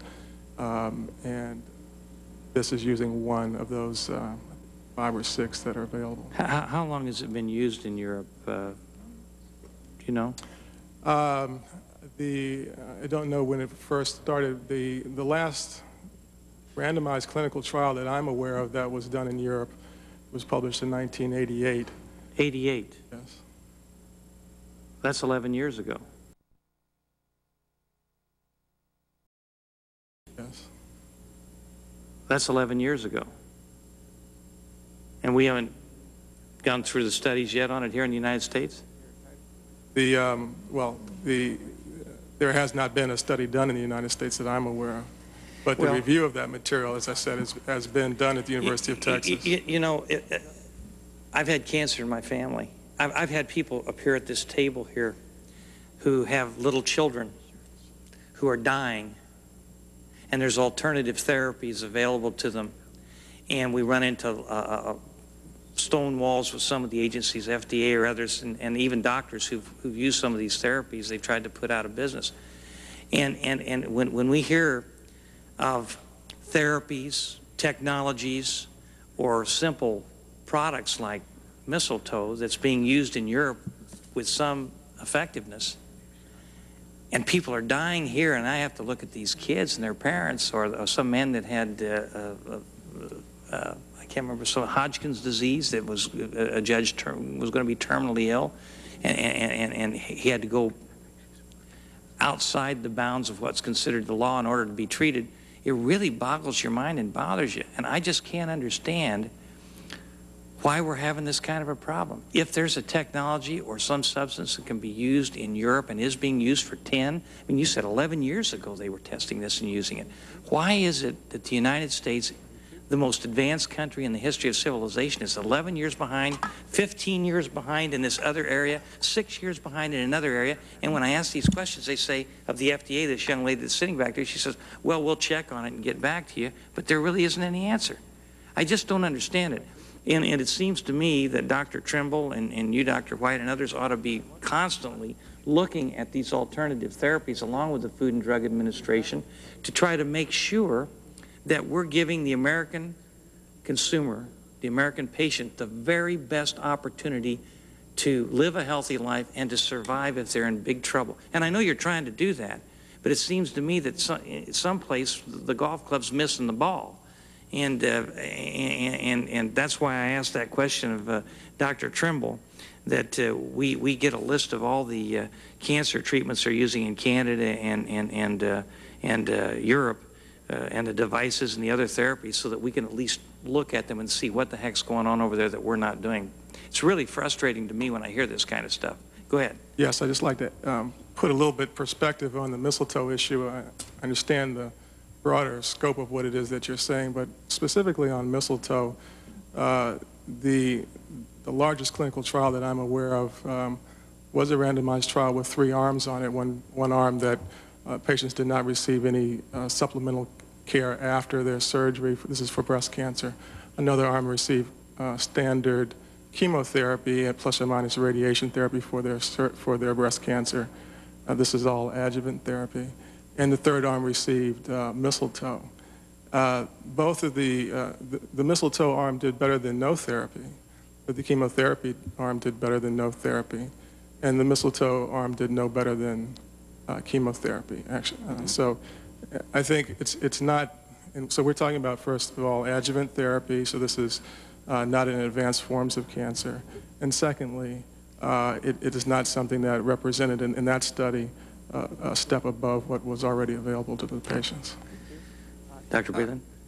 If I may comment that there are stat statistics being gathered by uh, an immunologist and oncologist colleague uh, in Austria for the Germanic countries, and they've discovered the statistics seem to be coming out that using um, chemo plus uh, complementary therapies such as mistletoe together resulting, like in, in breast cancer, the number is 25% less recurrence rates when you use the both together. So I think that those kind of statistics need to kind of leak over here so that we can begin to take the best and to integrate them and add them together to have an additive effect. And that same statistic came out for prostate and melanoma. Is that published information? I believe so. It's in, oh. I, I can lead you to the I'd be it. happy to, to, to review that. Well, see, this is the kind of communication that every American would like to see all the time, not just at the table here at a hearing. And so uh, let me just ask two more questions, and I'll yield to my colleague, and then we'll wrap this up because we've all been here a long, long time. The NCI gets $2.7 billion, $2.7 billion for cancer research. You're spending less than 1% of that on alternative therapies. We're hearing things here today that indicate that there are some alternative therapies with promise. And I'm sure you're going to give me a list of other things that have promise that we're going to get from Europe. Why is it that we only spend $20 million out of 2.7 billion on alternative therapies when half of the Americans who have problems are using and trying to find alternative therapies? It just doesn't make any sense to me. Can you give me an answer to that, Dr. Trimble? Why are we only spending 20, 20 million? Well, as uh, I know that, um, Mr. Chairman, that you have had some discussions with my director, Dr. Klausner, on this issue. Um, we realize that we need to provide the American public with um, accurate information on complementary and alternative medicine, and we need to provide them with uh, accurate appraisal of uh, these techniques in terms of whether they work, uh, so that um, people of the United States can uh, decide for themselves whether they um, wish to avail themselves of various complementary and alternative medicine techniques. Uh, we Well, I think you, I think you're making my point. We need to spend more money than just one, well, less than 1% on that. Wouldn't you agree with that? Well, I agree that we need to uh, do more research, and to that end, we have agreed to co-fund with the other institutes uh, centers for alternative medicine research across the United States. We are actively soliciting uh, new ideas that we can uh, test at these centers and through uh, with their um, existing cancer centers. Uh, and so we hope that we can make more information available and have more um, and better treatment, which combine standard treatment, complementary medicine, and alternative medicine for the people of the United States. Let me yield to my colleague. She has to uh, leave. Dr. Trimble, could you commit to us how much the National Cancer Institute will um, dedicate to alternative medicine studies and Uh, results? No, I, I, th- that's uh, above my, uh, my pay level to make that kind of uh, a commitment. I will commit that we are actively recruiting um, studies. We, we have committed to setting up uh, centers uh, to study complementary and alternative medicine. Um, And we will continue um, to, to forge a joint approach uh, with our colleagues in other medical disciplines to, um, in this area. Um, Mr. Chairman, I wonder, as a member of your committee, if, if I might ask that you would ask whoever is in the proper pay Dr. grade. Klausner. Dr. Klausner, Mhm. how much, I, I'd like to know as a congressman how I, I think what be- we ought to do is, is, as a Congress, take a look at the amount of money we're appropriating for NCI and uh, talk to the people in the Appropriations Committee, and maybe since NCI of their own volition isn't going to authorize more money for alternative therapies, maybe we should just specify in the appropriation bill how much you have to spend for that. And if we did that, maybe that would, that would break the logjam. But I'll try to talk to Dr. Klausner. I want you to make a note, Beth, that we, we do that. Uh, I don't have any other questions. Do you have any other questions? Mr. Chairman, I just, I just wanted to share on the record with you an observation um, that I've made. Um, You know, we, we broke all the barriers down when we passed NAFTA and GATT. Now we have the World Trade Organization. And we're importing 22% of our beef that comes from foreign countries, and we don't know where. And they're, they have certainly different standards than we have, and yet we're consuming that beef not knowing that it's coming from foreign countries. 40% of our lamb sometimes comes from uh, 7,000 miles away. We don't seem to ask a question about that. We, you know, we have toys that come from China, and we have Hot Wheels that come from Malaysia, and we have dog bones that come from Argentina. Nobody seems to worry about that in this whole global economy. But what about getting information from Europe that we can use on a par, the studies, and, and benefit from them? Um, it just seems absolutely incredible to me that we always have to reinvent the wheel when it comes to medicine. And yet, in every other arena uh, in this global economy but medicine and freedom from medicine and freedom from the institutions of the individuals sometimes when we make that choice is what's sorely lacking. I'm afraid this Congress, unfortunately, is supporting the institutions, and the patients have become a byproduct or um, just a necessary um, function for the institutions instead of the institutions being a necessary function to better health care. So, um, uh, Mr. Chairman, I would love to work with you on perhaps requiring uh, something in NAFTA um, or GATT that would um, mandate that these studies be accepted by FDA on a par. Uh, We'll take a look at it, I'll get together with you, and we'll have Beth uh, look into it and see if we can't maybe uh, uh, do some of that. I Thank I you. think that uh, at the very least, those technologies should not languish for six, seven, eight, 10, 15 years before they're utilized here in the United States. I was just informed that shark cartilage, for instance, uh, I think Dr. Trimble said they're testing that. Seven years ago, they started talking about it, and we're just now doing it. So, uh, you know, it, uh, it, it, it seems like there is a, a lot of foot dragging. Well, I don't have any other questions for you. Thank you, Mr. White. You weren't scheduled to speak, but we do appreciate your coming before us.